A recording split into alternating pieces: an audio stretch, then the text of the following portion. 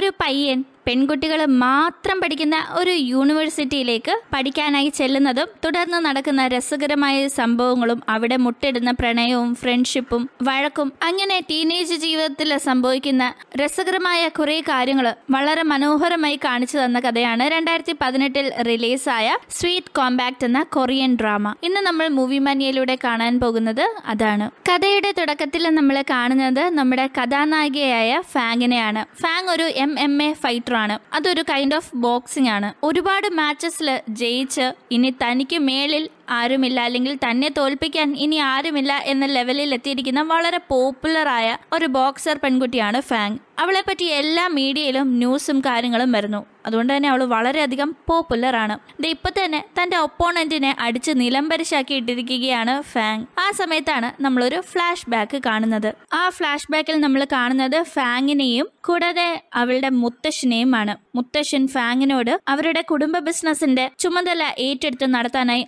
ആവശ്യപ്പെട്ടിട്ടുണ്ടായിരുന്നു സത്യത്തിൽ ഫാങ് വളർന്ന് വലുതായി കഴിയുമ്പോൾ അവൾ കുടുംബ ബിസിനസ് നോക്കി നടത്തണം എന്നതായിരുന്നു ഇവളുടെ വീട്ടുകാരുടെ ആഗ്രഹം തന്നെ. പക്ഷെ ഫാങ്ങിന്റെ ഇൻട്രസ്റ്റ് ഫൈറ്റിംഗിലാണ് അതുകൊണ്ട് തന്നെ അവൾക്ക് ബിസിനസ് ഒന്ന് നോക്കി നടത്താൻ വയ്യ. തനിക്ക് ഫൈറ്റിംഗ് ആണ് ഇഷ്ടമെന്ന് മുത്തശ്ശനോട് തുറന്നു പറയുന്നു. ഇതേ സമയം നമ്മുടെ കഥാനായകനായ മിങ് ഫാങ്ങിനെ പോലെ നല്ല സമ്പന്നമായ കുടുംബത്തിൽ നിന്നൊന്നും ഉള്ളതല്ല. അവന്റെ ഇത് വളരെ പാവപ്പെട്ട ഒരു കുടുംബമാണ്. അച്ഛന്റെ മരണശേഷം അമ്മ മിങ്ങിനെയും മിങ്ങിന്റെ കുഞ്ഞ് സഹോദരങ്ങളെയും ഉപേക്ഷിച്ചു പോയി. മിങ്ങിനുള്ളത് ഒരു കുഞ്ഞനിയനും കുഞ്ഞനിയത്തിയുമാണ്. അവർ രണ്ടുപേരും സ്കൂളിൽ പഠിക്കുകയാണ്. മിങ്ങാണ് അവരുടെ കാര്യങ്ങളെല്ലാം നോക്കുന്നത്. മിങ് ഇപ്പോൾ ഒരു റെസ്റ്റോറന്റിൽ ഡെലിവറി ബോയായി ജോലി ചെയ്യുകയാണ്. മിങ്ങിന് പഠിക്കാൻ വളരെ ഇഷ്ടമാണ്. പക്ഷെ അവന്റെ ജീവിത സാഹചര്യങ്ങൾ മൂലം അവന് പഠിത്തം ഇടയ്ക്ക് വെച്ച് നിർത്തേണ്ടി വന്നു. എങ്കിലും തന്റെ മാർക്ക് വെച്ച് ഏതെങ്കിലും യൂണിവേഴ്സിറ്റിയിൽ സ്കോളർഷിപ്പോട് കൂടി അഡ്മിഷൻ കിട്ടിക്കഴിഞ്ഞാൽ അവിടെ പോയി പഠിത്തം കണ്ടിന്യൂ ചെയ്യണമെന്നതാണ് അവന്റെ ആഗ്രഹം. അതുകൊണ്ട് തന്നെ മാർക്കും ഡീറ്റെയിൽസും വെച്ച് പല യൂണിവേഴ്സിറ്റീസിലും അവൻ അപ്ലൈ ചെയ്തിട്ടുമുണ്ട്. ഉണ്ട് മിങ്ങിന്റെ സഹോദരൻ ടി വിയിൽ ഫാങ്ങിന്റെ ഫൈറ്റിംഗ് കാണുകയാണ്. ഫാങ് ഫൈറ്റ് ചെയ്യുന്നത് പോലെ തന്നെ തന്റെ കൈയും കാലും ഇട്ട് ആ കൊച്ചു പയ്യൻ ഓരോ അഭ്യാസങ്ങൾ കാണിക്കുന്നു. അവന്റെ കാട്ടിക്കൂട്ടലുകൾ കണ്ടാലറിയാം അവൻ ഫാങ്ങിന്റെ ഒരു വലിയ ഫാൻ ആണെന്ന് എന്തായാലും അങ്ങനെ ഇരിക്കെ ഒരു ദിവസം മിങ്ങിനെ ഡെലിവറി ചെയ്യാനായി ഒരു ഓർഡർ കിട്ടുന്നു. സാധാരണ ഇരുപത് മിനിറ്റിനുള്ളിലാണ് അവൻ ഡെലിവറി ചെയ്യാറുള്ളത്. പക്ഷേ ഈ ഒരു ഓർഡർ പതിനഞ്ച് മിനിറ്റിനുള്ളിൽ ഡെലിവറി ചെയ്യേണ്ടതാണ്. അതുകൊണ്ട് തന്നെ മിങ് അവൻ അറിയാവുന്ന ഷോർട്ട് കട്ടുകൾ ഉപയോഗിച്ച് പെട്ടെന്ന് തന്നെ ഡെസ്റ്റിനേഷനിൽ എത്താനായി ശ്രമിക്കുന്നു. അതിന്റെ ഇടയിൽ അവനൊരു മുത്തശ്ശിയെ കാണുന്നു. ആ മുത്തശ്ശി ഒരു പഴക്കച്ചവടക്കാരിയാണ്. കച്ചവടം ചെയ്യാനുള്ള പഴങ്ങൾ ഒരു ഉന്തുവണ്ടിയിൽ കൊണ്ടുപോകുന്ന സമയം ഇറക്കത്തിൽ നിന്ന് ആ മുത്തശ്ശിക്ക് ആ ഉന്തുവണ്ടിയുടെ പിടുത്തം വിടുകയും ഉന്തുവണ്ടി അങ്ങ് ഊർന്നു പോവുകയും ചെയ്യുന്നു. മുത്തശ്ശിയെ സഹായിക്കാനായി മിങ് ശ്രമിക്കുന്നുണ്ടെങ്കിലും അവന് സാധിക്കുന്നില്ല. ഇതേ സമയം ആ ഇറക്കത്തിന്റെ അവിടെ നമ്മുടെ ഫാങ് നിൽപ്പുണ്ടായിരുന്നു. ഈ ഉന്തുവണ്ടി വരുന്നത് കണ്ട് ഉന്തുവണ്ടി നിർത്താനായി അവൾ അതിനായിട്ട് നല്ലൊരു തൊഴി വെച്ചു കൊടുക്കുന്നു. പക്ഷേ നിൽക്കുന്നതിന് പകരം അത് കമിഴ്ന്നടിച്ച് വീണ് വീണ്ടും കാര്യങ്ങൾ കുളമാവുകയാണ് ചെയ്തത്. ഫാങ് ഒന്ന് ശ്രദ്ധിച്ചിരുന്നെങ്കിൽ അവൾക്ക് ആ ഒരു ഉന്തുവണ്ടി പിടിച്ചു നിർത്താൻ സാധിക്കുമായിരുന്നു. എന്തായാലും ഉന്തുവണ്ടി തൊഴിച്ചിട്ടതിന്റെ യാതൊരു കൂസലുമില്ലാതെ ഫാങ് ആ മുത്തശ്ശിയുടെ അടുത്തേക്ക് ചെന്ന് കുറച്ച് കാശ് ആ മുത്തശ്ശിക്ക് കൊടുത്തിട്ട് അങ്ങ് നടന്നു പോവുകയാണ്. ഒരു സോറി പോലും അവൾ ആ മുത്തശ്ശിയോട് പറഞ്ഞില്ല. ഇനി ഒരുപക്ഷെ സോറിക്ക് പകരമായി കാശ് മതിയെന്ന് അവൾ കരുതി കാണാം എന്തായാലും ഫാങ് ചെയ്ത ഈ കാര്യങ്ങൾ ഇവളിത് എവിടുന്ന് വരുന്നു എന്ന മട്ടിൽ മിങ് നോക്കി നിൽക്കുന്നു. അങ്ങനെ അതിനുശേഷം നമ്മൾ ഫാങ്ങിനെ കാണുമ്പോൾ അവൾ അവളുടെ സാറിന്റെ അടുത്ത് നിൽക്കുകയാണ്. ഈ സാറാണ് അവളെ മാർഷൽ ആർട്സ് ഒക്കെ പഠിപ്പിക്കുന്നത്. അവൾ സാറിനോട് തന്നെ വീട്ടുകാർ ഫാമിലി ബിസിനസ് ഏറ്റെടുക്കാൻ നിർബന്ധിക്കുന്നുവെന്നും പക്ഷെ തനിക്കതിന് താല്പര്യമില്ല. തനിക്ക് ഫൈറ്റർ ആകണമെന്നതാണ് ആഗ്രഹമെന്നും പറയുന്നു. എന്ത് ചെയ്യണമെന്ന് യാതൊരു പിടുത്തവും കിട്ടുന്നില്ല എന്ന് ഫാങ് പറയുന്നത് കേൾക്കുന്ന സാർ അവളോട് ഇപ്പൊ തീരുമാനമൊന്നും എടുക്കണ്ട. അപ്പൊ നീ ആകെപ്പാടെ കൺഫ്യൂസ്ഡ് ആയിരിക്കല്ലേ? അപ്പൊ നല്ല തീരുമാനമൊന്നും നിനക്ക് എടുക്കാൻ സാധിക്കില്ല. കുറച്ചു നേരം മൈൻഡ് റിലാക്സ്ഡ് ആക്കി വെച്ച് ആലോചിച്ച് നല്ലൊരു തീരുമാനം എടുക്കുന്നു പറയുന്നു. അങ്ങനെ ഇവർ രണ്ടുപേരും സംസാരിച്ചുകൊണ്ട് നിൽക്കുന്ന സമയം ഇങ്ങോട്ടേക്ക് മിങ് വരുന്നു. ഇപ്പോഴാണ് മനസ്സിലാവുന്നത് മിങ്ങിന് പതിനഞ്ച് മിനിറ്റിനുള്ളിൽ ഫുഡ് ഡെലിവർ ചെയ്യേണ്ടിയിരുന്നത് ഫാങ്ങിന്റെ ഈ ഒരു സാറിന്റെ അടുത്തേക്കാണെന്ന്. അവിടെ വെച്ച് മിങ്ങും ഫാങ്ങും പരസ്പരം കാണുന്നുണ്ടെങ്കിലും അവർക്കിടയിൽ സംസാരമോ ഒന്നും തന്നെ ഉണ്ടാകുന്നില്ല. അങ്ങനെ ഫാങ് അവിടെ നിന്ന് പോകുന്നു. മിങ്ങും ഫുഡ് ഡെലിവറി ചെയ്ത് പോകാനായി ഒരുങ്ങുമ്പോഴാണ് അവന്റെ ഫോണിൽ അവൻ മുന്നേ അപ്ലൈ ചെയ്ത ഏതോ ഒരു യൂണിവേഴ്സിറ്റിയിൽ നിന്ന്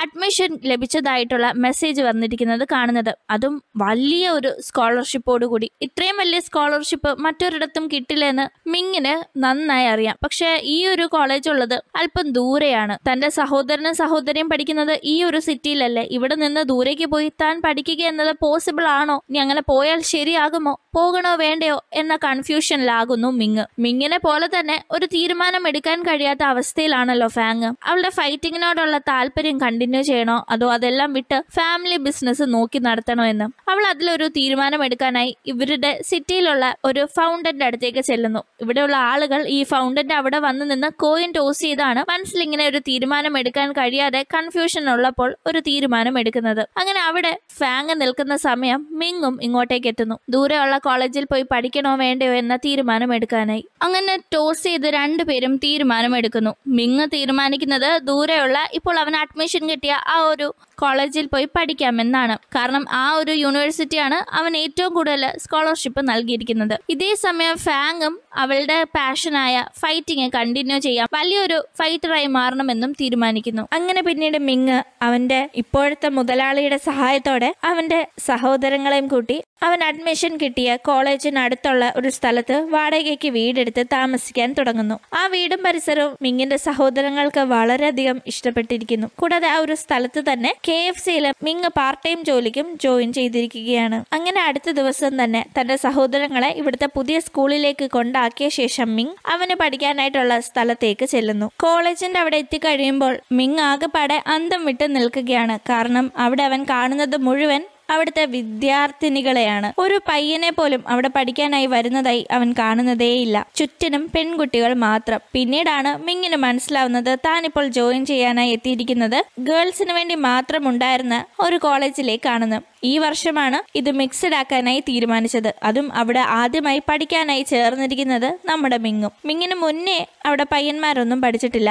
ഇനി ശേഷം മറ്റാരെങ്കിലും അഡ്മിഷൻ എടുത്തിട്ടുണ്ടോ എന്ന കാര്യങ്ങളൊന്നും മിങ്ങിന് ഒരു പിടുത്തവുമില്ല. ഇങ്ങനെ ചുറ്റിനും പെൺകുട്ടികൾ മാത്രമുള്ള ഒരു സ്ഥലത്തേക്ക് വന്നു പെടുമ്പോൾ ഒരു സാധാരണ പയ്യനുണ്ടാവുന്ന സന്തോഷമൊന്നും മിങ്ങിന്റെ മുഖത്തില്ല. താൻ ആകെപ്പാടെ പെട്ടല്ലോ എന്ന അവസ്ഥയിലാണ് അവൻ ഇരിക്കുന്നത്. മിങ് അവിടെ നിൽക്കുന്ന സമയം ഇവനെ കാണുന്ന പെൺകുട്ടികളെല്ലാം നല്ല സുന്ദരനാണല്ലോ എന്ന് അവനെ കമന്റ് അടിച്ചു. പോകുന്നു. അങ്ങനെ മിങ് അവിടെ നിൽക്കുമ്പോഴാണ് ഒരു പയ്യൻ സ്കേറ്റിംഗ് ബോർഡിലെത്തി മിങ്ങിന്റെ ദേഹത്ത് ഇടിക്കുന്നത്. ഇടിച്ച പാടെ മിങ്ങിനാണെങ്കിൽ വളരെയധികം സന്തോഷമാണ് തോന്നുന്നത്. കാരണം ഇത്രയും പെൺകുട്ടികളുടെ ഇടയിൽ അവൻ ഒരു പയ്യനെ കണ്ടല്ലോ. അപ്പോൾ മിങ് ആ പയ്യനോട് സംസാരിക്കാനായി ശ്രമിക്കുന്നു. അപ്പോഴാണ് തന്റെ പോക്കറ്റിൽ നിന്ന് ഒരു ഹെയർ ക്ലിപ്പ് എടുത്ത് അത് മുടിയിൽ കുത്തി. ഞാനേ പയ്യനല്ല പെണ്ണാണെന്ന് ആ സ്കേറ്റിംഗിൽ വന്ന പെൺകുട്ടി കാണിക്കുന്നത്. ഇത്രയും നേരം അതൊരു പയ്യനാണെന്നാണ് മിങ് കരുതിയിരുന്നത്. അതുകൊണ്ടാണ് ഈ പെൺകുട്ടികൾ മാത്രമുള്ള സ്ഥലത്ത് ഒരു പയ്യനെ കണ്ടപ്പോൾ അവന് സന്തോഷമായത്. എന്തായാലും തന്നെ പയ്യൻ നിന്ന് തെറ്റിദ്ധരിച്ചത് ആ പെൺകുട്ടിക്ക് ഇഷ്ടപ്പെട്ടില്ല. അവൾ നിന്നെ ഞാൻ പിന്നെ കണ്ടോളാടാ എന്ന് പറഞ്ഞ് അങ്ങ് പോവാണ് മിങ്ങിനോട് ഇപ്പോൾ സംസാരിച്ചിട്ട് പോയ പെൺകുട്ടിയുടെ പേര്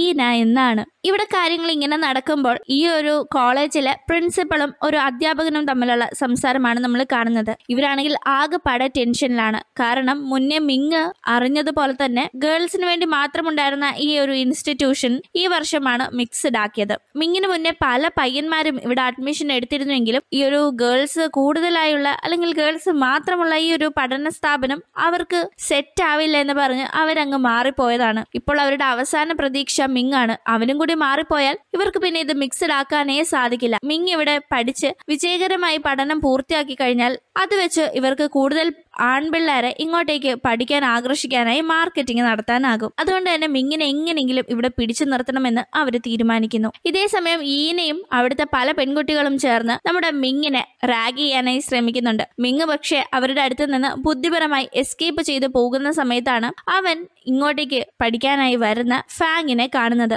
ഓ ഈ അഹങ്കാരി പെണ്ണ് ഈ കോളേജിലാണോ പഠിക്കുന്നത് എന്ന ചിന്തയാണ് അവളെ കണ്ടപാടെ അവന്റെ ഉള്ളിൽ ഉണ്ടാകുന്നത് അവിടെ വെച്ച് ഫാങ്ങിന്റെ ബാഗിന്റെ സിബ് തട്ടി മിങ്ങിന്റെ കൈ ചെറുതായിട്ടൊന്ന് പോറുന്നു. ഇത് മനസ്സിലാക്കുന്ന ഫാങ് മുന്നേ ആ ഒരു പഴങ്ങൾ വിൽക്കുന്ന മുത്തശ്ശിയോട് ചെയ്തതുപോലെ തന്നെ ഇവരോട് മാപ്പൊന്നും പറയാതെ അല്ലെങ്കിൽ ഇത് കണ്ടിട്ട് അതിനെ മൈൻഡ് ആക്കാതെ കുറച്ച് കാശ് എടുത്ത് കൊടുത്തിട്ട് നീ വലിയൊരു ബാൻഡേജ് വാങ്ങിച്ചൊട്ടിച്ചു എന്ന് പറയാണ്. ഫാങ്ങിന്റെ ഈ ഒരു ഡയലോഗ് കേൾക്കുന്ന മിങ്ങിന് ദേഷ്യം വരുന്നു. സോറി പറഞ്ഞിട്ട് പോയാൽ മതി. എന്റെ കാശ് തന്ന എല്ലാം അങ്ങ് കഴിയുമെന്നാണോ നീ വിചാരിച്ചിരിക്കുന്നതെന്ന് മിങ് തിരക്കുന്നു. ഫാങ് അതെ കാശിന് ചെയ്യാൻ സാധിക്കാത്തതായി ഈ ലോകത്ത് ഒന്നുമില്ല എന്ന് പറയുകയാണ് അങ്ങനെ അവിടെ ഇവർക്കിടയിൽ നടക്കുന്ന ആർഗ്യുമെന്റിനിടയിൽ മിങ് ഫാങ്ങിനെ പ്രാന്തി എന്ന് വിളിക്കുന്നു. തന്നെ ഭ്രാന്തി എന്ന് വിളിച്ചത് ഫാങ്ങിന് തീരെ സഹിച്ചിട്ടില്ല. അവൾക്കത് വല്ലാത്ത സങ്കടവും ദേഷ്യവും ഉണ്ടാക്കുന്നു. ഈ സമയത്താണ് നമ്മൾ ഒരു ഫ്ലാഷ് ബാക്ക് കാണുന്നത്. മുന്നേ ആ പഴങ്ങൾ വിൽക്കുന്ന മുത്തശ്ശിയുടെ ഉന്തുവണ്ടി ഫാങ് തൊഴിച്ച് തെറിപ്പിച്ചില്ലായിരുന്നു? യഥാർത്ഥത്തിൽ ഫാങ് വിചാരിച്ചാലും ആ ഉന്തുവണ്ടി പിടിച്ചു നിർത്താൻ സാധിക്കില്ലായിരുന്നു. അവൾ അതങ്ങനെ തനിക്ക് കഴിയില്ലെന്ന് കരുതി പിടിക്കാതെ വിട്ടിരുന്നെങ്കിൽ ആ ഉന്തുവണ്ടി അതിലൂടെ വന്ന ഒരു പെൺകുട്ടിയെ ഇടിച്ച് ആ പെൺകുട്ടിക്ക് അപകടം പറ്റിയേനെ. അത് മനസ്സിലാക്കുന്ന ഫാങ് അത് ഒഴിവാക്കാനായിട്ടാണ് ആ ഉന്തുവണ്ടി കാലും കൊണ്ട് തൊഴിച്ച് ദൂരേക്ക് മാറ്റിയത്. പക്ഷേ ഇങ്ങനെ ഒരു പെൺകുട്ടി ഇടയിൽ വന്നിരുന്നു. അവളെ അത് ഇടിച്ചേനെ എന്ന കാര്യങ്ങൾ അറിയാത്ത മിങ് ആ ഒരു പ്രവൃത്തി കണ്ട് ഫാങ് വളരെ അഹങ്കാരിയാണ് എന്ന് തെറ്റിദ്ധരിച്ചു. ഇതേസമയം മിങ് ക്ലാസ്സിലിരിക്കുമ്പോൾ എല്ലാ പെൺകുട്ടികളും അവനെ തന്നെ വായി നോക്കിക്കൊണ്ടിരിക്കുകയാണ്. ഇത് കാണുന്ന മിങ്ങിന് ഇങ്ങനെ പോയാൽ താൻ എങ്ങനെ പഠിക്കും? പഠിത്തത്തിൽ ഒരു കോൺസെൻട്രേഷനും കിട്ടുന്നില്ലല്ലോ എന്ന് തോന്നുന്നു. ഫാങ് ആണെങ്കിൽ മിങ്ങുമായി ആദ്യം ഒന്ന് കൊമ്പ് കോർത്ത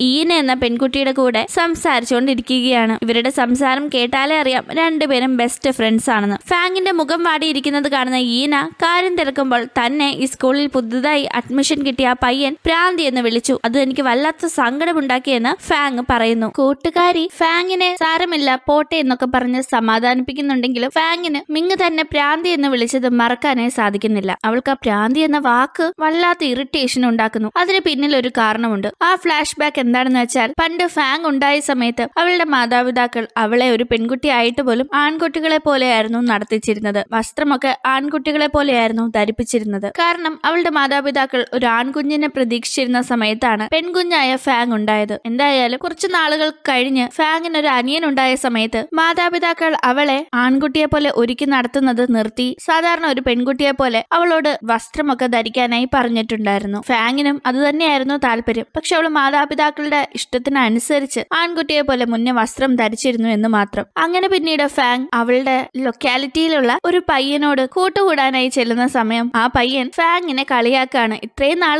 ഒരാണിനെ പോലെ നടന്ന നീ ഇപ്പൊ എന്താ പെണ്ണായോ എന്നെല്ലാം ചോദിച്ചു. നിനക്ക് വല്ല ഭ്രാന്തുമുണ്ടോ ഇങ്ങനെ കാണിക്കാനെല്ലാം? ആ പയ്യനും അവന്റെ കൂട്ടുകാരും ചേർന്ന് ഫാങ്ങിനെ കളിയാക്കി. ആ ഒരു ഇൻസിഡന്റ് ഫാങ്ങിനെ വല്ലാതെ വിഷമിപ്പിച്ചിട്ടുണ്ടായിരുന്നു. അതുകൊണ്ടാണ് ഇപ്പോൾ ദേ മിങ്ങും പ്രാന്തി എന്ന് വിളിച്ച് കളിയാക്കിയപ്പോൾ അവൾക്ക് വല്ലാത്ത ദേഷ്യവും സങ്കടവും വരുന്നത്. ഇതേ സമയം മിങ്ങും അവന്റെ വീട്ടിലിരുന്ന് ഫാങ്ങിനെ പറ്റി ആലോചിക്കുകയാണ്. എത്ര അഹങ്കാരിയായ പെണ്ണാണ് അവൾ അവളുടെ കണ്ണ് എന്റെ അമ്മയുടെ അതേ കണ്ണാണ് അവൾക്ക് വെറുതെ അല്ല അവളും എന്റെ അമ്മയെ പോലെ അഹങ്കാരിയായതെന്നെല്ലാം ഫാങ് കരുതുന്നു. കാരണം മിങ്ങിന് അവന്റെ അമ്മയെ തീരെ ഇഷ്ടമല്ല. കാരണം അമ്മ അവനെയും സഹോദരങ്ങളെയും ഉപേക്ഷിച്ചതല്ലേ. അതുകൊണ്ട് തന്നെ ഇപ്പോൾ ഫാങ്ങിനെ പറ്റി ഓർക്കുന്ന അവന് അമ്മയെ ഓർമ്മയും വരുന്നു. അതിന്റെയും കൂടെ ദേഷ്യം അവന് ഫാങ്ങിനോട് തോന്നുകയാണ്. അങ്ങനെ പിന്നീട് നമ്മൾ കാണുന്നത് മിങ് ക്ലാസ്സിലിരിക്കുന്ന സമയം അവൻ അവന്റെ ചുറ്റിനും ഇരിക്കുന്ന പെൺകുട്ടികളുടെ ശല്യം സഹിക്കാൻ വയ്യ. പഠിക്കാനായിട്ട് വന്ന സ്ഥലത്ത് പഠിത്തത്തിൽ ശ്രദ്ധിക്കാൻ സാധിക്കുന്നില്ലെങ്കിൽ എന്ത് ചെയ്യും? പഠിത്തം ഉപേക്ഷിച്ച് പോകാനായി തന്നെ അവൻ തീരുമാനിക്കുന്നു. അവൻ അത് പറയാനായി അധ്യാപകന്റെ അടുത്ത് ചെല്ലുമ്പോൾ അദ്ദേഹം അവന്റെ മനസ്സ് മാറ്റാനായി ശ്രമിക്കുകയാണ്. ആദ്യമൊന്നും മിങ്ങിന്റെ മനസ്സ് മാറുന്നില്ല. ആ സമയത്ത് ഈ അധ്യാപകൻ അവിടെയുള്ള പല ക്ലബ്ബുകളെ പറ്റിയെല്ലാം പറയുന്നു. പഠനത്തോടൊപ്പം തന്നെ പല എക്സ്ട്രാ കരിക്കുലർ ആക്ടിവിറ്റീസും ഇവിടെ നല്ലപോലെ പ്രൊമോട്ട് ചെയ്യുന്നു എന്ന് കേൾക്കുന്ന മിങ്ങിന് അതിൽ ഇൻട്രസ്റ്റ് തോന്നുന്നു. പ്രത്യേകിച്ച്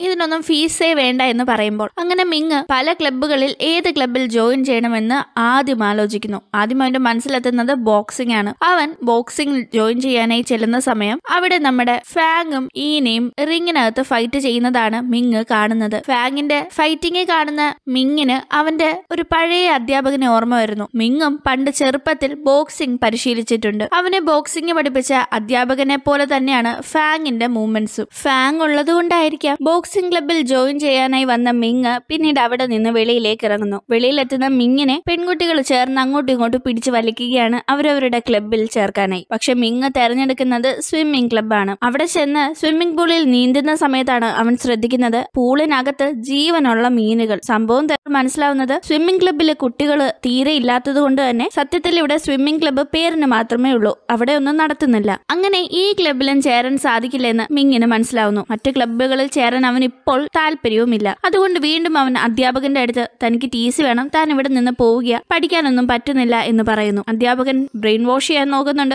പക്ഷെ സാധിക്കുന്നില്ല. അവൻ ടി സി ഫോം ചോദിക്കുമ്പോൾ അത് കൊടുത്തിട്ട് അത് പൂരിപ്പിച്ച് ഒരു ബോക്സിൽ ഇടണമെന്നും അധ്യാപകൻ പറയുന്നു. അങ്ങനെ അവൻ ആ ഫോം ഫില്ല് ചെയ്ത് അത് ബോക്സിൽ ഇടാനായി പോകുന്നുണ്ടെങ്കിലും ഈ അധ്യാപകൻ അവിടുത്തെ ചില ഫൈറ്റിംഗ് പെൺകുട്ടികളെ കൊണ്ട് മിങ്ങിനെ അടുപ്പിച്ച് അവൻ ആ ബോക്സിൽ ആ ഫോം ഇടാൻ പറ്റാത്ത രീതിയിലാക്കുന്നു. ഇതെല്ലാം ഇവിടുത്തെ അധ്യാപകന്റെ പണിയാണെന്ന് മനസ്സിലാക്കുന്ന മിങ് അധ്യാപകനോട് തന്നെ എന്ത് ഇവിടെ നിന്ന് വിടാത്തത്? എന്ന് ചോദിക്കുന്നു. ആ സമയം അധ്യാപകൻ തങ്ങൾക്ക് ആദ്യമായി കിട്ടിയ ഒരു മെയിൽ സ്റ്റുഡന്റ് ആണ് മിങ് എന്നും മിങ്ങിനെ അങ്ങനെ അങ്ങ് വിടാൻ തങ്ങൾ തയ്യാറല്ല എന്നും പറയുന്നു. കൂടാതെ അവൻ നല്ലൊരു ഓഫറും പറയാണ്.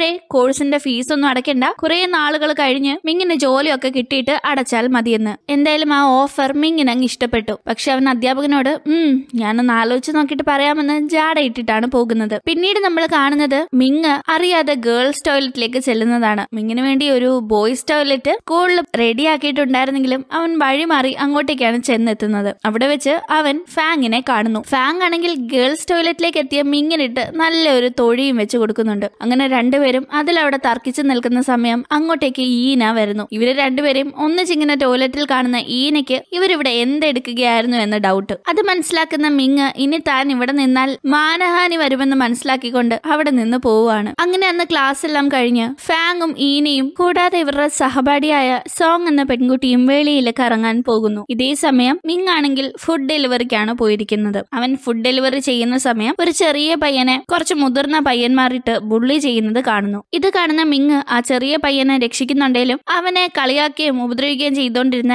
ആ വലിയ പയ്യന്മാരുടെ കയ്യിൽ പെടുന്നു. അവന്മാര് അവരുടെ ഏരിയയിൽ പുതുതായി എത്തിയ മിങ്ങിനെ ഗ്രൗണ്ടിൽ കൊണ്ടുപോയി ഉപദ്രവിക്കാനായി ശ്രമിക്കുകയാണ്. മിങ്ങിന് ഒറ്റയ്ക്ക് ചേർത്ത് നിൽക്കാൻ സാധിക്കുന്നില്ല. ആ സമയത്താണ് അവിടേക്ക് ഫാങ്ങും കൂട്ടുകാരികളും വരുന്നത്. അവരാദ്യം പ്രശ്നം സംസാരിച്ച് പരിഹരിക്കാൻ നോക്കുന്നുണ്ടെങ്കിലും ഈ പയ്യന്മാർ ഈ പെൺകുട്ടികളുടെ ദേഹത്ത് കൈവയ്ക്കാൻ തുടങ്ങിയതിൽ പിന്നെ സംസാരം മാറി അടിയാവുകയാണ്. അങ്ങനെ മിങ്ങും ഫാങ്ങും ഈനയും സോങ്ങും കൂടി ചേർന്ന് പയ്യന്മാരെ അടിച്ചോടിക്കുന്നു. ഒരു അപകടം സംഭവിച്ചപ്പോൾ തന്നെ സഹായിക്കാനായി എത്തിയ ഈ പെൺകുട്ടികളോട് മിങ്ങിന് നന്ദിയുണ്ട്. അതിൽ ഫാങ് ഉണ്ടെങ്കിൽ പോലും അവളോട് ദേഷ്യമുണ്ടെങ്കിൽ പോലും അതെല്ലാം മിങ് മറക്കുകയാണ്. സുൻ എന്ന പയ്യനെയാണ്. സുന്നിന് മിങ്ങും ഫാങ്ങും ഒക്കെ പഠിക്കുന്ന യൂണിവേഴ്സിറ്റിയിൽ നിന്ന് അഡ്മിഷൻ ലെറ്റർ വന്നിട്ടുണ്ട്. താൻ അപ്ലൈ ചെയ്ത ഇതേ യൂണിവേഴ്സിറ്റിയിൽ നിന്ന് അഡ്മിഷൻ ലെറ്റർ വന്നത് സുന്നിനെ വളരെ സന്തോഷിപ്പിക്കുന്നുണ്ടെങ്കിലും അത് സുന്നിന്റെ അമ്മയ്ക്ക് തീരെ ഇഷ്ടപ്പെടുന്നില്ല. കുടുംബക്കാരൻ നടത്തുന്ന കട തന്നെ സുന്നും നോക്കി നടത്തിയാൽ മതിയെന്നാണ് അമ്മ പറയുന്നത്. പക്ഷേ സുന്നിന്റെ ആഗ്രഹപ്രകാരം ആ ഒരു യൂണിവേഴ്സിറ്റിയിലേക്ക് പഠിക്കാനായി ചെല്ലുന്നു. അങ്ങനെ കോളേജിൽ ആദ്യ ദിവസം കോളേജിലെത്തുന്ന സുൻ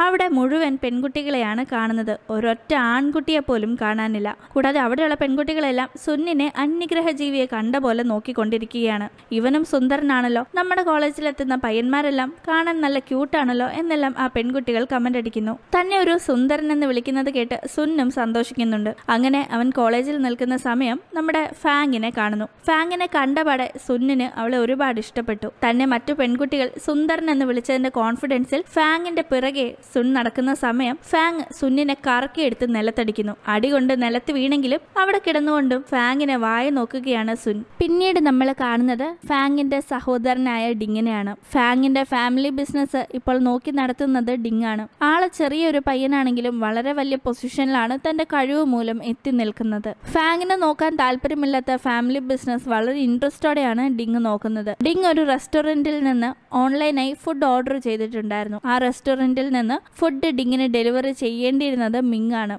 പൊതുവെ ഇരുപത് മിനിറ്റ് കൊണ്ടാണ് മിങ് ഫുഡ് ഡെലിവറി ചെയ്യാറുള്ളത്. പക്ഷെ നേരത്തെ സംസാരം നടന്നതുകൊണ്ട് തന്നെ മിങ്ങിന് കറക്റ്റ് സമയത്ത് ഫുഡ് ഡെലിവറി ചെയ്യാൻ സാധിച്ചിട്ടുണ്ടായിരുന്നില്ല. അതുകൊണ്ട് തന്നെ ഇരുപത് മിനിറ്റ് കഴിഞ്ഞിട്ടും ഓർഡർ ചെയ്ത ഫുഡ് ഡിങ്ങിന് കിട്ടിയിട്ടില്ല. ഡിങ് ആകെ പടക്കാലി ഇളകിയിരിക്കുകയാണ്. പിന്നീട് മിങ് ഡിങ്ങിന്റെ അടുത്തേക്ക് എത്തി പറഞ്ഞ സമയത്ത് ഫുഡ് ഡെലിവറി ചെയ്യാൻ കഴിയാതെ പോയതിൽ ക്ഷമ ചോദിക്കുന്നു. കൂടാതെ തനിക്ക് വരുന്ന വഴി ഒരു ചെറിയ ആക്സിഡന്റ് പറ്റിയെന്നും അതുകൊണ്ട് ആ ഫുഡ് എല്ലാം നഷ്ടപ്പെട്ടു എന്നും അത് ഡെലിവറി ചെയ്യാൻ സാധിക്കില്ലെന്നും മിങ് പറയുകയാണ്. ഇത് കേൾക്കുന്ന ഡിങ് മിങ്ങിനെതിരെ കംപ്ലൈന്റ് ചെയ്തിരിക്കുമെന്ന് വാശി പിടിക്കുന്നു. അപ്പോഴാണ് അങ്ങോട്ടേക്ക് ഫാങ് വരുന്നത്. ഫാങ് ഡിങ്ങിനോട് ഇത് തന്റെ കോളേജിൽ പഠിക്കുന്ന പയ്യനാണെന്നും പറഞ്ഞ് മിങ്ങിനെ പരിചയപ്പെടുത്താൻ ശ്രമിക്കുമ്പോൾ ഡിങ് അതൊന്നും കേൾക്കാൻ താല്പര്യപ്പെടുന്നില്ല ആരായാലും ഞാൻ കംപ്ലൈന്റ് കൊടുക്കുമെന്ന് തന്നെയാണ് അവൻ പറയുന്നത്. ഈ സമയം മിങ് ഡിങ്ങിനോട് ഫുഡ് കൊണ്ടുവരാൻ സാധിക്കാതെ പോയതിന് മാപ്പ് ചോദിച്ച് അവിടെ നിന്ന് പോകുന്നു. മിങ് പോകാൻ ഒരുങ്ങിയിട്ടും ഡിങ്ങിന്റെ കലി അടങ്ങുന്നേയില്ല ഡിങ് വായിൽ വരുന്നതെല്ലാം മിങ്ങിനെ പറഞ്ഞുകൊണ്ടിരിക്കുന്നു. പിന്നീട് നമ്മൾ കാണുന്നത് ഫാങ് അവളുടെ ഒരു അങ്കിളുടെ ശവക്കല്ലറയുടെ അടുത്ത് നിൽക്കുന്നതാണ്. അവൾ ആ അങ്കിളുമായുള്ള പഴയ നല്ല കാര്യങ്ങൾ ഓർക്കുന്നു. മുന്നേ ഫാങ്ങിനെ ചെറുപ്പത്തിൽ ഒരു പയ്യൻ അവൾ ആൺപിള്ളേരെ പോലെ ഡ്രസ് ഇട്ടുകൊണ്ട് നടന്നതിനും പെട്ടെന്നൊരു ദിവസം പെൺകൊച്ചിനെ പോലെ അണിഞ്ഞൊരുങ്ങാൻ തുടങ്ങിയതിനും ഒരുപാട് കളിയാക്കിയതായി നമ്മൾ കണ്ടിരുന്നില്ലേ? ആ ഒരു ഇൻസിഡന്റിൽ ആകെപ്പാടെ അവൾ വിഷമിച്ചിരുന്നപ്പോൾ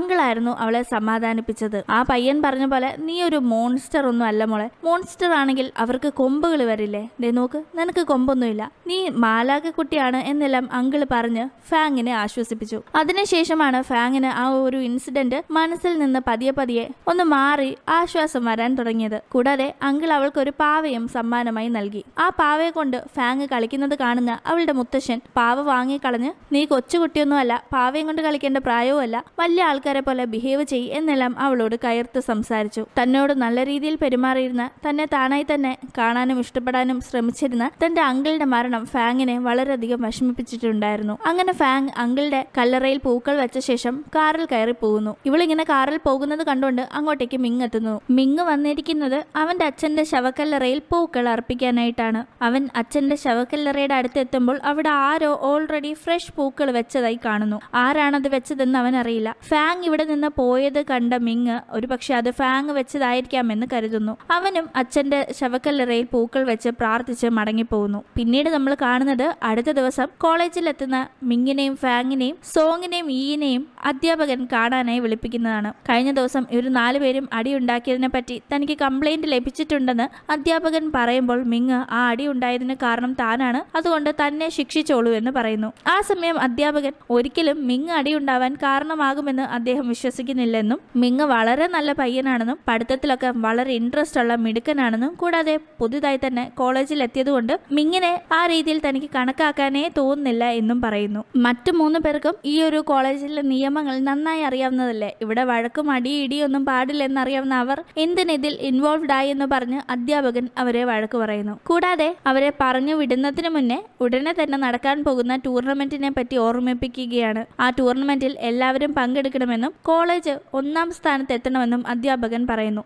ടൂർണമെന്റിൽ പങ്കെടുക്കാനായി ആരെങ്കിലും മിങ്ങിനും ട്രെയിനിങ് നൽകണമെന്ന് അധ്യാപകൻ പറയുമ്പോൾ സോങ് താൻ മിങ്ങിനെ പഠിപ്പിക്കാമെന്ന് പറഞ്ഞ് മുന്നോട്ട് വരുന്നു. സോങ്ങിന്റെ പെരുമാറ്റമൊക്കെ കാണുമ്പോൾ അവൾക്ക് മിങ്ങിനോട് ചെറിയ താല്പര്യമുണ്ടെന്ന് തോന്നുന്നു. പക്ഷെ മിങ് അവളോട് സംസാരിക്കാനൊന്നും നിൽക്കാതെ ഒഴിഞ്ഞു മാറി പോവുകയാണ് പിന്നീട് നമ്മൾ കാണുന്നത് ലു എന്ന പയ്യനെയാണ്. ലു ഫാങ്ങിന്റെ ഒക്കെ ഒപ്പോണന്റ് ആയിട്ടുള്ള മറ്റൊരു കോളേജിലെ വലിയ ബോക്സിംഗ് ചാമ്പ്യനാണ്. ലൂവിന്റെ അടുത്തേക്ക് ഫാങ്ങിന്റെ അതേ കോളേജിൽ പഠിക്കുന്ന മിയ എന്ന പെൺകുട്ടി വരുന്നു. മിയയും പലതവണ ബോക്സിംഗിൽ ഫാങ്ങിനോട് ഏറ്റുമുട്ടി തോറ്റിട്ടുണ്ട്. അതുകൊണ്ട് തന്നെ ഇപ്പോൾ വരുന്ന ടൂർണമെന്റിന്റെ കാര്യം പറഞ്ഞ് ആ ടൂർണമെന്റിൽ ഫാങ്ങിനെ എങ്ങനെയെങ്കിലും തോൽപ്പിക്കണമെന്ന കാര്യങ്ങളൊക്കെ മിയ പറയുമ്പോൾ അതിനൊക്കെ വഴി ഉണ്ടാക്കാമെന്ന് ലു പറയുന്നു. പിന്നീട് നമ്മൾ കാണുന്നത് അടുത്ത ദിവസം മിങ് കോളേജിലെത്തുമ്പോൾ അവനെ കാണുന്ന പെൺകുട്ടികളെല്ലാം വളരെ പരിതാപമായി സഹതാപത്തോടെയാണ് അവനെ നോക്കുന്നത്. കൂടാതെ അവന്റെ അനീതിയും അനിയനെയും അവർ നോക്കിക്കോളാമെന്ന് പറയുകയും ചെയ്യുന്നു. ചില പെൺകുട്ടികൾ ഇവന്റെ അടുത്ത് വന്ന് ഇവന്റെ അളവുകൾ എടുക്കുന്നുണ്ട്. ഒരു പെൺകുട്ടി വന്ന് ഒരു ഫോം ഫില്ല് ചെയ്യാനായി കൊടുക്കുന്നു. എന്തിനാണ് ഇവരെല്ലാം തന്നോട് ഇങ്ങനെ പറയുന്നത് പെരുമാറുന്നത് നോക്കുന്നത് എന്നൊന്നും മനസ്സിലാവാത്ത മിങ്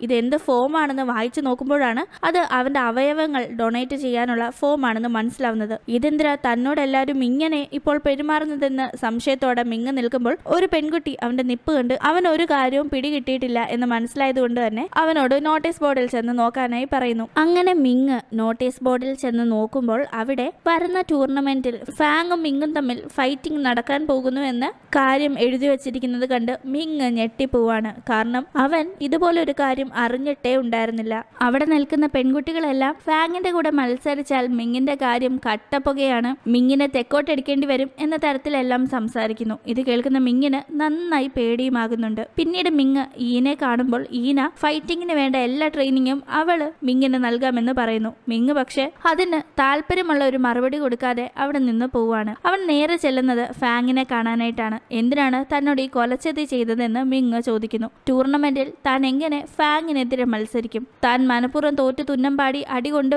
ഓടുന്നത് കാണാനായി മനഃപൂർവം ചെയ്ത കാര്യമല്ല ഇതെന്നെല്ലാം മിങ് തിരക്കുന്നു. ഇതിൽ നാണക്കേടൊന്നും വിചാരിക്കേണ്ട കാര്യമില്ല. എന്നെ അടിക്കാനായിട്ട് നീ ഫൈറ്റിംഗും പഠിച്ചു കഴിഞ്ഞാൽ അത് നിനക്ക് തന്നെയാണ് ഉപകാരപ്പെടുക. മത്സരത്തിൽ എന്റെ കൂടെ തോറ്റാലും കഴിഞ്ഞ ദിവസത്തെ പോലെ ആരെങ്കിലും ആക്രമിക്കാനായി എത്തുമ്പോൾ ചെറുത്ത് നിൽക്കാൻ നിനക്കാകുമെന്നെല്ലാം. ഫാങ് പറയുന്നുണ്ടെങ്കിലും മിങ് അതൊന്നും കേൾക്കുന്നില്ല. പിന്നീട് ക്ലാസ് കഴിഞ്ഞ് വീട്ടിലേക്ക് പോകുന്ന സമയം ഈനയോട് ഫാങ് ഈ നടന്ന കാര്യങ്ങളെല്ലാം പറയുന്നു. അത് കേൾക്കുന്ന ഈന നമുക്ക് മിങ്ങിനെ ചെന്ന് കണ്ട് സംസാരിക്കാമെന്നും പറഞ്ഞ് അവൻ പാർട്ട് ടൈമായി ജോലി ചെയ്യുന്ന ആ ഒരു റെസ്റ്റോറന്റിലേക്ക് ഫാങ്ങിനെയും കൂട്ടി പോവാണ്. അവിടെ ചെന്ന് ഒരു സ്റ്റാഫിനോട് മിങ്ങിനെ അന്വേഷിക്കുമ്പോൾ അയാൾ പറയുന്നത് കഴിഞ്ഞ തവണ മിങ്ങിന് ഒരു ഓർഡർ ഡെലിവറി ചെയ്യാൻ സാധിച്ചില്ലെന്നും അതുകൊണ്ട് തന്നെ അവൻ ഈ ഒരു ജോലി ഉപേക്ഷിച്ച് പോയെന്നുമാണ്. ആ ഓർഡർ തന്റെ സഹോദരനായ ഡിങ്ങിന്റേതാണ് അന്ന് നടന്ന പ്രശ്നത്തെ തുടർന്ന് മിങ് ജോലി ഉപേക്ഷിച്ച കാര്യം അറിയുന്ന ഫാങ്ങിന് വല്ലാത്ത സങ്കടം പോലെ തോന്നുന്നു. പിന്നീട് അടുത്ത ദിവസം ഫാങ്ങിന്റെ മിങ്ങിന്റെയും കോളേജിലേക്ക് മറ്റേ കോളേജിലെ ചാമ്പ്യനായ ലൂ എത്തുകയാണ്. ലൂവിന്റെ കൂടെ മിയയും ഉണ്ട്.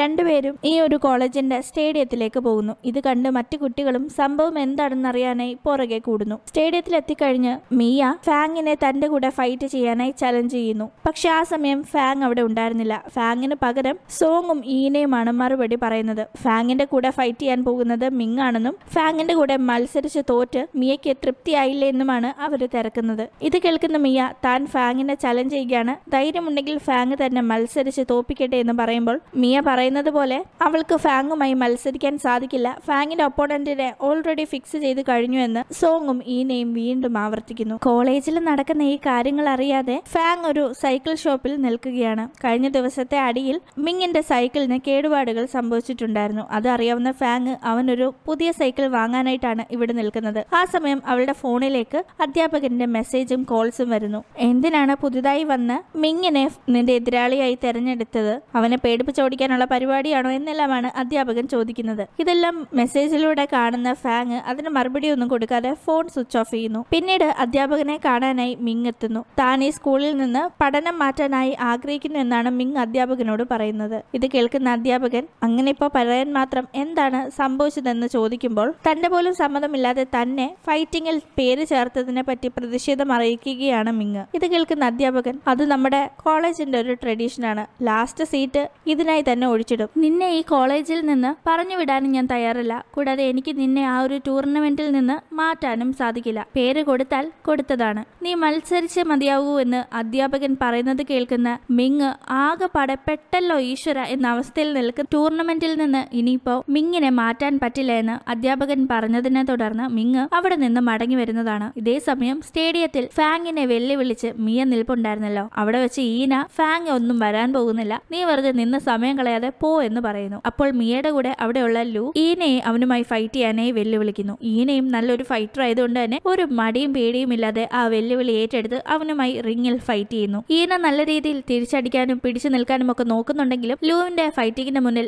അവൾക്ക് അടിയറവ് പറയേണ്ടി വരുന്നു അങ്ങനെ ഈ ഒരു ചലഞ്ചിൽ ലൂ ആണ് ഈനയെ തോൽപ്പിച്ച് ജയിക്കുന്നത്. ഇവിടെ ലൂവും ഈനയും തമ്മിൽ ചലഞ്ച് നടന്ന സമയം കാണികൾക്കിടയിൽ സുൻ നിൽപ്പുണ്ടായിരുന്നു. അവൻ ഇത് വളരെയധികം ഇഷ്ടപ്പെട്ടു. അവൻ ഈ മത്സരത്തെ പറ്റി സോങ്ങിനോട് കുറച്ച് കാര്യങ്ങൾ ചോദിച്ചു മനസ്സിലാക്കുന്നു. ആ സമയം സോങ് പറയുന്നത് ഈ ഒരു റിങ്ങിന്റെ ഇവിടെ ആർക്കും ആരെയും ചലഞ്ച് ചെയ്യാം. ചലഞ്ച് ചെയ്തു കഴിഞ്ഞാൽ അയാൾ ആ ചലഞ്ച് ഏറ്റെടുത്തേ മതിയാകൂ. പ്രായഭേദമന്യേ ജെൻഡർ വ്യത്യാസമില്ലാതെ ആർക്കും പങ്കെടുക്കാവുന്ന ഒരു ചലഞ്ചാണ് ഇതെന്നെല്ലാം സോങ് പറയുന്ന കേൾക്കുന്ന സുന്ന് വളരെയധികം എക്സൈറ്റ്മെന്റ് തോന്നുന്നു. അവൻ നേരെ അധ്യാപകന്റെ അടുത്തേക്ക് ചെന്ന് താൻ ഇവിടുത്തെ പുതിയ വിദ്യാർത്ഥി ആയതുകൊണ്ട് തന്നെ തനിക്കിപ്പോൾ നടക്കാൻ പോകുന്ന ടൂർണമെന്റിനെ പറ്റി കാര്യമായ അറിവൊന്നുമില്ല. അതുകൊണ്ട് അതൊക്കെ ഒന്ന് പറഞ്ഞു തരണമെന്ന് പറയുന്നു. ഈ ടൂർണമെന്റിനെ പറ്റി പുതുതായി അറിഞ്ഞ് നമ്മുടെ മിങ് ഈ- കോളേജ് വിട്ട് തന്നെ പോകാൻ ശ്രമിക്കുന്ന കാര്യം അറിയാവുന്ന അധ്യാപകൻ എന്താ നിനക്കും ഈ കോളേജ് വിട്ട് പോകാനായിട്ടുള്ള പ്ലാൻ ആണോ? എന്ന് സുന്നിനോട് ചോദിക്കുന്നു. അത് കേൾക്കുന്ന സുൻ ഒരിക്കലും അല്ല. എനിക്ക് ഇവിടെ വിട്ട് പോകാൻ യാതൊരു താല്പര്യമില്ല ഇനി സാറായിട്ട് എന്നെ പറഞ്ഞു വിടാൻ നോക്കിയാലും ഞാൻ പോവില്ല. എനിക്ക് അത്രയ്ക്ക് ഈ കോളേജ് ഇഷ്ടപ്പെട്ടു എന്ന് അവൻ പറയാണ്. അത് ഈ അധ്യാപകന് ഒരുപാട് സന്തോഷം. അദ്ദേഹം ആ ഒരു ടൂർണമെന്റിനെ പറ്റി അവനോട് പറയാണ്. അതായത് ഈ ടൂർണമെന്റിൽ പൊതുവെ എക്സ്പീരിയൻസ്ഡ് ആയിട്ടുള്ള ഒരാളും ഫ്രഷേഴ്സുമാണ് കൂടുതലും മത്സരിക്കാറുള്ളത്. കൂടാതെ ഇതിൽ ജയിക്കുന്ന ആൾ ഒരുപാട് ഫേമസ് ആവും. കാരണം ഈ ഒരു ടൂർണമെന്റ് കവർ ചെയ്യാനായി മീഡിയയിൽ നിന്ന് പോലും ഒരുപാട് ആളുകൾ വരുന്നതായിരിക്കും. ഇത് നിനക്ക് ജീവിതത്തിൽ നല്ലൊരു എക്സ്പീരിയൻസ് ആയിരിക്കുമെന്നല്ല അധ്യാപകൻ സുന്നിനോട് പറയുന്നു. അത് കേൾക്കുന്ന സുൻ താൻ ഉറപ്പായും ഈ ഒരു ടൂർണമെന്റിൽ പങ്കെടുക്കുമെന്ന് പറഞ്ഞ് തുള്ളിച്ചാടി അവിടെ നിന്ന് പോവാണ്. സുൻ പോയി കഴിയുമ്പോൾ അധ്യാപകൻ ഇവൻ മിക്കവാറും നല്ല അടി വാങ്ങി കൂട്ടാൻ ചാൻസ് ഉണ്ട്. നല്ല എക്സ്പീരിയൻസ്ഡ് ആയിട്ടുള്ള ഫൈറ്റേഴ്സിന്റെ മുന്നിൽ ഇവനെ പോലെ ഒരുത്തൻ ചെന്നാൽ അടിയല്ലാതെ മറ്റെന്ത് കിട്ടാനാണെന്ന മട്ടിൽ അവിടെ നിന്ന് പിറുവിറുക്കുന്നു ഇതേ സമയം മിങ്ങിന് കൊടുക്കാനായി സൈക്കിൾ വാങ്ങി വരികയായിരുന്നു ഫാങ്. അവൾ വരും വഴിയിൽ ഒരു ഐസ്ക്രീം ഷോപ്പിന്റെ മുന്നിൽ നിൽക്കുന്നു. ഐസ്ക്രീം കഴിക്കാനായി അകത്തേക്ക് കയറുന്ന അവൾ അകത്തിരിക്കുമ്പോൾ ഒരു കാഴ്ച കാണുകയാണ്. ആ ഷോപ്പിന്റെ മുന്നിൽ ഒരു ബണ്ണിയുടെ വേഷം കെട്ടിയ ഒരാൾ നിൽപ്പുണ്ട്. അയാൾ നോട്ടീസ് ഒക്കെ അവിടെ വിതരണം ചെയ്യുകയാണ്. ആ സമയം അതിലൂടെ കളിക്കുന്ന കുരുത്തം കെട്ട പിള്ളേര് ആ ബണ്ണിയുടെ വേഷം കെട്ടിയ ആളിനെ തട്ടി താഴെയിടുന്നു ശരീരത്ത് നല്ല ഹെവി ആയിട്ടുള്ള ഡ്രസ്സ് കിടക്കുന്നത് കൊണ്ട് തന്നെ അയാൾക്ക് എഴുന്നേൽക്കാൻ സാധിക്കുന്നില്ല. ഇത് കാണുന്ന ഫാങ് നേരെ ചെന്ന് അയാളെ പിടിച്ച് എഴുന്നേൽപ്പിക്കുന്നു ഈ ബണ്ണിയെ കാണുമ്പോൾ അവൾക്ക് അവളുടെ ഏറെ പ്രിയപ്പെട്ട അങ്കിൾ നൽകിയ ആ ഒരു കുഞ്ഞു പാവയാണ് ഓർമ്മ വരുന്നത്. ആ അങ്കിളും അങ്കിൾ നൽകിയ ആ പാവയും അവൾക്ക് വളരെ ഫേവറേറ്റ് ആണ്. പക്ഷെ ആ പാവ അവൾക്ക് സൂക്ഷിച്ചു വെക്കാൻ കഴിഞ്ഞില്ല. അത് അവളുടെ മുത്തശ്ശൻ നശിപ്പിച്ചു. അതുകൊണ്ട് തന്നെ മുന്നിൽ നിൽക്കുന്ന ബണ്ണിയുടെ വേഷം കെട്ടിയ ആളിനോട് വളരെ സ്നേഹത്തോടെ സൗമ്യമായി ഓരോ കുശലം പറയുകയാണ് ഫാങ്. ഇതേസമയം ആ ഒരു ബണ്ണിക്കകത്ത് നിൽക്കുന്നത് മറ്റാരുമല്ല മിങ് ആണ് റെസ്റ്റോറന്റിലെ അവന്റെ പാർട്ട് ടൈം ജോലി പോയതിൽ പിന്നെ അവൻ ഈ ഒരു ജോലിയാണ് ചെയ്യുന്നത്. ഇത് പക്ഷേ ഫാങ്ങിന് അറിയില്ലായിരുന്നു. മിങ് ആണെങ്കിൽ ഫാങ് ഇങ്ങനെ വളരെ സ്നേഹത്തോടെ സംസാരിക്കുന്നത് കാണുമ്പോൾ അതിശയിച്ചു പോവുകയാണ്. കാരണം അവൻ കാണുമ്പോഴെല്ലാം ഇവൾ വളരെ ആറ്റിറ്റ്യൂഡ് ഇട്ട് അഹങ്കാരത്തോടെ പെരുമാറുന്ന ഒരു പെൺകുട്ടിയാണ്. ഇവൾക്ക് ഇത്തരം ഒരു മുഖമുള്ള കാര്യം അവൻ അറിയില്ലായിരുന്നു. അപ്പോൾ ഇവൾ പുറമെ കാണിക്കുന്നതൊന്നുമല്ല ഉള്ളിന്റെ ഉള്ളിൽ ഒരു പാവമാണെന്ന കാര്യം അവന് മനസ്സിലാവുന്നു. പക്ഷെ അവൻ അവളുടെ മുന്നിൽ ഈ ഒരു പാവയ്ക്കകത്തുള്ളത് അവനാണെന്ന കാര്യം റിവീൽ ചെയ്യാതെ അത് മറച്ചു പിടിക്കുകയാണ്. പിന്നീട് നമ്മൾ കാണുന്നത് ഈനയാണ് ഈന അവളുടെ അച്ഛൻ നടത്തുന്ന കടയിലേക്ക് ചെല്ലാണ്. മുന്നേ നടന്ന ചലഞ്ചിൽ തോറ്റു ചെല്ലുന്നത് കൊണ്ട് തന്നെ അവളുടെ മുഖത്ത് അതിന്റെതായ സങ്കടവും ദേഷ്യവും നിരാശയും ഒക്കെ ഉണ്ട്. ഇത് കാണുന്ന അവളുടെ അച്ഛന് കാര്യം പിടികിട്ടുന്നു. നിന്നെ ആരോ ഫൈറ്റിംഗിൽ തോപ്പിച്ചെന്ന് തോന്നുന്നല്ലോ. ആരാ തോപ്പിച്ചത്? എനിക്ക് ആ മിടുക്കനെ ഒന്ന് കാണണമല്ലോ എന്നല്ല. അച്ഛൻ പറയുമ്പോൾ ഇവൾ അതൊന്നും മൈൻഡ് ചെയ്യുന്നില്ല. ഈ സമയം ഈ ഷോപ്പിലേക്ക് ഈനെ ഫൈറ്റിംഗിൽ തോൽപ്പിച്ച ലൂ എത്തുന്നു. ലൂവിനെ കണ്ടപാടെ ദേഷ്യം വന്ന ഈന അവനോട് തട്ടിക്കയറാണ് നീ വലിയ സംഭവമാണെന്നൊന്നും വിചാരിക്കേണ്ട. അധികം താമസിക്കാതെ നിന്നെ ഞാൻ തോൽപ്പിച്ചിരിക്കും എന്നെല്ലാം അവൾ പറയുമ്പോൾ ഇത് കേൾക്കുന്ന ഈനയുടെ അച്ഛന് ഈ മുന്നിൽ നിൽക്കുന്ന പയ്യനാണ് തന്റെ മകളെ തോൽപ്പിച്ചതെന്ന് മനസ്സിലാവുന്നു. അച്ഛൻ ലൂവിനോട് കാര്യമായി തന്നെ സംസാരിക്കാണ് നീ മിടുക്കനാണല്ലോ. എന്റെ മോളെ നീ തോപ്പിച്ചിരിക്കുന്നു തോറ്റത് എന്റെ മകളാണെങ്കിലും കഴിവുള്ളവരെ എനിക്ക് വളരെ ഇഷ്ടമാണെന്ന് പറഞ്ഞ് അച്ഛൻ സംസാരിക്കുന്നത് ഈനയ്ക്ക് ഒട്ടും ഇഷ്ടപ്പെടുന്നില്ല. ആ സമയം ഫാങ്ങിന്റെ മെസ്സേജ് ഈനയ്ക്ക് വരികയാണ്. ഒന്ന് കാണണമെന്ന് പറഞ്ഞ്. അവൾ അങ്ങനെ ഫാങ്ങിനെ കാണാനായി ചെല്ലുന്നു. ഫാങ് ആണെങ്കിൽ മിങ്ങിന് വേണ്ടി വാങ്ങിയ സൈക്കിൾ ഈനെ കാണിച്ച ശേഷം ഇത് എനിക്ക് മിങ്ങിന് കൊടുക്കണം. നീയും എന്റെ കൂടെ അവന്റെ വീട്ടിലേക്ക് വാ എന്ന് പറയുന്നു. ഫാങ് ഇങ്ങനെ ഒരു സൈക്കിളൊക്കെ വാങ്ങി വെച്ചിരിക്കുന്നത് കാണുന്ന ഈനയ്ക്ക് അവളിൽ എന്തോ ഒരു മാറ്റം ഫീൽ ചെയ്യുന്നു. അവൾ അത് പറഞ്ഞ് ഫാങ്ങിനെ കളിയാക്കുകയും ചെയ്യുന്നുണ്ട്. ഫാങ് ആണെങ്കിൽ അതൊന്നും മൈൻഡ് ചെയ്യാതെ നീ വേഗം വാ അവന്റെ വീട്ടിൽ പോയി ഇത് കൊണ്ടു കൊടുത്തിട്ട് നമുക്ക് വേഗം തിരിച്ചു വരാമെന്ന് പറഞ്ഞ് രണ്ടുപേരും മിങ്ങിന്റെ വീട്ടിലേക്ക് വെച്ച് പിടിക്കുകയാണ്. ഇതേ സമയം സോങ് അവൾക്ക് മിങ്ങിനോട് ക്രഷ് ഉള്ളത് കൊണ്ട് തന്നെ വൈകുന്നേരം അവന്റെ അടുത്തേക്ക് ചെന്ന് അവൻ വീട്ടിലേക്ക് പോകുമ്പോൾ അവന്റെ കൂടെ വീട്ടിലേക്ക് പോവാണ്. അങ്ങനെ ഇവർ രണ്ടുപേരും മിങ്ങിന്റെ വീടിന്റെ മുന്നിൽ എത്തുമ്പോൾ അവിടെ ഫാങ്ങിനെയും ഈനെയും കാണുന്നു. ഇവരെ രണ്ടുപേരും കണ്ടപാടെ സോങ് ഇവളുമാരെന്താ ഇവിടെ എന്ന് പുറപുറത്തുകൊണ്ട് മിങ്ങുമായി താൻ വളരെ ക്ലോസ് ആണെന്ന് അവരെ കാണിക്കാനായി അവന്റെ കയ്യിൽ കയറി പിടിക്കുന്നു. കൂടാതെ വാ നമുക്ക് വേഗം വീട്ടിലേക്ക് പോകാമെന്ന് അവനോട് പറയുമ്പോൾ ഇത് കേൾക്കുന്ന ഈന എന്താ നീനക്ക് മാത്രമേ മിങ്ങിന്റെ വീട്ടിലേക്ക് പോകാൻ പറ്റുമോ ഞങ്ങളും പോകും ഞങ്ങളും വരുവാണെന്നും പറഞ്ഞ് വീട്ടിലേക്ക് പോകാൻ ഒരുങ്ങുന്നു. ഈ സമയം മിങ് അവരെ തടഞ്ഞ ശേഷം മൂന്ന് പേരോടുമായി പറയാണ് എന്റേത് വളരെ ചെറിയ ഒരു വീടാണ്. അവിടെ വലിയ സൗകര്യങ്ങളൊന്നുമില്ല. അതുകൊണ്ട് നിങ്ങൾ അവിടേക്ക് വന്ന് ബുദ്ധിമുട്ടണമെന്നില്ല എന്ന്. പക്ഷെ ഇവരത് വകവെക്കാതെ അവിടെ തന്നെ നിൽക്കുന്നു. ഈ സമയം മിങ്ങിന്റെ സഹോദരങ്ങൾ അങ്ങോട്ടേക്ക് വരികയാണ്. മിങ്ങിന്റെ കുഞ്ഞനിയന് ബോക്സിംഗും ഫൈറ്റിങ്ങും ഒക്കെ വളരെ ഇഷ്ടമാണല്ലോ. അവൻ പലപ്പോഴും ടി വിയിൽ ഫാങ്ങിനെ കണ്ടിട്ടുണ്ട്. ഫാങ്ങിന്റെ വലിയൊരു ആരാധകനും കൂടിയാണ് അവൻ. അതുകൊണ്ട് തന്നെ ഫാങ്ങിനെ നേരിട്ട് കണ്ടപാടെ ഈ പയ്യൻ ഫാങ്ങിനെ തിരിച്ചറിയുന്നു. ഞാൻ ചേച്ചിയെ ടി വിയിൽ ഒരുപാട് കണ്ടിട്ടുണ്ട്. എന്താ ഇവിടെ തന്നെ നിൽക്കുന്ന? വീട്ടിലേക്ക് വാന്നും പറഞ്ഞ് ആ രണ്ട് കൊച്ചു പിള്ളേരും കൂടി ഇവരെ വീട്ടിലേക്ക് കൂട്ടി കൊണ്ടുപോകുന്നു പോരാത്തതിന് കുടിക്കാനും കഴിക്കാനുമായി അവരുടെ കയ്യിലുള്ള സാധനങ്ങളും നൽകുന്നു. അവിടെ അങ്ങനെ ഇരിക്കുന്ന സമയം ഫാങ് ആ വീടിന് ചുറ്റും കണ്ണോടിക്കുകയാണ്. മിങ്ങ് പറഞ്ഞ പോലെ വളരെ ചെറിയൊരു ഇടമാണ് ഇവിടെ എങ്ങനെ ഇവൻ ഇത്ര ചെറിയ സൗകര്യത്തിൽ ജീവിക്കുന്നു എന്ന കാര്യം ഫാങ്ങിനെ അതിശയിപ്പിക്കുന്നു. കാരണം അവൾ വളരെ സമ്പന്നമായ വീട്ടിൽ നിന്ന് വന്നതുകൊണ്ട് തന്നെ അവൾ ഇത്തരം ചെറിയ സെറ്റപ്പുള്ള വീട്ടിലൊന്നും പോയിട്ടുണ്ടായിരുന്നില്ല. മിങ്ങിന്റെ അനിയനും അനീതിയും ഫാങ്ങിനെ തന്നെ ചുറ്റിപ്പറ്റി നിൽക്കാണ്. ഫാങ്ങിനെ ടി വിയിൽ കണ്ട കഥയെല്ലാം അവർ വാതോരാതെ സംസാരിക്കുമ്പോൾ സോങ് മീനയും തങ്ങളും ടി വിയിൽ വന്നിട്ടുണ്ട് എന്താ കണ്ടിട്ടില്ല എന്ന് ചോദിക്കുകയാണ്. അപ്പോൾ ആ കുട്ടികൾ വളരെ നിഷ്കളങ്കമായി കണ്ടിട്ടില്ല എന്ന് പറയുന്നു. കൂടാതെ പിന്നീട് ഇവർ കാർഡ്സ് ഒക്കെ കളിക്കുന്നുണ്ട്. പക്ഷെ കാർഡ്സ് നന്നായി കളിക്കാൻ ഫാങ്ങിന് അറിയാത്തത് കൊണ്ട് തന്നെ അവൾ എല്ലാ കളിയിലും തോക്കുകയാണ്. ഇത് കണ്ട് ഈനയും സോങ്ങും അവളെയും കളിയാക്കുന്നു. അങ്ങനെ സംസാരിച്ചൊക്കെ ഇരിക്കുന്നതിന്റെ ഇടയിൽ ഞങ്ങൾ സ്പോർട്സ് കോളേജിൽ പഠിക്കുന്ന പെൺകുട്ടികളാണ്. ഞങ്ങൾക്ക് ഭയങ്കര ധൈര്യമാണെന്നല്ല ഈ മൂന്ന് പേരും ആ ചെറിയ കുട്ടികളോട് തള്ളുന്നുണ്ട്. ആ സമയത്ത് ഒരു പാറ്റ് അവിടേക്ക് എത്തുന്നു. പാറ്റെ കണ്ടപാട് മൂന്നെണ്ണത്തിന്റെയും ധൈര്യം എവിടേക്ക് പോകുന്നറിയില്ല നില വിളിച്ച് പേടിച്ച് വിറയ്ക്കുന്നു. ഇത് കണ്ട കുട്ടികളെ ചിരിക്കാണ്. അയ്യേ പാറ്റെ കണ്ടിട്ടാണോ ഇത്രയും ധൈര്യമുള്ള ചേച്ചിമാര് പേടിക്കുന്നതെന്ന് പറഞ്ഞു. ഇതേ സമയം ഫാങ് ആണെങ്കിൽ പേടിച്ച് മിങ്ങിന്റെ ദേഹത്തേക്ക് ചാടിക്കയറി ഇരിക്കുകയായിരുന്നു. ഇത് കാണുന്ന സോങ്ങിന് തീരെ ഇഷ്ടപ്പെടുന്നില്ല. അവൾ ശബ്ദമുണ്ടാക്കുമ്പോൾ പെട്ടെന്ന് ഓർക്കാപ്പുറത്ത് മിങ് ഫാങ്ങിന് കയ്യിൽ നിന്ന് താഴേക്കിടുന്നു താഴേക്ക് ഫാങ് വീഴാനായി വരുന്നുണ്ടെങ്കിലും അവൾ വീഴാതെ ബാലൻസ് ചെയ്ത് നിൽക്കുന്നു. ഇതേ സമയം മിങ്ങിന്റെ സഹോദരങ്ങൾ ആ ഒരു പാറ്റയെ ചില്ലുകുപ്പിയിലിട്ട് പിടിക്കുകയാണ്. അങ്ങനെ മിങ്ങിന്റെ വീട്ടിൽ ഫാങ്ങും കൂട്ടുകാരികളും ഏറെ നേരം സംസാരിച്ചിരിക്കുന്നു. പിന്നെ പോകാൻ ഇറങ്ങുന്നതിന് മുന്നേ ഫാങ് മിങ്ങിന്റെ അടുത്ത് ചെന്ന് അന്ന് വഴക്കിന്റെ ഇടയിൽ അവന്റെ സൈക്കിൾ ചീത്തയായതുകൊണ്ട് തന്നെ അവൾ ഒരു പുതിയ സൈക്കിൾ അവനായി വാങ്ങി നൽകുന്നു എന്ന് പറഞ്ഞ് സൈക്കിൾ കാണിക്കുന്നു. ആ സൈക്കിൾ നോക്കുന്ന മിങ് തനിക്ക് ഈ സൈക്കിൾ ആവശ്യമില്ല. ഇത് വളരെ കോസ്റ്റ്ലി ആയിട്ടുള്ള സൈക്കിൾ അല്ലേ? തനിക്കിതൊന്നും വേണ്ട എന്ന് പറയാണ്. പക്ഷെ അതിനോട് ഫാങ് യോജിക്കുന്നില്ല. പക്ഷെ സൈക്കിൾ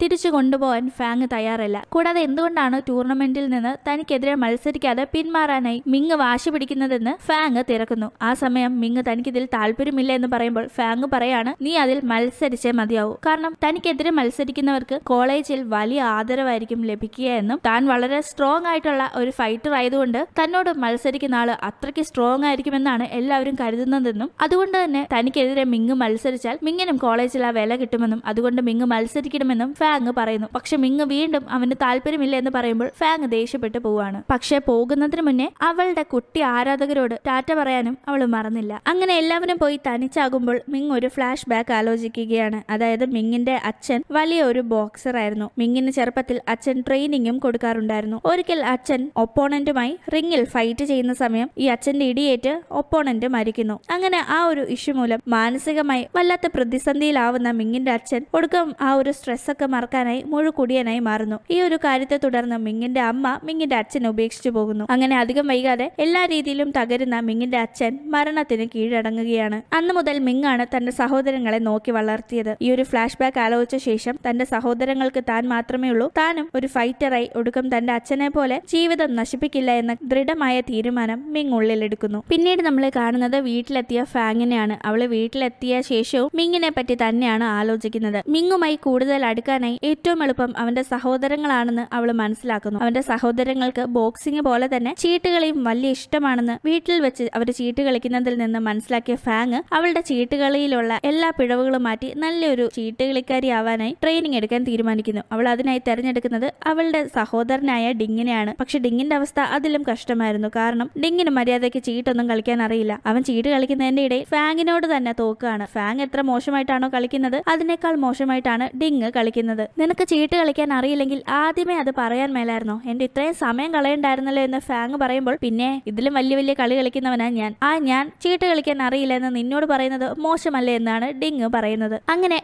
ഡിങ്ങിന്റെ കയ്യിൽ നിന്ന് ചീട്ട് പഠിക്കുക എന്ന ഫാങ്ങിന്റെ അറ്റംപ്റ്റ് ഫെയിൽ ആവുന്നു. എങ്കിലും അവൾ വിട്ടുകൊടുക്കാൻ തയ്യാറല്ല. എങ്ങനെയും അവൾ മിങ്ങുമായി അടുക്കണമെന്ന ദൃഢമായ തീരുമാനത്തിലാണുള്ളത്. കോളേജിലെ പ്രിൻസിപ്പലിന്റെ മുന്നിൽ ഇരിക്കുന്ന മിങ്ങിനെയും ഫാങ്ങിനെയുമാണ്. രണ്ടുപേരെയും പ്രിൻസിപ്പൽ വിളിച്ച് നല്ല വഴക്ക് പറയാണ് സംഭവം എന്താണെന്ന് വെച്ചാൽ ഫാങ് മിങ്ങിനോട് ചോദിക്കാതെ അവന്റെ പേര് ടൂർണമെന്റിന് കൊടുത്തതിനും കൂടാതെ മിങ് നിസ്സാര കാര്യങ്ങൾക്ക് ഈ കോളേജ് വിട്ട് പോകണമെന്ന് വാശി പിടിക്കുന്നതിനും മിങ് കോളേജ് വിട്ട് പോകാനായി കൊടുത്ത ആപ്ലിക്കേഷൻ പ്രിൻസിപ്പൽ റിജക്ട് ചെയ്യുന്നു. കൂടാതെ പ്രിൻസിപ്പലിന്റെ മുന്നിൽ വെച്ചും ഇവർ രണ്ടുപേരും ഒന്നും രണ്ടും പറഞ്ഞ് അങ്ങോട്ടും ഇങ്ങോട്ടും വഴക്കുണ്ടാക്കുന്നു. അത് കാണുന്ന പ്രിൻസിപ്പൽ ഇവർക്കൊരു പണിഷ്മെന്റും കൊടുക്കുന്നു. എന്താണ് പണിഷ്മെന്റ് എന്ന് വെച്ചാൽ ഇവരെ രണ്ടുപേരെയും സ്വിമ്മിംഗ് പൂളിലേക്ക് വിട്ട് ആ പൂൾ അങ്ങ് ക്ലീൻ ചെയ്യാനായി പറയാണ്. കൂടാതെ ഇവർ ചെയ്യുന്ന കാര്യം നിരീക്ഷിക്കാനായി ഒരു ബോഡി ഗാർഡിനെയും ഏർപ്പാടാക്കിയിട്ടുണ്ട്. ഈ ബോഡി ഗാർഡ് ആയി നിൽക്കുന്ന ലേഡിയാണ് അവിടെ ടൂർണമെന്റ് ഒക്കെ നടക്കുമ്പോൾ റെഫറി ആയി നിൽക്കുന്നത്. എന്തായാലും ക്ലീൻ ചെയ്യുന്നതിന്റെ ഇടയിൽ അത് നോക്കിക്കൊണ്ടിരിക്കുന്ന ആ ലേഡി ഉറങ്ങിപ്പോകുന്നു. ഇത് കാണുന്ന മിങ്ങും ഫാങ്ങും പരസ്പരം ദേഹത്തേക്ക് വെള്ളം തെറിപ്പിക്കുകയാണ്.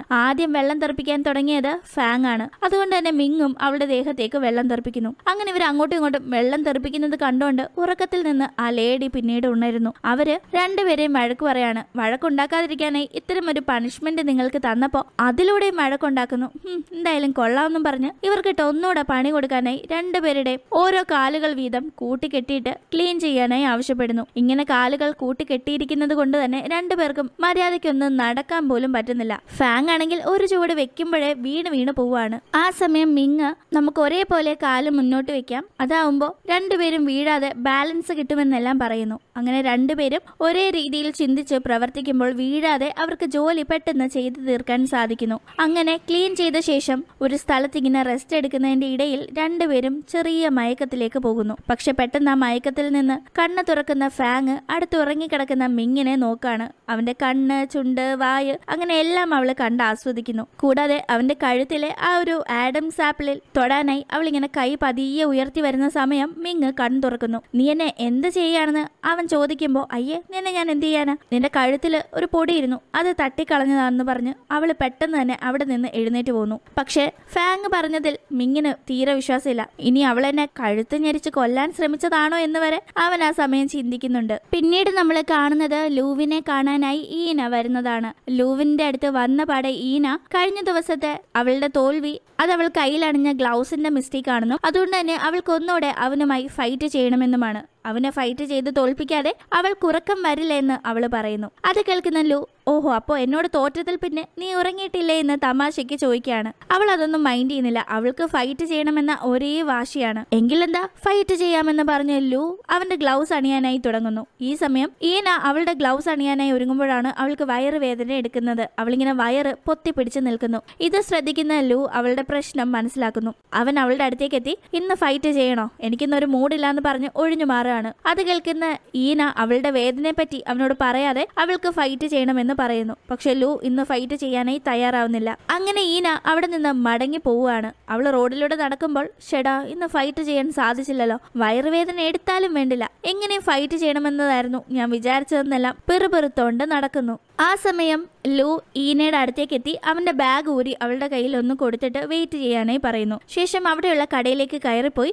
ഒരു കപ്പ് ഹോട്ട് ചോക്ലേറ്റ് വാങ്ങിക്കൊണ്ട് വന്ന് അത് ഈനയ്ക്ക് കൊടുത്തിട്ട് ഈ സമയത്ത് റെസ്റ്റ് എടുക്ക്. വെറുതെ ആവശ്യമില്ലാതെ ഫൈറ്റ് എന്നും പറഞ്ഞ് നടക്കണ്ടെന്ന് പറഞ്ഞങ്ങ് പോവാണ്. ഈ ഒരു കാര്യം അവൾ ഒട്ടും പ്രതീക്ഷിച്ചിട്ടുണ്ടായിരുന്നില്ല. അവൾക്ക് വയറുവേദനയാണ് വയ്യ എന്ന കാര്യം അവൻ എങ്ങനെ മനസ്സിലാക്കിയെന്നും ആ ഒരു സിറ്റുവേഷൻ ഫൈറ്റ് നടത്താതെ അവൻ എങ്ങനെ ഡീൽ ചെയ്തു എന്ന കാര്യവും അവളെ ഒരുപാട് ഇംപ്രസ് ചെയ്യുന്നു. പിന്നീട് നമ്മൾ കാണുന്നത് ഫാങ്ങിനെയാണ് അവൾ.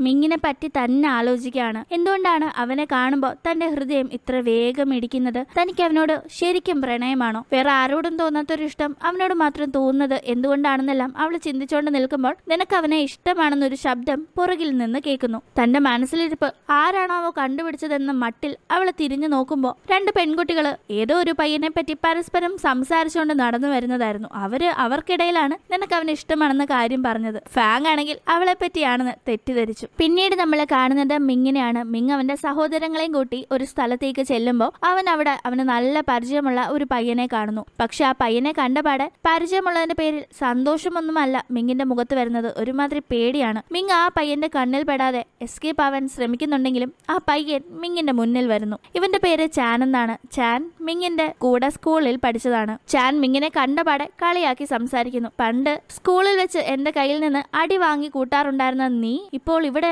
ആ വലിയ സ്പോർട്സ് കോളേജിൽ ചേർന്നെന്ന് അറിഞ്ഞല്ലോ അതും അവിടുത്തെ ടൂർണമെന്റിൽ ബോക്സിംഗ് ക്വീനായ ഫാങ്ങിനോട് മത്സരിക്കാൻ പോവാണെന്ന് അറിഞ്ഞല്ലോ നിനക്ക് എവിടെ ഇത്ര ധൈര്യം വന്നതെന്നൊക്കെ പറഞ്ഞ് മിങ്ങിനെ അവൻ കളിയാക്കി സംസാരിക്കുന്നു. ഇത് കേൾക്കുന്ന മിങ്ങിന്റെ അനിയന് ദേഷ്യം വരുന്നു. എന്റെ ചേട്ടനെ പറ്റി മോശമായി പറയരുതെന്ന് പറഞ്ഞ് അനിയൻ ചാനിനോട് തട്ടിക്കയറുമ്പോൾ അവന്റെ കഴുത്തിനും ചെവിക്കും ഒക്കെ പിടിച്ച് കീർക്ക് വെച്ച് കൊടുക്കുകയാണ് ചാൻ. നിനക്കുള്ള ധൈര്യം പോലും നിന്റെ ഈ കിഴങ്ങൻ ചേട്ടനില്ല എന്ന് പറഞ്ഞ് വീണ്ടും മിങ്ങിനെ ചാൻ അപമാനിക്കുമ്പോൾ ഇതെല്ലാം കേൾക്കുന്ന മിങ്ങിന് ദേഷ്യം വരുന്നുണ്ട്. പക്ഷെ വഴക്കുണ്ടാക്കണ്ട എന്ന ആ ഒരു ഒറ്റ കാര്യം കൊണ്ട് മിങ് ഒഴിഞ്ഞു മാറാനായി ശ്രമിക്കുകയാണ്. വേണ്ട എന്റെ അനിയനെ വിട്ടേക്ക്. അവനെ ഒന്നും ചെയ്യണ്ടെന്ന് മയത്തിൽ മിങ് പറയുന്നു. ആ സമയം ചാൻ നീ എത്ര നാളായി എന്റെ അടുത്ത് ഇങ്ങനെ കെഞ്ചി പറഞ്ഞിട്ട്? നീ മുട്ടുകുത്തി നിന്ന് മാപ്പ് ചോദിച്ചാൽ ഞാൻ നിന്റെ അനിയനെ വെറുതെ വിടാമെന്ന് പറയുന്നു. തന്റെ അനിയനെ ഓർത്ത് മിങ് അങ്ങനെ മുട്ടുകുത്തി നിന്ന് ചാനിനോട് തന്റെ അനിയനെ വിടാനായി അപേക്ഷിക്കുകയും മാപ്പ് പറയുകയും ചെയ്യുന്നു. അത് കണ്ട് ചാൻ മിങ്ങിനിട്ട് ഒരു തൊഴി വെച്ചു കൊടുത്ത് അവിടെ നിന്ന് പോവാണ്. ചാൻ പോയ ശേഷം മിങ് തന്റെ അനിയന്റെ അടുത്തേക്ക് ചെല്ലുമ്പോൾ ആ പയ്യൻ ചേട്ടൻ എന്നോട് മിണ്ടണ്ടെന്ന് പറഞ്ഞ് പിണങ്ങി നിന്ന് കരയുന്നു. ഈ ഒരു കാര്യം മിങ്ങിനെ വല്ലാതെ വിഷമിപ്പിക്കുന്നു. ഇതേ സമയം ചാൻ താൻ ഇത്ര ടഫ് ക്യാരക്ടറായി നിന്നാലേ തന്നെ എല്ലാവരും പേടിക്കുകയും ബഹുമാനിക്കുകയും ചെയ്യുകയുള്ളൂ എന്ന് സ്വന്തമായി ഇങ്ങനെ മനസ്സിൽ പറയുകയാണ്. പണ്ട് സ്കൂളിൽ ഇവനെ ഒരുപാട് പേര് ബുള്ളി ചെയ്യാറുണ്ടായിരുന്നു. ഇവൻ ആളുകൾക്കെതിരെ പ്രതികരിക്കാൻ തുടങ്ങി ഇങ്ങനെ ടഫായി മാറി എല്ലാവരും പേടിപ്പിക്കാൻ തുടങ്ങിയതിന് ശേഷമാണ് ഇവനെ ആളുകൾ ബുള്ളി ചെയ്യുന്നത് നിർത്തി ഇവനെ പേടിക്കാൻ തുടങ്ങിയതെന്ന കാര്യമാണ് അവനിപ്പോൾ ഓർക്കുന്നത്. അങ്ങനെ അവൻ നടക്കുന്ന സമയം ഇവന്റെ അതേ കോളേജിൽ പഠിക്കുന്ന നമ്മുടെ ചാമ്പ്യനായ ലൂവും മിയയും പോകുന്നത് കാണുന്നു. ലൂവിനെ പോലെ വലിയൊരു ബോക്സറായി മാറണമെന്ന ആഗ്രഹം ചാനിന്റെ ഉള്ളിലുമുണ്ട്. പിന്നീട് നമ്മൾ കാണുന്നത് മിങ്ങിനെയാണ്. മിങ് വീട്ടിലെത്തിയ ശേഷം മുന്നേ നടന്ന സംഭവങ്ങളിൽ ആകെപ്പാടെ വിഷമത്തിൽ ഇരിക്കുകയാണ് അവന്റെ ഉള്ളിൽ വിഷമത്തിനേക്കാൾ ഏറെ ദേഷ്യമുണ്ടെങ്കിലും ഒരു വഴക്കുണ്ടാക്കാൻ അവൻ തയ്യാറില്ല. അതുകൊണ്ട് തന്നെ ആ ദേഷ്യം കടിച്ചമർത്തി ഉള്ളിൽ തന്നെ വെക്കുന്നു. അങ്ങനെ മിങ് ഇരിക്കുന്ന സമയം അനിയൻ മിങ്ങിന്റെ അടുത്തെത്തി എന്തിനാണ് ആ പയ്യനോട് വഴക്കുണ്ടാക്കാതെ എല്ലാം സഹിച്ചു നിൽക്കുന്നതെന്ന് ചോദിക്കുന്നു. അപ്പോൾ മിങ് വഴക്കുണ്ടാക്കിയിട്ട് യാതൊരു പ്രയോജനവും ഇല്ല. വഴക്കെല്ലാം നശിപ്പിക്കുകയുള്ളൂ. നമ്മുടെ അമ്മ തന്നെ അച്ഛൻ ഉപേക്ഷിച്ചു പോയത് അച്ഛൻ ഫൈറ്റ് ചെയ്ത് തുടർന്ന് ചില പ്രശ്നങ്ങൾ ഉണ്ടായപ്പോഴല്ലേ? ഇനി ഞാനും അതേപോലെ ആൾക്കാരോട് വഴക്കുണ്ടാക്കി എനിക്ക് വല്ലതും പറ്റിയാൽ പിന്നെ നിങ്ങളെ ആര് നോക്കുമെന്നെല്ലാം മിങ് ചോദിക്കുന്നു. കൂടാതെ ഇനി ഈ കാര്യം പറഞ്ഞ് തന്നോട് സംസാരിക്കാൻ വരണ്ട എന്ന് പറഞ്ഞ് മിങ് അനിയനെ വഴക്ക് പറയുമ്പോൾ ആ പയ്യൻ സങ്കടപ്പെട്ട് അവിടെ നിന്ന് ഓടിപ്പോകുന്നു. അനിയനോട് അങ്ങനെയൊക്കെ പറഞ്ഞെങ്കിലും മിങ്ങിന്റെ ഉള്ളിൽ നല്ല വിഷമമുണ്ട്. അവൻ അതിനെപ്പറ്റി തന്നെ അന്ന് ആലോചിക്കുന്നു. പിന്നീട് അടുത്ത ദിവസം കോളേജിൽ ബോക്സിംഗ് ക്ലബിലേക്ക് ഷൈൻ ചെയ്യാനായി സുൻ വരാണ് അവൻ അവിടെ എത്തുമ്പോൾ അവിടെ ഒരുപാട് പെൺകുട്ടികളുണ്ട്. അവരുടെ മുന്നിൽ ഷൈൻ ചെയ്യാനായി അവൻ ഷർട്ടൊക്കെ ഊരി ദേഹത്തൊക്കെ ഓയിൽ തേച്ച് അവന്റെ മസിലൊക്കെ പെരുപ്പിച്ച് കാണിക്കുകയാണ്. പക്ഷെ അപ്പോഴേക്കും ആ പെൺകുട്ടികളെല്ലാം ഇവനെ മൈൻഡ് ചെയ്യാതെ അവിടെ നിന്ന് പോയിട്ടുണ്ടായിരുന്നു. എന്താ? എന്നെ മാത്രം ആരും മൈൻഡ് ചെയ്യാത്തത്? ഞാനും ഈ കോളേജിലെ ഒരാൺതരിയല്ലേ? ആ മിങ്ങിന്റെ പുറകിലാണല്ലോ എല്ലാ അവളുമാരും എന്ന് ഇവൻ പുറപുറത്തോണ്ട് നിൽക്കുമ്പോൾ അത് കേട്ട് അങ്ങോട്ടേക്ക് സോങ് എത്തുന്നു. ഇവിടെയുള്ള പെൺകുട്ടികളെല്ലാം നിന്നെക്കാൾ കൂടുതൽ മസിലുള്ളവന്മാരെ കണ്ടിട്ടുള്ളതാണ്. അതുകൊണ്ട് തന്നെ നിന്റെ ഈ മസിലൊന്നും കണ്ടാൽ ആരും തിരിഞ്ഞു നോക്കാൻ പോകുന്നില്ല എന്ന് സോങ് പറയുന്നു. പിന്നെ മിങ് അവനാണ് ഈ കോളേജിൽ ആദ്യമായി വന്ന ആൺതരി. അതുകൊണ്ട് അവൻ എന്ന് ഞങ്ങളുടെ ഉള്ളിൽ ഫസ്റ്റ് ആണ്. അപ്പോൾ ഞാൻ സെക്കൻഡ് ആണോ എന്ന് ഇത് കേൾക്കുന്ന സുൻ തിരക്കുമ്പോൾ അല്ലല്ല നീ ലാസ്റ്റായി വന്ന ആന്തരിയില്ലേ അതുകൊണ്ട് നീ എന്നും ലാസ്റ്റ് ആയിരിക്കുമെന്ന് അവൾ പറഞ്ഞ് അവനെ കളിയാക്കുകയാണ് കൂടാതെ ഇനി ഇങ്ങനെ ഷൈൻ ചെയ്യാനായി ദേഹത്തെ വെറുതെ എണ്ണ തേച്ച് എണ്ണ വേസ്റ്റ് ആക്കണ്ട. എന്നാലും എല്ലാം കഴുകി കളഞ്ഞിട്ട് വാ എന്ന് പറഞ്ഞ് അവൾ അങ്ങ് പോകുന്നു. ഈ സമയം തറയിൽ വീണ് കിടന്ന് ഒരു തുള്ളി എണ്ണയിൽ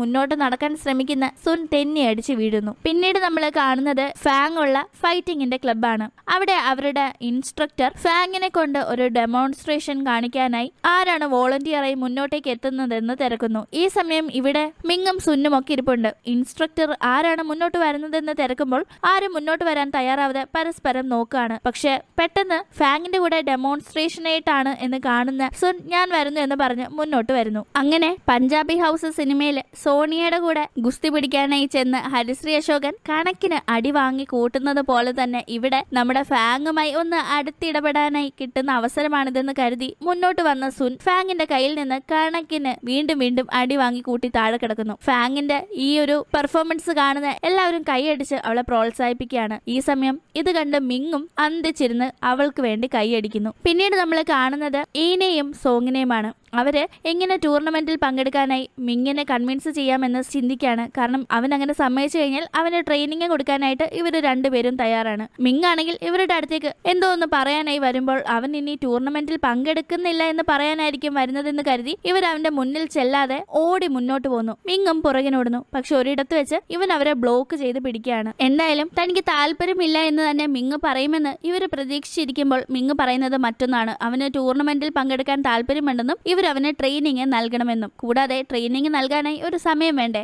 അവനൊരു പേപ്പർ അവർക്ക് നൽകിയിട്ട് അതിൽ ഇവന്റെ ഡെയിലി റൊട്ടീൻസ് അത് പാർട്ട് ടൈമായി ജോലി ചെയ്യുന്നതായിക്കോട്ടെ വീട്ടിലെന്തെങ്കിലും ചെയ്യുന്നതായിക്കോട്ടെ കോളേജിൽ വരുന്നതായിക്കോട്ടെ എല്ലാം ഒരു ടൈം ആയി എഴുതി ഇവരെ നൽകിയിട്ട് ഇതിൽ നിന്ന് നിങ്ങൾക്ക് കൺവീനിയന്റ് ആയിട്ടുള്ള എന്റെ ഒരു ഫ്രീ ടൈം സെലക്ട് ചെയ്ത് എനിക്ക് ട്രെയിനിങ് താ എന്ന് പറഞ്ഞ് അവൻ പോകുന്നു. മിങ് പറഞ്ഞ ഈ കാര്യങ്ങൾ ആദ്യം ഇവർക്ക് വിശ്വസിക്കാനേ സാധിച്ചിട്ടുണ്ടായിരുന്നില്ല. ഇവൻ ഇത്ര പെട്ടെന്ന് സമ്മതിക്കുമെന്ന് ഇവർ കരുതിയിട്ടുണ്ടായിരുന്നില്ല. കൂടാതെ ആ ടൈം ടേബിൾ നോക്കുന്ന സോങ്ങും ഈനയും ഇവൻ ഇരുപത്തിനാല് മണിക്കൂറും ബിസിയാണോ? ഇതിൽ നിന്ന് എപ്പോ ഇവന് ട്രെയിനിങ് നൽകാനാണെന്ന് ആ ഒരു ടൈം ടേബിളിലേക്ക് നോക്കി അന്തം വിട്ട് നിൽക്കാണ്. ടൂർണമെന്റിൽ പങ്കെടുക്കാൻ താൻ തയ്യാറാണെന്ന് ഈനയോടും സോങ്ങിനോടും മിങ് വന്ന് പറഞ്ഞിട്ടുണ്ടായിരുന്നു. കൂടാതെ അവന്റെ ഡെയിലി റൊട്ടീൻസ് എല്ലാം ടൈം ടേബിളായി എഴുതി കൊടുത്ത് ഫ്രീ ആയിട്ടുള്ള ഒരു സമയം കണ്ടെത്തി പഠിപ്പിക്കാനും പറയുന്നു. അങ്ങനെ സോങ് ആ ടൈം ടേബിളിൽ നിന്ന് മിങ്ങിന് ട്രെയിനിങ് കൊടുക്കാനായി ഒരു സമയവും കണ്ടെത്തുന്നു. പിന്നീട് മിങ് അവൻ ജോലി ചെയ്യുന്ന ഷോപ്പിൽ നിൽക്കാണ്. കഴിഞ്ഞ കുറച്ച് ദിവസങ്ങളായി ഇവിടേക്ക് ഫാങ് വരുന്നതും അവൾ ഒരു സ്ട്രോബെറി ഐസ്ക്രീം പതിവായി കഴിക്കുന്നതും ശ്രദ്ധിച്ച മിങ് ഇന്നും ഫാങ് ഈ കടയിലേക്ക് വരുന്നത് കാണുന്നു. അവൻ നോക്കുമ്പോൾ ഒരേ ഒരു സ്ട്രോബെറി ഐസ്ക്രീമാണ് മിച്ചമുള്ളത്.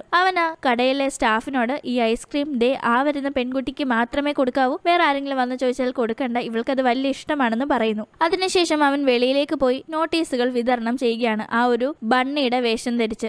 എന്തായാലും മിങ് പറഞ്ഞ പോലെ തന്നെ ഷോപ്പിലേക്ക് എത്തിയ ഫാങ് സ്ട്രോബെറി ഐസ്ക്രീം ഓർഡർ ചെയ്യുന്നു. ആ സമയം സ്റ്റാഫ് ദേ ഒരേ ഒരു ഐസ്ക്രീമേ മിച്ചമുള്ളൂ. നിങ്ങൾ ഇത് വന്ന് ഓർഡർ ചെയ്യുമെന്ന് ആ ബണ്ണി ഇപ്പൊ ദേ പറഞ്ഞിട്ട് പോയതേ ഉള്ളൂ. അതുകൊണ്ട് നിങ്ങൾക്കായി തന്നെ ഇത് വെച്ചിരിക്കുകയായിരുന്നു എന്ന് ആ സ്റ്റാഫ് പറയുന്നു. അങ്ങനെ ആ ഒരു ഐസ്ക്രീം കഴിക്കുന്ന സമയം തന്റെ ഇഷ്ടം കറക്റ്റായി മനസ്സിലാക്കി ഇത് പറയാൻ ആരായിരിക്കും ആ ബണ്ണി എന്ന ചിന്തയാണ് ഫാങ്ങിന്റെ ഉള്ളിൽ ഉണ്ടാവുന്നത് അതിനകത്ത് മിങ്ങാണുള്ളതെന്ന കാര്യം അവൾക്കറിയില്ല. അവൾ എന്തായാലും ആ ഐസ്ക്രീം ആസ്വദിച്ച് കഴിക്കുന്നു. അവൾ ഇങ്ങനെ കഴിക്കുന്നത് നമ്മുടെ മിങ്ങും ഒളിഞ്ഞു നോക്കുന്നുണ്ട്. പിന്നീട് നമ്മൾ കാണുന്നത് ഒരു റിങ്ങിൽ ഈനയുടെ അച്ഛനും ലൂവും ബോക്സിംഗ് ചെയ്യുന്നതാണ്. ഈനയുടെ അച്ഛനെ നമ്മൾ കഴിഞ്ഞ ഒരു എപ്പിസോഡിൽ കണ്ടപ്പോൾ അദ്ദേഹം ഒരു കട നടത്തുന്ന സാധാരണക്കാരനായിട്ടാണ് തോന്നിയത്. പക്ഷെ സംഭവം അങ്ങനെയല്ല. അദ്ദേഹം നന്നായി തന്നെ ഫൈറ്റ് ചെയ്ത് ലൂവിനെ തോൽപ്പിക്കുന്നു. ആ സമയം ലൂ വളരെ അതിശയത്തിൽ അങ്കിൾ ലാസ്റ്റ് ചെയ്ത ആ ഒരു മൂമെന്റ് അങ്കിളിന് എങ്ങനെ അറിയാം? ആ ഒരു മൂമെന്റ് ഞാൻ ആ സമയത്ത് ഒട്ടും പ്രതീക്ഷിച്ചില്ല. ആ ഒരു മൂമെന്റ് ആണ് അങ്കിളിനെ ഇപ്പോ ജയിപ്പിച്ചത് എന്നെല്ലാം പറയുന്ന അവൻ. ഈനയുടെ അച്ഛനെ പ്രശംസിക്കുമ്പോൾ അദ്ദേഹം പറയാണ് ഇതൊന്നും എന്റെ മിടുക്കല്ല. എന്നെ ഈ മൂവ്മെന്റ് പഠിപ്പിച്ചത് എന്റെ ഒരു സീനിയർ ആണ്. പക്ഷെ അൺഫോർച്ചുനേറ്റ്ലി അദ്ദേഹം ഇപ്പോൾ ജീവനോടെ ഇല്ല എന്നല്ല.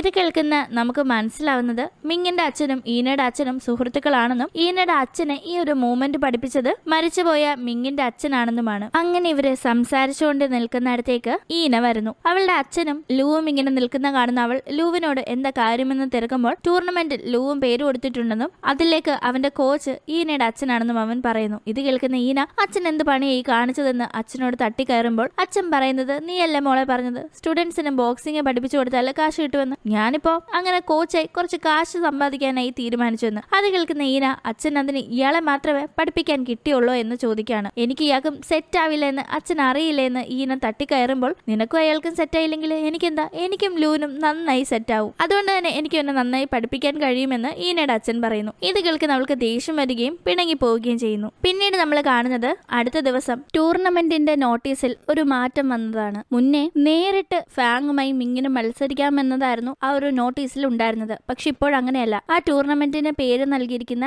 എല്ലാവരും പരസ്പരം മത്സരിക്കുന്നതിന്റെ ഇടയിൽ മിങ്ങും അവരോടൊക്കെ മത്സരിക്കേണ്ടിയിരിക്കുന്നു. അങ്ങനെ അവരോടൊക്കെ ഫൈറ്റ് ചെയ്ത് ജയിച്ചാലേ മിങ്ങിന് ഫാങ്ങുമായി മത്സരിക്കാൻ സാധിക്കൂ. ഈ ഒരു കാര്യം ഫാങ്ങും ശ്രദ്ധിക്കുന്നു. കൂടാതെ ഇതേ നോട്ടീസ് അടുത്ത കോളേജിൽ ഉണ്ടായിരുന്ന ലൂവും ചാനും ശ്രദ്ധിക്കുകയാണ്. ആ സമയം ചാൻ ലൂവിനോട് ഞാനും ടൂർണമെന്റിലുണ്ട്. നമ്മൾക്കിടയിൽ മത്സരം വരുന്ന സമയം എന്നെ ഒരുപാട് ഇട്ട് അടിക്കില്ലേ എന്നെല്ലാം പറയുന്നു. കൂടാതെ ആ ഒരു ലിസ്റ്റിൽ മിങ്ങിന്റെ പേര് കാണിച്ചു കൊടുത്തിട്ട് ഇവനെ കണക്കിനെടുത്തിട്ട് അടിച്ചോ ഇവനൊരു പേടിത്തൊണ്ടനാണ് ഇവന് ഞാനും പണ്ട് ഒന്നിച്ച് പഠിച്ചതാണ് എന്നെല്ലാം പറയുന്നു. ഇങ്ങനെ സംസാരിച്ചുകൊണ്ട് നിൽക്കുമ്പോൾ അതുവഴി മിങ് പോകുന്നത് കാണുന്ന ചാൻ മിങ്ങിനെ വിളിക്കുന്നു. പക്ഷെ മിങ് മൈൻഡ് ചെയ്യാതെ പോകുമ്പോൾ ചാൻ നേരെ മിങ്ങിന്റെ അടുത്തേക്ക് ചെന്ന് ഞാൻ വിളിക്കുന്നത് കേട്ടിട്ടും നീ എന്താ കേൾക്കാത്ത മട്ടിൽ പോകുന്നതെന്ന് തിരക്കുന്നു. നിനക്ക് ഇത്രയ്ക്കൊക്കെ ധൈര്യം വന്നു എന്ന് പറഞ്ഞ് ചാൻ മിങ്ങിനെ ഉപദ്രവിക്കാനായി ശ്രമിക്കുമ്പോൾ ചാനിന്റെ കൈ തടയുകയാണ് ഫാങ്. ഞങ്ങളുടെ കോളേജിൽ പെട്ട ഒരാളെ തൊടാൻ നിനക്ക് അത്രയ്ക്ക് ധൈര്യമുണ്ടോ എന്ന് ഫാങ് ചോദിക്കുന്ന സമയം അങ്ങോട്ടേക്ക് ഇതെല്ലാം കണ്ടുകൊണ്ട് ലൂ വരുന്നു. ലൂ ഫാങ്ങിനോട് പോട്ടെ വിട്ടേക്ക്. ഇവൻ അറിയാതെ ചെയ്തതാ. ഇനി ഇവൻ ഇത് ആവർത്തിക്കില്ല എന്ന് പറയാണ്. ഈ സമയം മിങ് ഫാങ്ങിനോടും ലൂവിനോടും ഈ പ്രശ്നം ഞാനും ചാനും തമ്മിലാണ്. അത് ഞങ്ങൾ തീർത്തോളാം എന്ന് പറഞ്ഞതിന് ശേഷം ചാനിനോട് പറയാണ് എന്റെ പേര് ടൂർണമെന്റിന്റെ നോട്ടീസിൽ നീയും കണ്ടു കാണുമല്ലോ. നമുക്ക് ടൂർണമെന്റിൽ വെച്ച് കാണാമെന്ന് പറഞ്ഞ് മിങ് അങ്ങ് നടന്നു പോകുന്നു. മിങ് ആണെങ്കിൽ രണ്ടും കൽപ്പിച്ചാണ് ഇപ്പോൾ.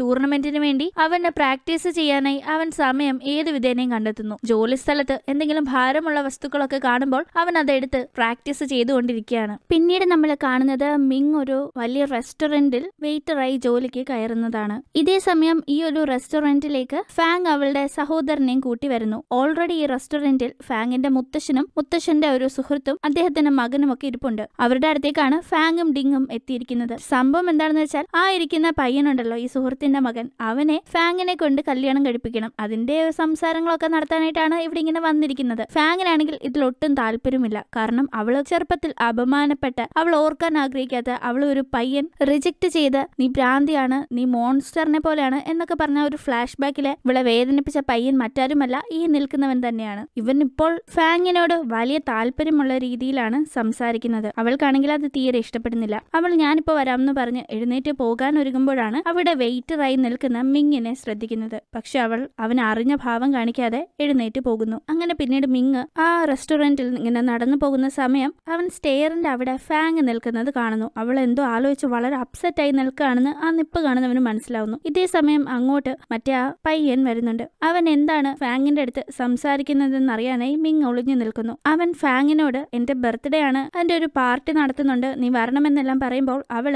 മുന്നേ ഒരു ദിവസം നിന്റെ ബർത്ത്ഡേക്ക് ഞാൻ ഗിഫ്റ്റ് തന്നപ്പോഴല്ലേ നീ അത് തട്ടിക്കളഞ്ഞ് എന്നെ പ്രാന്തി എന്നെല്ലാം വിളിച്ച് ആക്ഷേപിച്ചത്? അതുകൊണ്ട് എനിക്ക് താല്പര്യമില്ല എന്ന് പറയുന്നു. അപ്പോൾ ഇവൻ അത് താൻ ആ ഒരു സമയത്ത് ചുമ്മാ പറഞ്ഞതാണെന്നും ഇപ്പോഴും അത് മനസ്സിൽ വെച്ചുകൊണ്ട് തന്നോട് ദേഷ്യത്തോടെ നടക്കരുത് എന്നെല്ലാം പറയുന്നുണ്ടെങ്കിലും ഫാങ് അത് കേൾക്കാതെ പോകുന്നു. ഇതെല്ലാം മിങ് മറഞ്ഞു നിന്ന് കേൾക്കുന്നുണ്ട്. അവൻ ആ സമയം ഇവൻ ഒരു ദിവസം മഴക്കുണ്ടാക്കുന്നതിന്റെ ഇടയിൽ അവളെ പ്രാന്തി എന്ന് വിളിച്ചതാണ് ഓർമ്മ വരുന്നത്. എന്തായാലും ഫാങ് പോയ ശേഷം ആ പയ്യൻ ഒരു ഫോൺ കോൾ വരുന്നു. അവൻ ആ കോൾ എടുത്തിട്ട് വിളിച്ച ആളിനോട് ഫാങ് ഒന്നും തനിക്ക് സെറ്റാവില്ലെന്നും അവൾക്ക് ഇപ്പോഴും പ്രാന്തുണ്ടോ എന്ന് തനിക്ക് ഡൗട്ട് ഉണ്ടെന്നും തന്റെ അച്ഛന്റെ നിർബന്ധപ്രകാരമാണ് താൻ അവളോട് സംസാരിക്കാൻ വന്നതെന്നും തനിക്ക് അവളോട് തീരെ താല്പര്യമില്ല എന്നെല്ലാം സംസാരിക്കുന്നു. അപ്പോൾ ഇവൻ ഇത്രയും നേരം ഫാങ്ങിന്റെ മുന്നിൽ വെച്ച് വളരെ സ്നേഹത്തോടെ സംസാരിച്ചതെല്ലാം വെറും അഭിനയമായിരുന്നല്ലോ എന്ന് ഇത് കേൾക്കുന്ന മിങ്ങിന് മനസ്സിലാവുന്നു. അങ്ങനെ പിന്നീട് വീണ്ടും ഇവരെല്ലാരും കൂടി ഒന്നിച്ച് ഭക്ഷണം കഴിക്കാൻ ഇരിക്കുകയാണ്. ആ സമയം ലിൻ എന്ന ഈ പയ്യൻ വീണ്ടും ഫാങ്ങിനോട് ഓരോന്ന് പറഞ്ഞ് സംസാരിച്ചുകൊണ്ടേയിരിക്കുന്നു. അവന്റെ അച്ഛനെയും ഫാങ്ങിന്റെ മുത്തശ്ശനെയും ഇംപ്രസ് ചെയ്യാനായിട്ടാണ് അവൻ ഫാങ്ങിനോട് ഇങ്ങനെ ഇരുന്ന് സംസാരിക്കുന്നത്. ഫാങ്ങിന് ഇത് വളരെ ഡിസ്റ്റർബൻസ് ആയിട്ടുണ്ട്. ഇതെല്ലാം അവിടെ ഫുഡ് സെർവ് ചെയ്യാനായി വന്ന മിങ് ശ്രദ്ധിക്കുന്നുണ്ടായിരുന്നു. മിങ് വൈൻ സെർവ് ചെയ്യുന്നതിന്റെ ഇടയിൽ അത്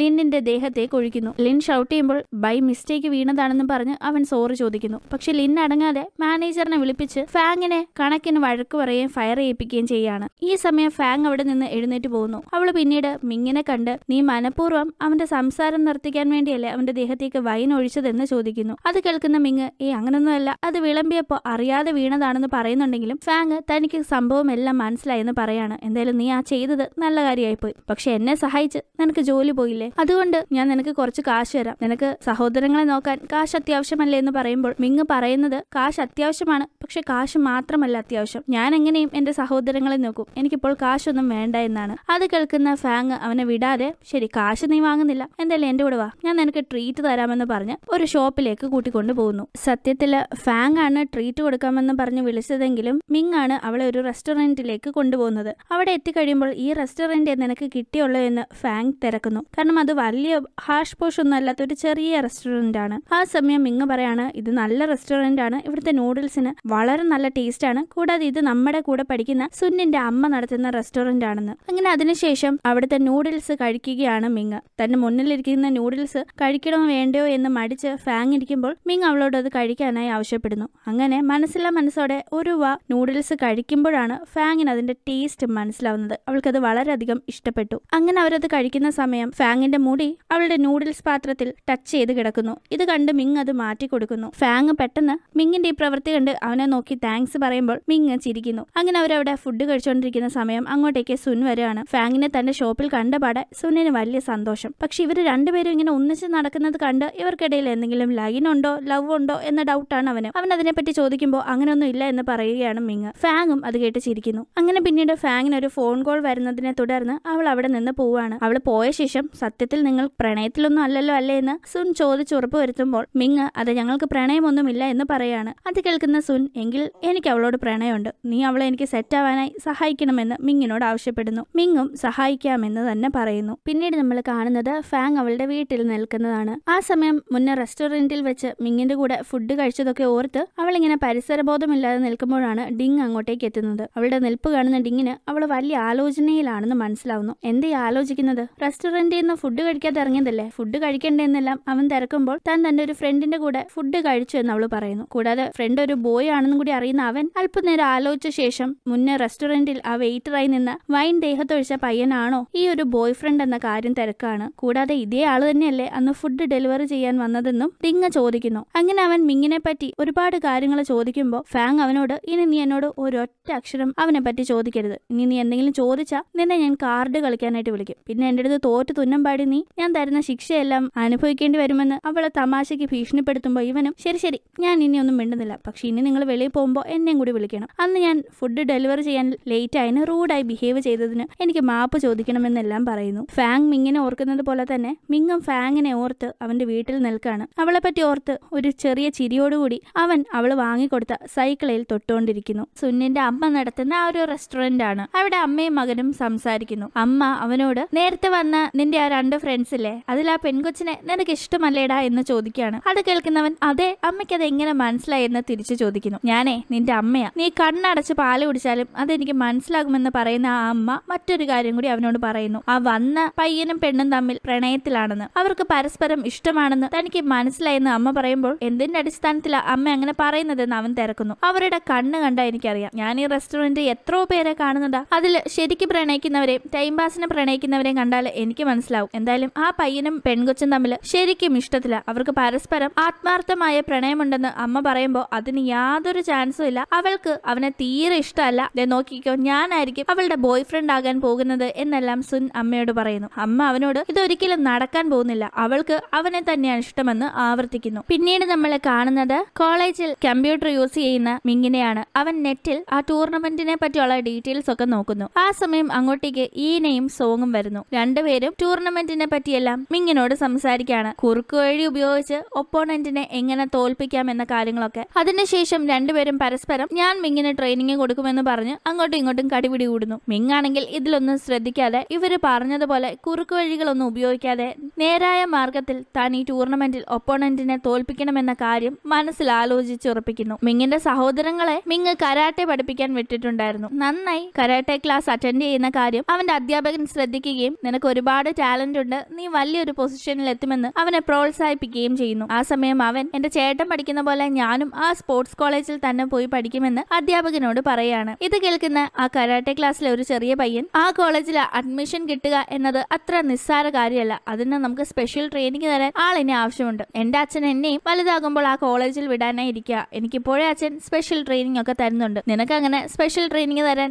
ആരുമില്ലല്ലോ എന്ന് പറഞ്ഞ് ഈ പയ്യനെ കളിയാക്കുന്നു. അത് കേൾക്കുന്ന മിങ്ങിന്റെ സഹോദരൻ ആ കോളേജിലെ നമ്പർ വൺ ആയ ഫാങ്ങിനെ തനിക്കറിയാമെന്ന് പറയുന്നു. അത് പക്ഷെ ആ പയ്യൻ വിശ്വസിക്കുന്നില്ല. ഈ പയ്യനും ഫാങ്ങിനെ അറിയാം കാരണം അവൾ വളരെ ഫേമസ് ആയ ഒരു പെൺകുട്ടിയാണ്. അത്ര ഫേമസ് ആയ ആളിനെ നിനക്ക് എങ്ങനെ അറിയാമെന്ന് ചോദിച്ച് ആ പയ്യൻ വീണ്ടും ക്വസ്റ്റ്യൻ ചെയ്യുമ്പോൾ മിങ്ങിന്റെ അനിയത്തി ഞങ്ങൾക്കറിയാം ഞങ്ങളുടെ ചേട്ടന്റെ കൂട്ടുകാരി അവർ. ഞങ്ങളുടെ ചേട്ടന്റെ കൂടെ വീട്ടിലോട്ട് വന്നിട്ടുണ്ട്. ഞങ്ങളുടെ കൂടെ ഗെയിംസ് ഒക്കെ കളിച്ചിട്ടുണ്ട്. ഞങ്ങൾ ഒന്നിച്ചിരുന്ന് ഫുഡ് കഴിച്ചിട്ടുണ്ട് എന്നെല്ലാം പറയുന്നു. പക്ഷെ ആ പയ്യൻ അതൊന്നും വിശ്വസിക്കുന്നില്ല. ഈ കുട്ടികൾ എത്ര ആവർത്തിച്ചിട്ടും വിശ്വസിക്കാത്ത അവൻ മറ്റൊരു കാര്യം കൂടി പറയുന്നു. നിങ്ങളുടെ അച്ഛനും അമ്മയും വിദേശത്താണെന്നല്ലേ ഇത്രയും നാൾ വരെ നിങ്ങൾ പറഞ്ഞിരുന്നത്? പക്ഷെ അവർ മരിച്ചുപോയില്ലേ ആ ഒരു കാര്യം മറച്ചു വെച്ച് കള്ളം പറഞ്ഞ നിങ്ങൾ ഇതും കള്ളം പറയല്ല എന്ന് ആര് കണ്ടു എന്ന്? അങ്ങനെ ഈ കാര്യത്തിൽ ദേഷ്യം വരുന്ന മിങ്ങിന്റെ അനിയൻ ആ പയ്യനെ അടിക്കുന്നു. അടിപിടിയാകുന്ന സമയം കോച്ച് എത്തിയാണ് രണ്ടുപേരെയും പിടിച്ചു മാറ്റുന്നത്. എന്തിനാണ് വഴക്കുണ്ടാക്കിയതെന്ന് കോച്ച് തിരക്കുമ്പോൾ മിങ്ങിന്റെ അനിയൻ നടന്ന കാര്യങ്ങൾ പറയുന്നുണ്ട്. പക്ഷെ അതാ കോച്ചും വിശ്വസിച്ച മട്ടില്ല അതുകൊണ്ട് ദേഷ്യമെന്ന് അനിയൻ ക്ലാസ്സിൽ നിന്ന് ഇറങ്ങി ഓടുന്നു. ഇതേ സമയം മിയ നമ്മുടെ ചാമ്പ്യൻ ലൂയുടെ അടുത്തെത്തി. അവനെ സിനിമ കാണാൻ പോകാനായി ക്ഷണിക്കുന്നു. പക്ഷെ ലൂ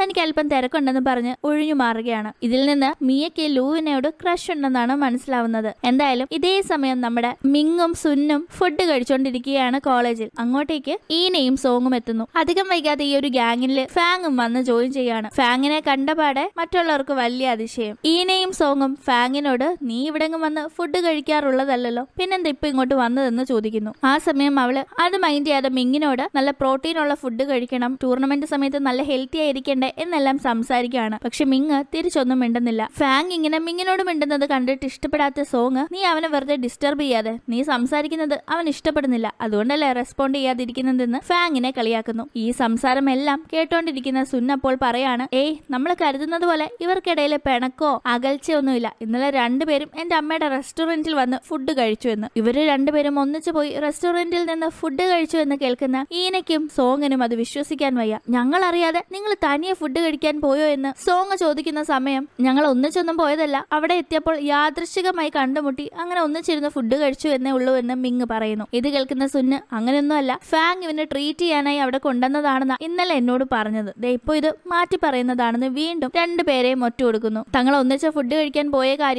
ഇവർ അറിഞ്ഞതിൽ നന്നായി ചമ്മിയിരിക്കാണ് മിങ്ങും ഫാങ്ങും. എന്തായാലും ആ സമയം മിങ്ങിന്റെ മൊബൈൽ റിംഗ് ചെയ്യുന്നു. വിളിച്ചിരിക്കുന്നത് അനിയന്റെ കരാട്ടെ സാറാണ്. കോൾ അറ്റൻഡ് ചെയ്ത് മിങ് ആകെ പട ടെൻഷനിലാവുന്നു. അവൻ പെട്ടെന്ന് തന്നെ കോൾ കട്ട് ചെയ്ത് ആരോടും ഒന്നും പറയാതെ ക്യാന്റീനിൽ നിന്ന് നേരെ ഒറ്റ ഓട്ടം. അവൻ വീട്ടിൽ ചെന്ന് അവന്റെ അനിയൻ ഉണ്ടോ എന്ന് തിരക്കുന്നുണ്ട്. അവിടെ എങ്ങുമില്ല ഈ ചെറിയ പയ്യൻ പോകാൻ സാധ്യതയുള്ള എല്ലാ സ്ഥലങ്ങളിലും അവൻ തപ്പുന്നു. പക്ഷെ എവിടെയും കണ്ടുകിട്ടിയില്ല. ഇതേ സമയം ഫാങ് കോളേജിലെ ക്ലാസ് എല്ലാം കഴിഞ്ഞ് അവളെ പിക്ക് ചെയ്യാനെത്തിയ കാറിൽ കയറാനായി തുടങ്ങുമ്പോൾ അവിടെ മിങ്ങിന്റെ അനിയനെ കാണുന്നു. എന്താ മോനെ ചേട്ടനെ അന്വേഷിച്ചു വന്നതാണോ എന്ന്? അവൾ തിരക്കുമ്പോ അല്ലല്ല ഞാൻ ചേച്ചി അന്വേഷിച്ചു വന്നതാ. എന്നെയോ? എന്തു പറ്റി? എന്ത് വേണമെന്ന്? അവൾ ചോദിക്കുന്നു. കാരണം ഈ മുന്നേ നടന്ന സംഭവങ്ങളൊന്നും അവൾക്കറിയില്ലല്ലോ. ആ സമയം ഈ പയ്യൻ അവന്റെ കരാട്ടെ ക്ലാസ്സിൽ വെച്ച് അവന് ഫാങ്ങിനെ അറിയാമെന്ന് പറഞ്ഞപ്പോൾ എല്ലാവരും അത് വിശ്വസിക്കാതെ അവനെ കളിയാക്കിയതിനെ പറ്റി പറയുന്നു. എന്റെ കൂടെ വന്ന് ഞാൻ കള്ളം പറഞ്ഞതല്ല എന്ന് ചേച്ചി തെളിയിക്കണമെന്നാണ് അവൻ ആവശ്യപ്പെടുന്നത്. അങ്ങനെ കരാട്ടെ ക്ലാസ്സിലേക്ക് എത്തുന്ന ഫാങ് മിങ്ങിന്റെ സഹോദരങ്ങളെ ചേർത്ത് പിടിച്ച് അവിടുത്തെ കോച്ചിന്റെയും മറ്റു വിദ്യാർത്ഥികളുടെയും മുന്നിൽ വെച്ച് തനിക്ക് ഇവരെ അറിയാമെന്ന കാര്യം ഇവരൊക്കെ പറയുകയാണ്. കൂടാതെ കുട്ടികൾ തമ്മിലുള്ള പ്രശ്നം പരിഹരിക്കാനായി അറിയാതെ അങ്ങോട്ടും ഇങ്ങോട്ടും പറഞ്ഞു പോയതല്ലേ? ഇനി അതൊക്കെ വിട്ടേക്ക്. നല്ല കൂട്ടുകാരാവ് എന്നെല്ലാം പറയുന്നു. ആ സമയം മിങ്ങിന്റെ അനിയത്തി ആ കളിയാക്കിയ പയ്യനെ ചൂണ്ടിതേ ഇവനെ ഞങ്ങളെ കളിയാക്കിയതെന്ന് പറയുമ്പോൾ ഫാങ് ആ പയ്യന്റെ അടുത്തേക്ക് ചെന്ന് മോൻ ഒരു സത്യം ഒരാളോട് പറഞ്ഞു കഴിയുമ്പോൾ അയാളത് വിശ്വസിക്കാതെ മോനെ കള്ളൻ എന്ന് വിളിച്ച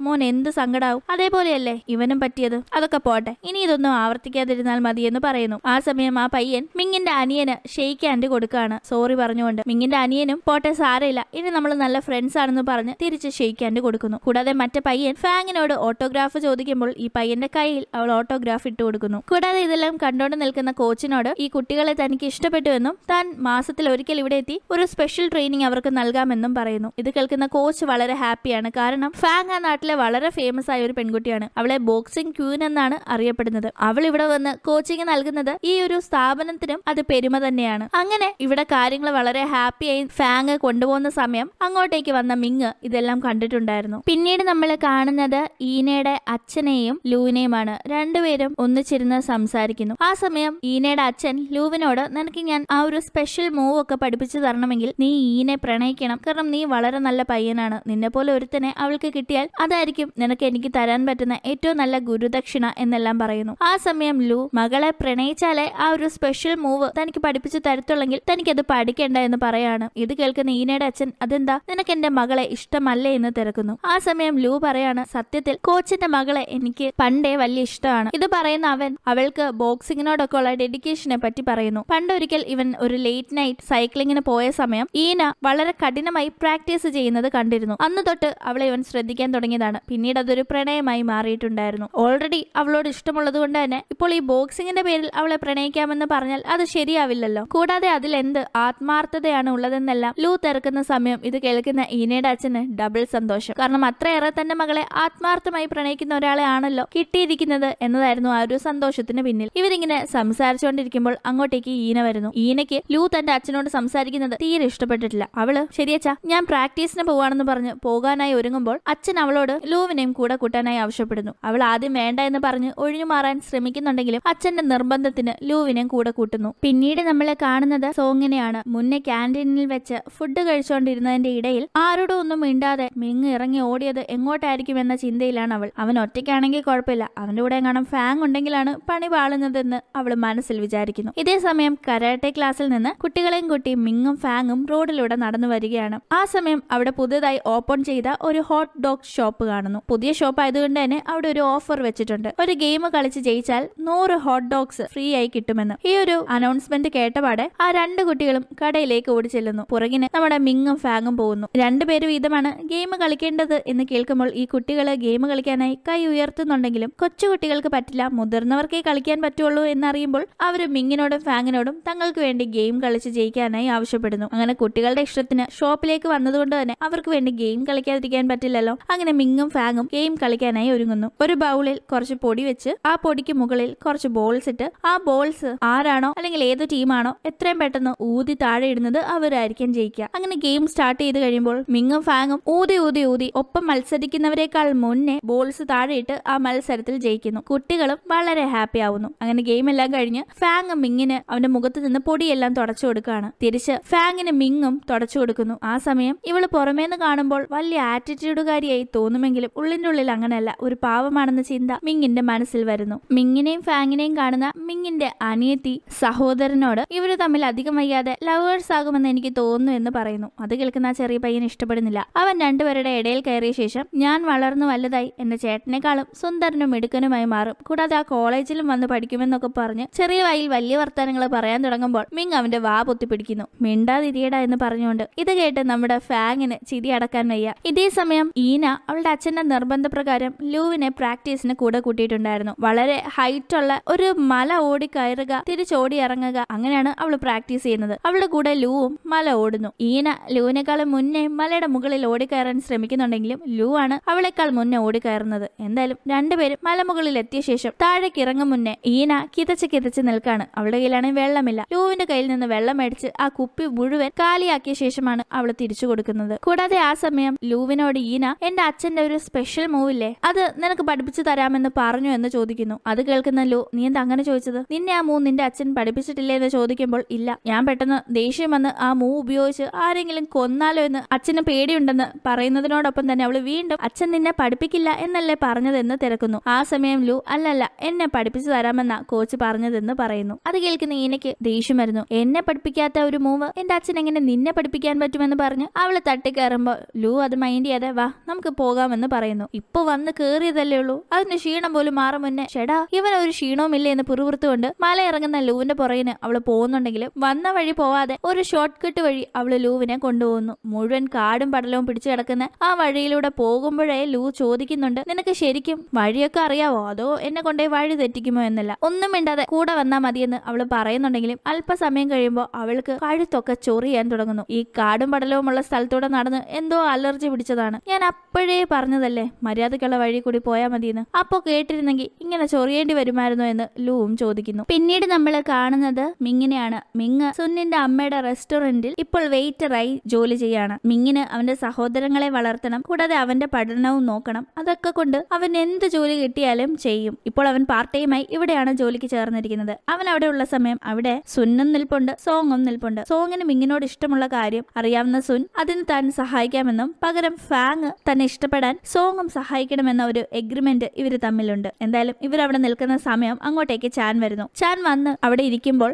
സോങ്ങും സുന്നും ചാനും മിങ്ങും തമ്മിലുള്ള പ്രശ്നം അറിയാവുന്നത് കൊണ്ട് തന്നെ എന്താ വിഷയം ഉണ്ടാക്കാൻ വന്നതാണോ എന്ന് ചോദിക്കുന്നു. ആ സമയം ചാൻ അല്ലല്ല ഇത് റെസ്റ്റോറന്റ് അല്ലേ? ഞാൻ ഇവിടെ ഫുഡ് കഴിക്കാൻ വന്നതാ. എനിക്കുള്ള ഫുഡ് ഇവൻ തരട്ടെ എന്ന് പറയുന്നു. ഒരു കസ്റ്റമർ ആണ് താനെന്ന് ചാൻ പറഞ്ഞതുകൊണ്ട് തന്നെ ചാനിനോട് തൽക്കാലം ഒന്നും പറയാൻ ആവാത്ത അവസ്ഥയിലാണ് സുന്നും. ചാൻ മിങ്ങിനോട് ടേബിളൊക്കെ ക്ലീൻ ചെയ്തതാണെങ്കിലും വീണ്ടും ക്ലീൻ ചെയ്യാനായി ആവശ്യപ്പെടുന്നു. അങ്ങനെ അവൻ ക്ലീൻ ചെയ്ത് വന്ന ശേഷം എന്താണ് വേണ്ടതെന്ന് തിരക്കുമ്പോൾ മെനു കാർഡ് കൊണ്ടുവരാനായി പറയുന്നു. അങ്ങനെ മെനു കാർഡ് കൊണ്ടു കൊടുത്തു കഴിയുമ്പോൾ മെനു കാർഡിലുള്ള എല്ലാ ഐറ്റംസും എണ്ണി എണ്ണി പറയാണ്. ഇതെല്ലാം മിങ് നോട്ട് ചെയ്യുന്നു. അങ്ങനെ ഫുൾ നോട്ട് ചെയ്ത ശേഷം ഏ ഇതൊന്നും എനിക്ക് വേണ്ടെന്ന് പറഞ്ഞ് അതെല്ലാം സ്ട്രൈക്ക് ഓഫ് ചെയ്യിക്കുന്നു. അതിനുശേഷം വീണ്ടും എന്തൊക്കെയാണ് വേണ്ടതെന്ന് പറയുകയാണ് പിന്നെ വീണ്ടും അത് വെട്ടിക്കുന്നു. മിങ് ആണെങ്കിൽ ഇതൊന്നും കണ്ടിട്ടും അവന്റെ ഉള്ളിൽ ഇഷ്ടപ്പെടാഴിക ഉണ്ടെങ്കിലും ഒന്നും മിണ്ടുന്നില്ല. സുന്നും സോങ്ങും നീ എന്തായി ചെയ്യുന്നതെന്ന് തിരക്കുമ്പോൾ എന്താ ഞാൻ ഓർഡർ ചെയ്താ ഞാൻ അതിന് കാശ് കൊടുക്കും. അതിൽ നിങ്ങൾ ഇടപെടേണ്ട കാര്യമില്ല എന്ന് പറയാണ്. ആ സമയം മിങ് സോങ്ങിനോടും സുന്നിനോടും നിങ്ങൾ ഇടപെടേണ്ട ഞാൻ എങ്ങനെയും ഡീൽ ചെയ്തോളാം എന്നും പറയുന്നു. എന്തായാലും ഞാൻ ഒരുപാട് ഫുഡ് ഓർഡർ ചെയ്ത ശേഷം അതെല്ലാം കഴിച്ചിട്ട് അതിന്റെ ബില്ല് താൻ പേ ചെയ്യില്ലെന്നും വേണമെങ്കിൽ മിങ് പേ ചെയ്യണമെന്നും പറയുന്നു. ഇത് കേട്ട് മിങ് അവന്റെ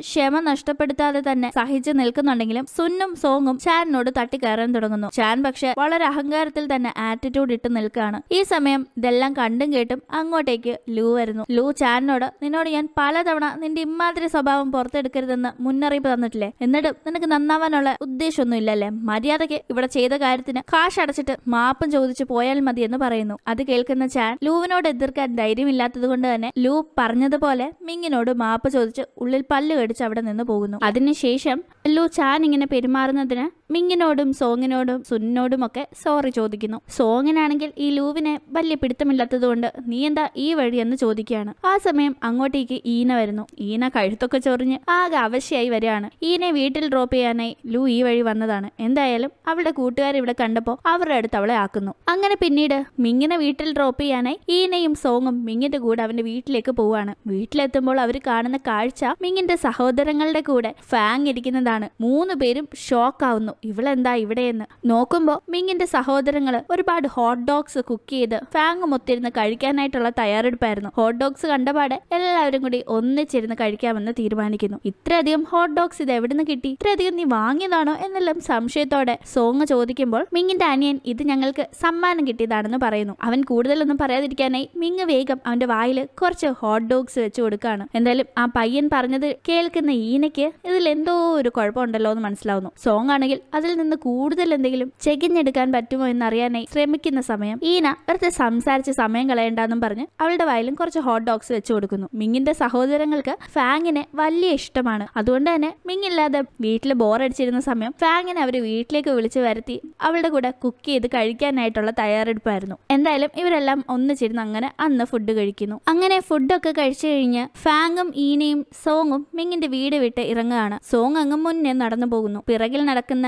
ഈന ഫാങ്ങിനോട് നിനക്ക് ഈ അടുത്തായി നല്ല മാറ്റം ഉണ്ടല്ലോ എന്താ? നിനക്ക് മിങ്ങിനെ ഇഷ്ടമാണോ അല്ല സാധാരണ ചിരിച്ചൊന്നും സംസാരിക്കാത്ത നീ അവനെ കാണുമ്പോൾ ചിരിച്ചു സംസാരിക്കുന്നു. ക്യാന്റീനിൽ വന്ന് ഫുഡ് കഴിക്കാത്ത നീ അവനുള്ളത് കൊണ്ട് ക്യാന്റീനിൽ വന്ന് ഫുഡ് കഴിക്കുന്നു. ദേ അവന്റെ വീട്ടിൽ വരുന്നു. അവന്റെ കൂടെ ഷോപ്പിൽ പോയി ഫുഡ് കഴിക്കുന്നു. അങ്ങനെ ഓരോരോ മാറ്റങ്ങൾ കണ്ടിട്ട് ചോദിക്കുന്നതാണെന്ന് പറയുമ്പോൾ ഫാങ്ങിന് പെട്ടെന്ന് എന്ത് പറയണമെന്നറിയില്ല എന്നാലും അവൾ പറയാണ് എനിക്ക് അവനോട് പ്രണയമൊന്നുമില്ല. അവൻ എന്നെക്കാളും ജൂനിയർ അല്ലേ എന്ന്. അവൾ പറയുമ്പോൾ ഈൻ അവളെ തിരുത്താണ്. മിങ് സ്കൂൾ വിദ്യാഭ്യാസമൊക്കെ കഴിഞ്ഞ് മൂന്ന് വർഷം പഠിക്കാൻ പോവാതെ അവന്റെ കുടുംബം നോക്കി നിൽക്കായിരുന്നു അതുകൊണ്ടാണ് അവൻ ഇപ്പോൾ കോളേജിൽ നിന്നെക്കാളും ജൂനിയർ ആയത്. വയസ്സ് വെച്ച് നോക്കുകയാണെങ്കിൽ അവൻ നിന്നെക്കാളും മൂത്തതാണ്. നീ അവൻ ഒരു വയസ്സ് ഇളയതാണെന്ന് ഈന പറയുന്നു. ആ സമയം ഫാങ് ശരി വയസ്സിന്റെ കാര്യം വിട്. അവൻ എന്റെ അത്രയും ബോക്സിംഗിൽ എന്തെങ്കിലും കഴിവുണ്ടോ? ഞാനൊന്ന് ഇടിച്ച് അവനെ പിടിച്ചു നിൽക്കാൻ പോലും പറ്റില്ല. ആ അവനെ ഞാൻ എന്ത് കണ്ടിട്ട് ഇഷ്ടപ്പെടാനാണെന്ന് അവൾ ചോദിക്കുന്നു. ഇനി മേലാൽ എനിക്ക് അവനോട് ഇഷ്ടമുണ്ടോ എന്ന് നീ ചോദിച്ചേക്കരുത്. അതിനുവേണ്ടിയാ ഞാൻ ഇത്രയും പറഞ്ഞെന്നും പറഞ്ഞ് ഫാങ് അങ്ങ് നടന്നു പോകുമ്പോൾ ഈനയും അവൾ പറഞ്ഞതിൽ വിശ്വസിക്കാൻ തുടങ്ങുന്നു. ഇവർ പോയി കഴിയുമ്പോഴാണ് കാണുന്നത്. ഇവർ സംസാരിച്ചുകൊണ്ട് നിന്നെടുത്ത് മിങ്ങ നിൽപ്പുണ്ടായിരുന്നു. അവൻ ഇവരുടെ വാട്ടർ ബോട്ടിൽ കൊടുക്കാനായി വന്നതാണ്. ഇവരാണെങ്കിൽ ഇവൻ ഇങ്ങനെ നിൽക്കുന്നത് കണ്ടതുപോലുമില്ല. പക്ഷെ ഇവർ സംസാരിച്ചതെല്ലാം അവൻ കേട്ടിട്ടുണ്ടായിരുന്നു.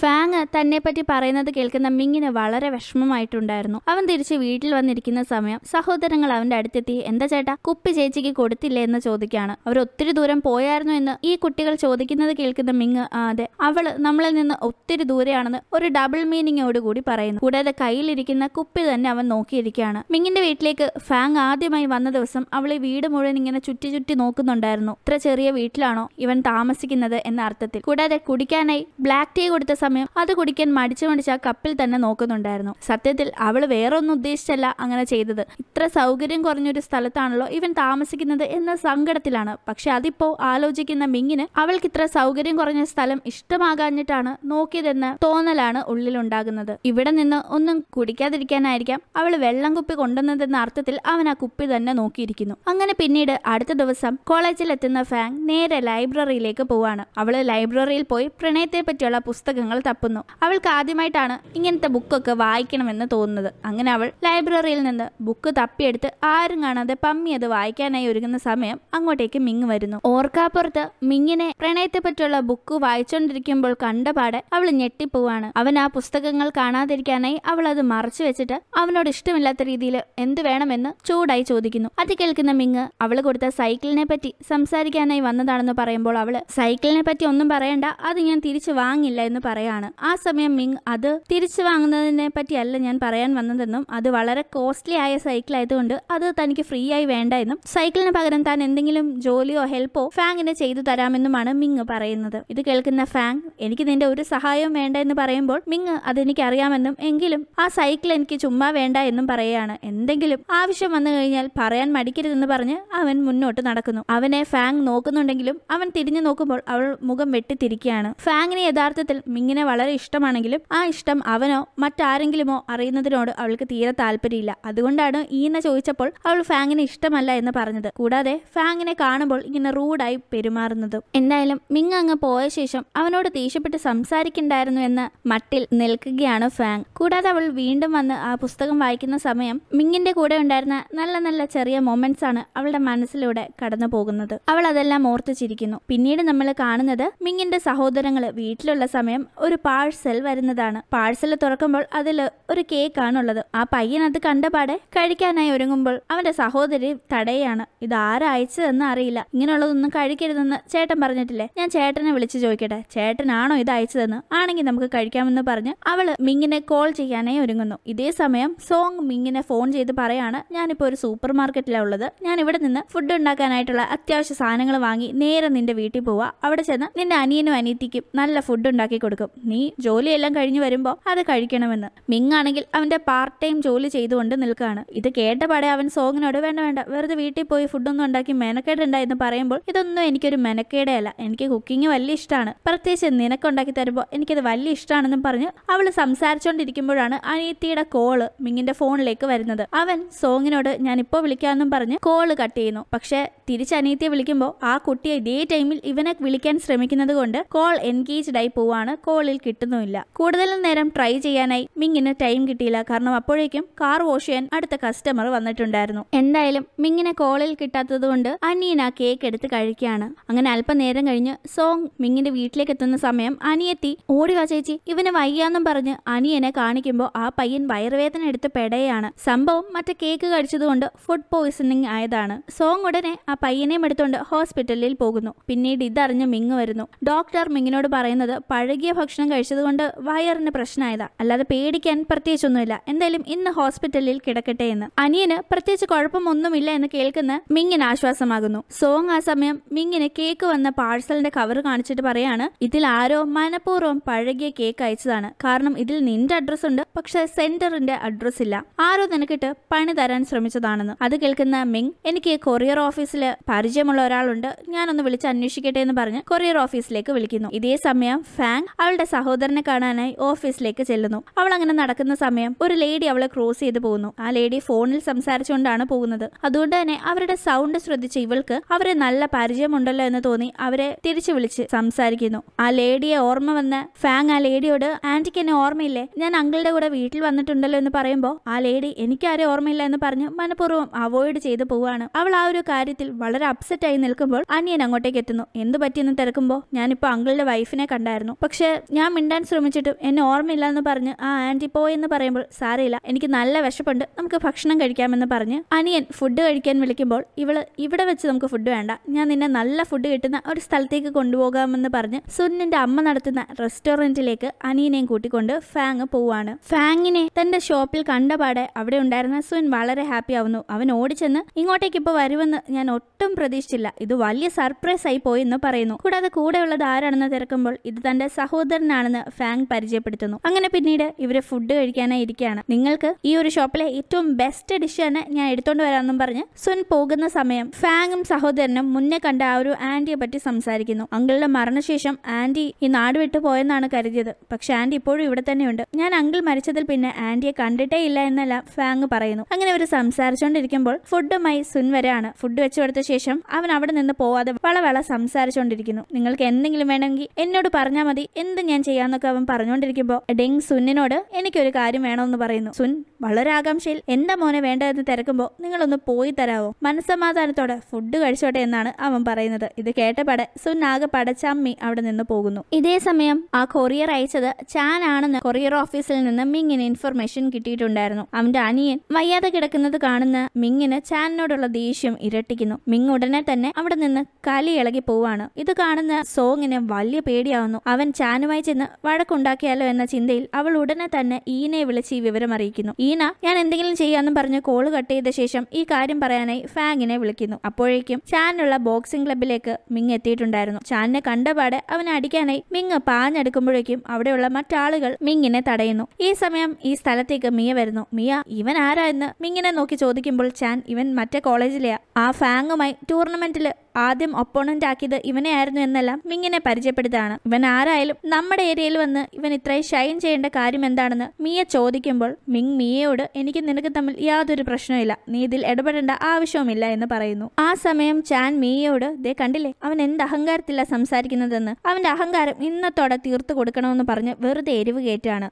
മിയയാണെങ്കിൽ ബോക്സിംഗ് ഗ്ലൗസ് എടുത്ത് മിങ്ങിന്റെ ദേഹത്തേക്ക് എറിഞ്ഞു കൊടുത്തിട്ട് ധൈര്യം ഉണ്ടെങ്കിൽ നീ ഞാനുമായി ഒന്ന് ഫൈറ്റ് ചെയ്ത് നോക്കെന്ന് പറയാണ് അങ്ങനെ മിയയുടെ ചലഞ്ച് മിങ് ഏറ്റെടുക്കുന്നു. പക്ഷേ ഫൈറ്റ് ചെയ്യുമ്പോൾ മിയയുടെ അടിയെല്ലാം മിങ് വാങ്ങിക്കൂട്ടാണ്. ഇത് കണ്ട് ചുറ്റിനും നിൽക്കുന്നവര് രസിക്കുന്നു. ഈ സമയം അങ്ങോട്ടേക്ക് ഇത് കണ്ടെത്തുന്ന ലു മിയയെ തടയാണ്. കൂടാതെ എന്തിനാ ഇവനെ ഇങ്ങനെ അടിക്കുന്നത്? എന്താ ചുറ്റിനും കുറെ ആൾക്കാർ നിൽപ്പുണ്ടല്ലോ. നിങ്ങൾക്ക് ആർക്കൊന്ന് തടയാൻ തോന്നുന്നില്ല എന്ന് ചോദിച്ച ശേഷം മിങ്ങിനോട് നീ എന്താ ഇവിടെ? ഇപ്പൊ എന്താ സംഭവിച്ചത്? എന്തിനീ വഴക്ക്? എന്നെല്ലാം ചോദിക്കുന്നു. മിങ്ങാണെങ്കിൽ നടന്ന കാര്യങ്ങൾ പറയാണ്. ചാൻ അയച്ച പാഴ്സൽ മൂലം തന്റെ അനിയനെ വയ്യാഴിക വന്നു എന്നും അവൻ ഹോസ്പിറ്റലിലാണ് എന്ന കാര്യങ്ങളെല്ലാം. അത് കേൾക്കുന്ന ചാൻ ഇവൻ പച്ചക്കള്ളം പറയുകയാണെന്നും പറഞ്ഞ് മിങ്ങിനെ നേരെ കൈ ചൂണ്ടുന്നു. ഈ സമയം ലൂ നിങ്ങൾ രണ്ടുപേരും പറഞ്ഞത് ഞാൻ കേട്ടു. പക്ഷെ ഇതിലെ സത്യാവസ്ഥ എന്താണെന്ന് എനിക്കറിയില്ലല്ലോ. അതുകൊണ്ട് ഞാൻ ഇതിനെപ്പറ്റി ഒന്ന് അന്വേഷിക്കട്ടെ. ഇൻ കേസ് ചാനാണ് തെറ്റ് ചെയ്തതെങ്കിൽ അവനുള്ള ശിക്ഷ ഞാനായി തന്നെ കൊടുത്തോളാമെന്ന് ലൂ പറയുന്നു. ഈ സമയം ഇവരുടെ കൂട്ടത്തിലുള്ള ഒരു പയ്യൻ ഓടിക്കതച്ചെത്തിയിട്ട് മിങ്ങിന്റെ കോളേജിൽ നിന്ന് പിള്ളേരെത്തിയിട്ടുണ്ടെന്ന് പറയാണ്. ഇത് കേട്ട പാടെ ലൂവും മറ്റുള്ളവരും വെളിയിലോട്ട് പോകുന്നു. മിങ്ങിന്റെ കോളേജിൽ നിന്ന് ഒത്തിരി പിള്ളേർ വഴക്കുണ്ടാക്കാൻ വന്നിട്ടുണ്ടെന്നാണ് ഇവരെല്ലാം കരുതുന്നത്. പക്ഷെ വന്നിരിക്കുന്നത് ഫാങ്ങും ഈനയുമാണ്. ഇവരെത്തി അല്പം കഴിയുമ്പോൾ സോങ്ങും എത്തുന്നു. ലു അവരോട് പ്രശ്നങ്ങളൊക്കെ അറിഞ്ഞു. പക്ഷെ ആരുടെ ഭാഗത്താണ് ന്യായം എന്നറിയില്ല അതിൽ കുറച്ച് അന്വേഷണത്തിന്റെ ആവശ്യമുണ്ട്. അതിനുശേഷം നമുക്ക് ഉചിതമായ ഒരു നടപടി സ്വീകരിക്കാമെന്ന് പറയുന്നു. അപ്പോഴാണ് ഫാങ്ങും ഈനയും സോങ്ങും മിങ്ങിന്റെ മുഖത്ത് അടി കൊണ്ട പാട് കാണുന്നത്. അത് കണ്ടപാടെ ഇവർക്ക് ദേഷ്യം വരുന്നു. കലയിളകിയ ഇവരെ മൂന്ന് പേരും മിങ്ങിനെ അടിച്ചതിന് വഴക്കുണ്ടാക്കാനായി തുടങ്ങുന്ന സമയം അവിടേക്ക് ഇവരുടെ കോളേജിലെ ആ ഒരു റെഫറി ടീം വരുന്നു. വന്നിട്ട് പ്രിൻസിപ്പൾ നിങ്ങളെ വേഗം വിളിക്കുന്നു. പെട്ടെന്ന് തന്നെ ഞങ്ങളുടെ കൂടെ വായെന്ന് പറഞ്ഞ് നാല് പേരെയും വിളിച്ചുകൊണ്ട് പോവാണ്. പ്രിൻസിപ്പൾ ആണെങ്കിൽ മിങ്ങിനെയും ഫാങ്ങിനെയും ഈനെയും സോങ്ങിനെയും കണ്ടപാടെ ഷൗട്ട് ചെയ്യാൻ തുടങ്ങുന്നു. അപ്പുറത്തെ കോളേജിലെ കുട്ടികളുമായി വഴക്കുണ്ടാക്കിയതിന്. കൂടാതെ ഇവരുടെ കോളേജിലെ റൂൾ തെറ്റിച്ച് മിങ് അങ്ങോട്ടേക്ക് കോളേജിലെ ടൂർണമെന്റ് പരമായ കാര്യങ്ങൾക്കല്ലാതെ പോയി ഫൈറ്റ് ചെയ്തു എന്ന് പറഞ്ഞ് അവനെ ശിക്ഷിക്കാനായി ഒരുങ്ങുമ്പോൾ ഫാങ് ഇടയിൽ കയറുകയാണ്. കോളേജിലെ റൂളൊക്കെ ശരി തന്നെയാണ്. എന്നും പറഞ്ഞ് വീട്ടിലെ ഒരാളെ ദ്രോഹിക്കുന്നത് കണ്ട് ആർക്കാണ് മിണ്ടാതിരിക്കാൻ സാധിക്കുക? മിങ്ങിന്റെ അനിയൻ അപ്പുറത്തെ കോളേജിൽ ആ പയ്യൻ ചെയ്ത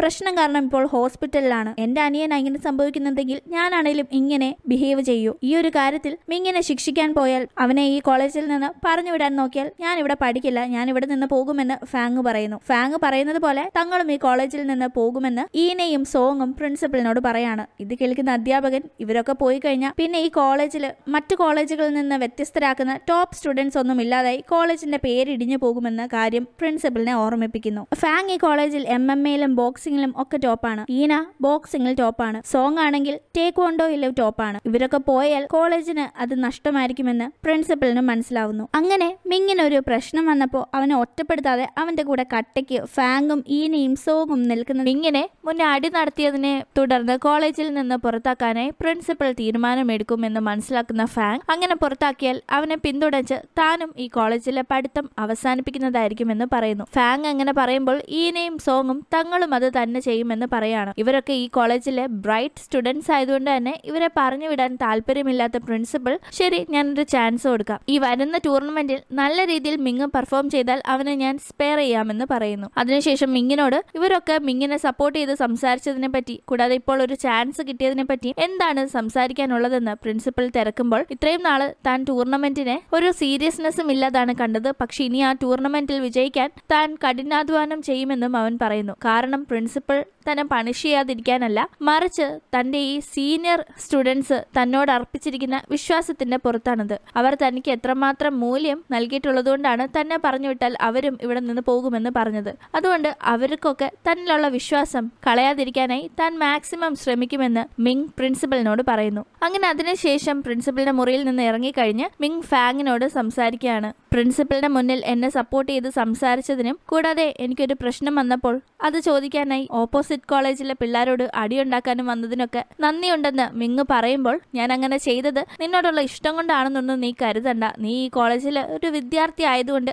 ആ ഒരു കൺസിഡറേഷന്റെ പുറത്ത് ചെയ്തതാണെന്ന് ഫാങ് പറയുന്നു. അത് കേൾക്കുന്ന മിങ് അതിന് ഞാൻ തെറ്റായിട്ടൊന്നും കരുതിയിട്ടില്ല. ഞാൻ നിങ്ങൾ എനിക്ക് ചെയ്തു തന്ന ഉപകാരത്തിന് നന്ദി പറഞ്ഞെന്നേ ഉള്ളൂ എന്ന് പറഞ്ഞ് അവിടെ നിന്ന് പോവാണ്. അങ്ങനെ മിങ് പോയ ശേഷം അവനോട് വീണ്ടും റൂഡായി പെരുമാറിയതുപോലെ തോന്നുന്നുണ്ട് ഫാങ്ങിന്. അവൾ ഷെടാ എപ്പോ ഇവനെ കണ്ടാലും ഞാൻ എന്തിനാ അവനോട് ഇങ്ങനെ തട്ടിക്കയറുന്നതെന്ന് സ്വയം ചിന്തിക്കുന്നു. പിന്നീട് നമ്മൾ കാണുന്നത് അടുത്ത ദിവസം രാവിലെ തന്നെ ജോഗിങ്ങിന് പോകുന്ന മിങ്ങിനെയാണ്. അവൻ ടൂർണമെന്റിന് വേണ്ടി നന്നായി ട്രെയിൻ ചെയ്യാൻ തീരുമാനിച്ചിരിക്കുകയല്ലേ? അവൻ ജോഗ് ചെയ്ത് മുന്നോട്ട് പോകുമ്പോൾ സോങ് അവന്റെ കൂടെ ജോയിൻ ചെയ്യുന്നു. അങ്ങനെ സോങ്ങിന്റെ ജോഗ് ചെയ്ത് പോകുമ്പോൾ മുന്നേ സോങ്ങിനെ കണ്ടതും അവളോട് സംസാരിച്ചതുമായ പല ഇൻസിഡൻസ് ഇവന്റെ മനസ്സിലൂടെ മിന്യമായിരുന്നു അങ്ങനെ ഇവരെ രണ്ടുപേരും ജോഗ് ചെയ്ത് മുന്നോട്ട് പോകുമ്പോൾ ഈന ഇവരോട് ജോയിൻ ചെയ്യുന്നു. അങ്ങനെ ഇവർ മൂന്ന് പേരും ജോഗ് ചെയ്ത് പോകുന്ന സമയം ഈനെ പറ്റിയുള്ള കാര്യങ്ങൾ മിങ്ങിന്റെ ഉള്ളിൽ മിന്നിമറയുന്നു. അങ്ങനെ ഇവർ മൂന്ന് പേരും ജോഗ് ചെയ്ത് മുന്നോട്ട് പോകുമ്പോൾ ഫാങ് ഇവരോട് ജോയിൻ ചെയ്യുന്നു. അങ്ങനെ ഇവർ നാല് പേരും മുന്നോട്ട് പോകുന്ന സമയം ഫാങ്ങിനെ പറ്റിയുള്ള ഓർമ്മകൾ മിങ്ങിന്റെ മനസ്സിൽ മിന്നിമറയുന്നു. എന്തായാലും ഇവർ നാല് പേരും കൂടി ജോഗ് ചെയ്യാണ്. മിങ്ങിനെ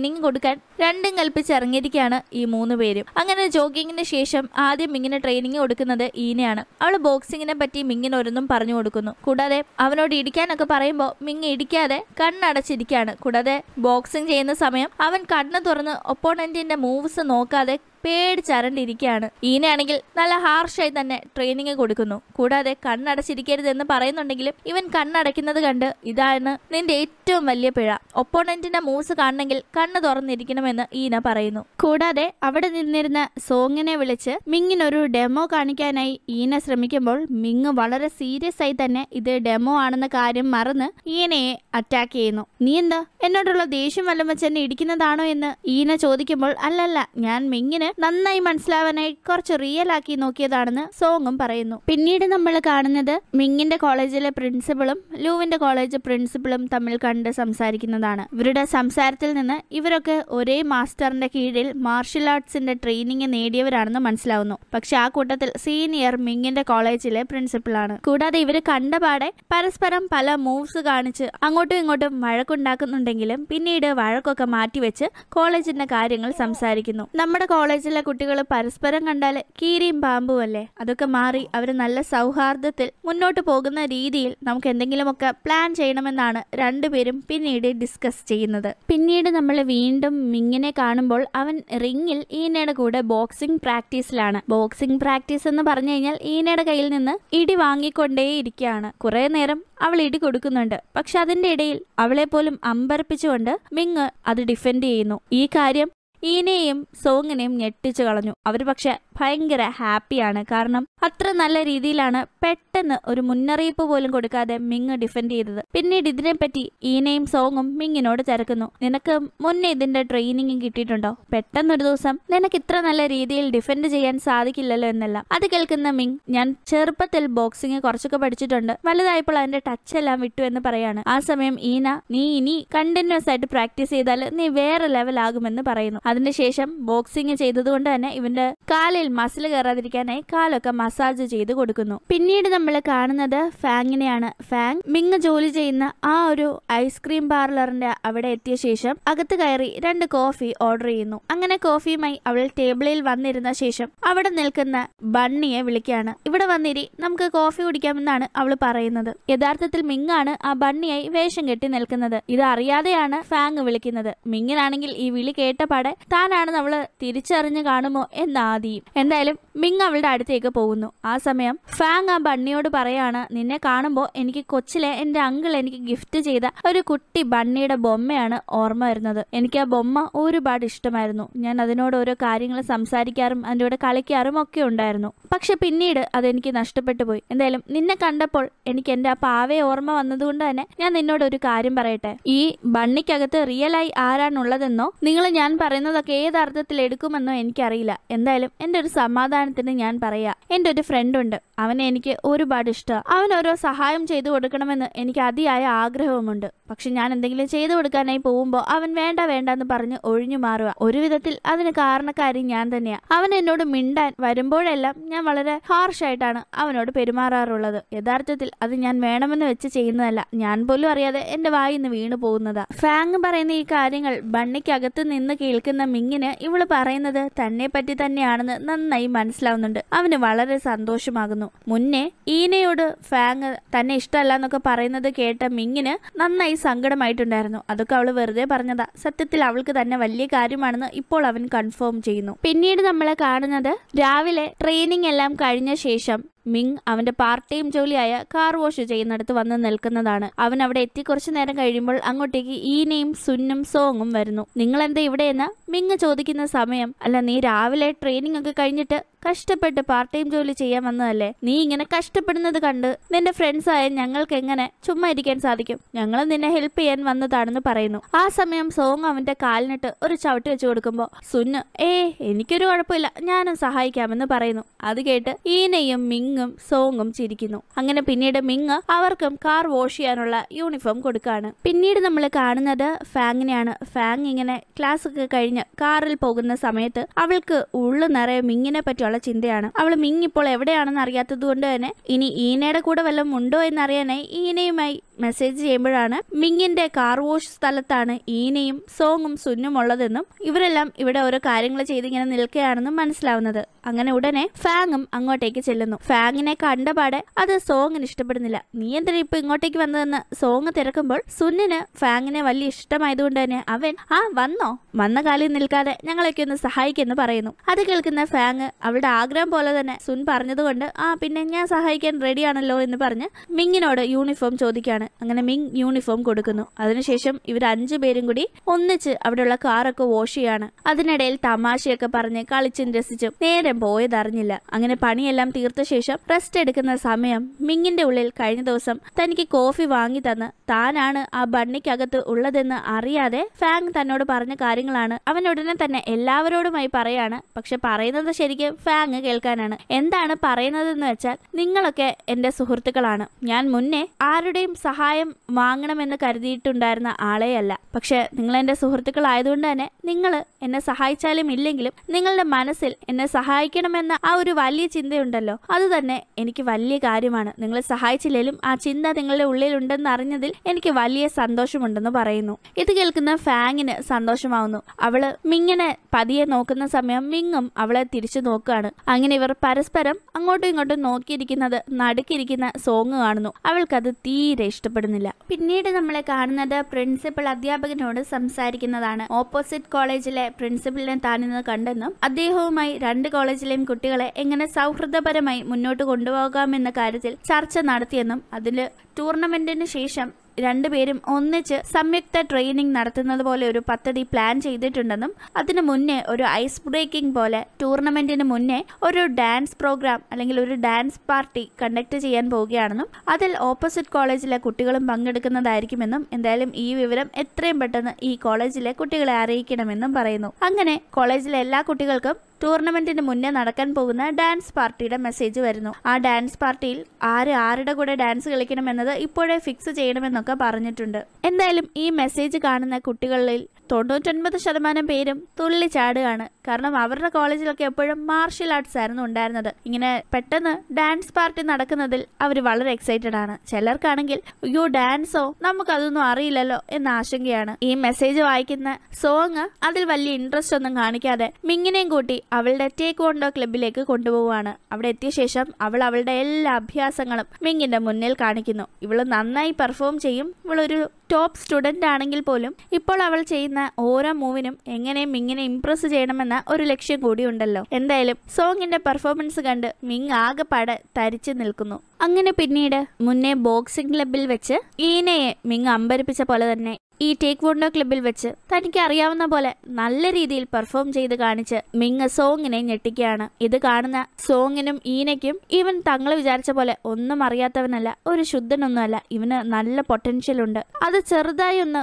ഊതി കൊടുത്താൽ പിന്നെ നന്നായി ആളി കത്തിക്കോളുമെന്ന് മനസ്സിലാവുന്നു. ഫാങ്ങിന്റെ അടുത്ത് മിങ് ട്രെയിനിങ്ങിന് പോകുന്നതാണ്. ഈ സമയം അവിടേക്ക് സുൻ വരുന്നു. സുന്നിനെ കണ്ടപാടെ സോങ് നിനക്ക് വയ്യല്ലോ. പിന്നെ നീ എന്തിനാ ഇപ്പൊ ഇവിടേക്ക് വന്നതെന്ന് ചോദിക്കുമ്പോ സുൻ സോങ്ങിനെ കണ്ണ് കാണിക്കാണ്. അവൻ ഫാങ്ങിനെ കാണാനാണ് വന്നതെന്ന്. അതിനുശേഷം ഫാങ്ങിനോട് മിങ്ങിന് ട്രെയിനിങ് കൊടുക്കുന്ന പോലെ തനിക്കും ട്രെയിനിങ് തരാമോ? എന്ന് ചോദിക്കുന്നു. ആ സമയം ഫാങ് നിനക്ക് വയ്യല്ലോ. പിന്നെ എന്ത് ട്രെയിനിങ് തരാനാണെന്ന്? തിരിച്ചു ചോദിക്കുമ്പോൾ സുൻ തനിക്ക് യാതൊരു കുഴപ്പവുമില്ല എന്ന് പറയുന്നുണ്ടെങ്കിലും അത് പറഞ്ഞു തീരുന്നതിന് മുന്നേ അവൻ വയ്യാതെ താഴെ വീഴുന്നു. അങ്ങനെ പിന്നീട് ഫാങ് മിങ്ങിന് ട്രെയിനിങ് നൽകുന്ന സമയം സുൻ അവിടെ കിടന്നുകൊണ്ട് ഇതെല്ലാം കാണുന്നുണ്ട്. അവന് തീരെ വയ്യെങ്കിലും ഇവിടെ നിന്ന് പോകാൻ മനസ്സില്ല. അങ്ങനെ ഫൈറ്റ് ചെയ്യുന്ന സമയം ഫാങ് അവളുടെ ഉള്ളിൽ മിങ്ങിനോടുള്ള സ്നേഹമൊക്കെ മറന്ന് നല്ല രീതിയിലാണ് അവൻ ഇട്ട് കൊടുക്കുന്നത്. കാരണം നന്നായി ട്രെയിൻ ചെയ്താലല്ലേ ഇവന് ടൂർണമെന്റിൽ നന്നായി പെർഫോം ചെയ്യാൻ സാധിക്കൂ. മുന്നേ രണ്ടുപേരുടെയും അടുത്ത് ചെയ്ത പോലെ മിങ് ഡിഫെൻഡ് ചെയ്യുമെന്ന് എല്ലാവരും പ്രതീക്ഷിച്ച് കാത്തു നോക്കി നിൽക്കാണ്. പക്ഷേ മിങ് ഫാങ്ങിന്റെ കയ്യിൽ നിന്ന് അടി വാങ്ങുന്നതല്ലാതെ തിരിച്ചൊരു ഡിഫൻസും കാണിക്കുന്നുമില്ല. തിരിച്ചവൾക്കിട്ടൊന്നും കൊടുക്കുന്നുമില്ല. ഒടുക്കം സഹികെട്ട് ഫാങ് മിങ്ങിനോട് നീ ഇത് എന്ത് പണിയാ കാണിക്കുന്നതെന്ന് ചോദിക്കുന്നു. ഞാൻ നിനക്ക് എന്നെ തിരിച്ചടിക്കാനായി എത്ര അവസരം തന്നതാ. നീ അതൊന്നും പ്രയോജനപ്പെടുത്താതെ വെറുതെ എന്റെ കയ്യിൽ നിന്ന് അടി വാങ്ങി കൂട്ടുന്നത് എന്തിനാണെന്നും ചോദിക്കുന്നു. എന്താ നീ എന്നെ തിരിച്ച് അറ്റാക്ക് ചെയ്യാഞ്ഞത്? പറ പറ എന്ന് ഫാങ് നിർബന്ധിക്കുമ്പോൾ മിങ്ങിന്റെ മനസ്സിലൂടെ ഒരു പഴയ കാര്യമാണ് വരുന്നത്. അവന്റെ അച്ഛൻ റിങ്ങിൽ ഫൈറ്റ് ചെയ്യുന്നതിന്റെ ഇടയിൽ അറിയാതെ ഒപ്പോണന്റിനെ കൊലപ്പെടുത്തിയതും തുടർന്ന് കുടിയനായി മാറിയതും അതിനെ തുടർന്ന് അമ്മ ഇവരെല്ലാം ഉപേക്ഷിച്ചു പോയതും അച്ഛൻ മരിച്ചതുമല്ല. ഇത് ഓർക്കുന്നവന്റെ കണ്ണ് നിറയുന്നു. പക്ഷെ അവൻ ഒന്നും ഫാങ്ങിനോടോ അവിടെ നിൽക്കുന്ന മറ്റുള്ളവരോടോ പറയുന്നില്ല. ആ സമയം ഫാങ് നീ നിന്നെ ഒരുപാട് മാറ്റേണ്ടിയിരിക്കുന്നു. നീ ഇങ്ങനെ ഒരു വീക്കായ ആളിനെ പോലെ നിന്നാൽ നിന്നെ ഉപദ്രവിക്കാനായിരിക്കും എല്ലാവരും മുതിരുക. എല്ലാവരും നിന്നെ മുതലെടുക്കുമെന്നെല്ലാം ഫാങ് മിങ്ങിനോട് പറയുന്നു. അങ്ങനെ പിന്നീട് ട്രെയിനിങ് കഴിഞ്ഞ് മിങ് വീട്ടിലേക്ക് പോവാണ് പോകുന്ന വഴി അവനെ കാത്ത് ചാൻ നിൽപ്പുണ്ടായിരുന്നു. ചാൻ മിങ്ങിനോട് സംസാരിക്കാനായി ശ്രമിക്കുമ്പോൾ മിങ് സംസാരിക്കാൻ താല്പര്യപ്പെടുന്നില്ല. ഓഹോ നീ അത്രയ്ക്കായോ? ഞാൻ ജസ്റ്റ് നിന്നോടൊന്ന് സംസാരിച്ചിട്ട് പോകാന്ന് കരുതിയപ്പോ നീ എന്താ എന്നെ അപമാനിക്കാണോ എന്ന് പറഞ്ഞ് ചാൻ മിങ്ങിന്റെ വയറ്റിൽ കുത്തുന്നു. അതിനുശേഷം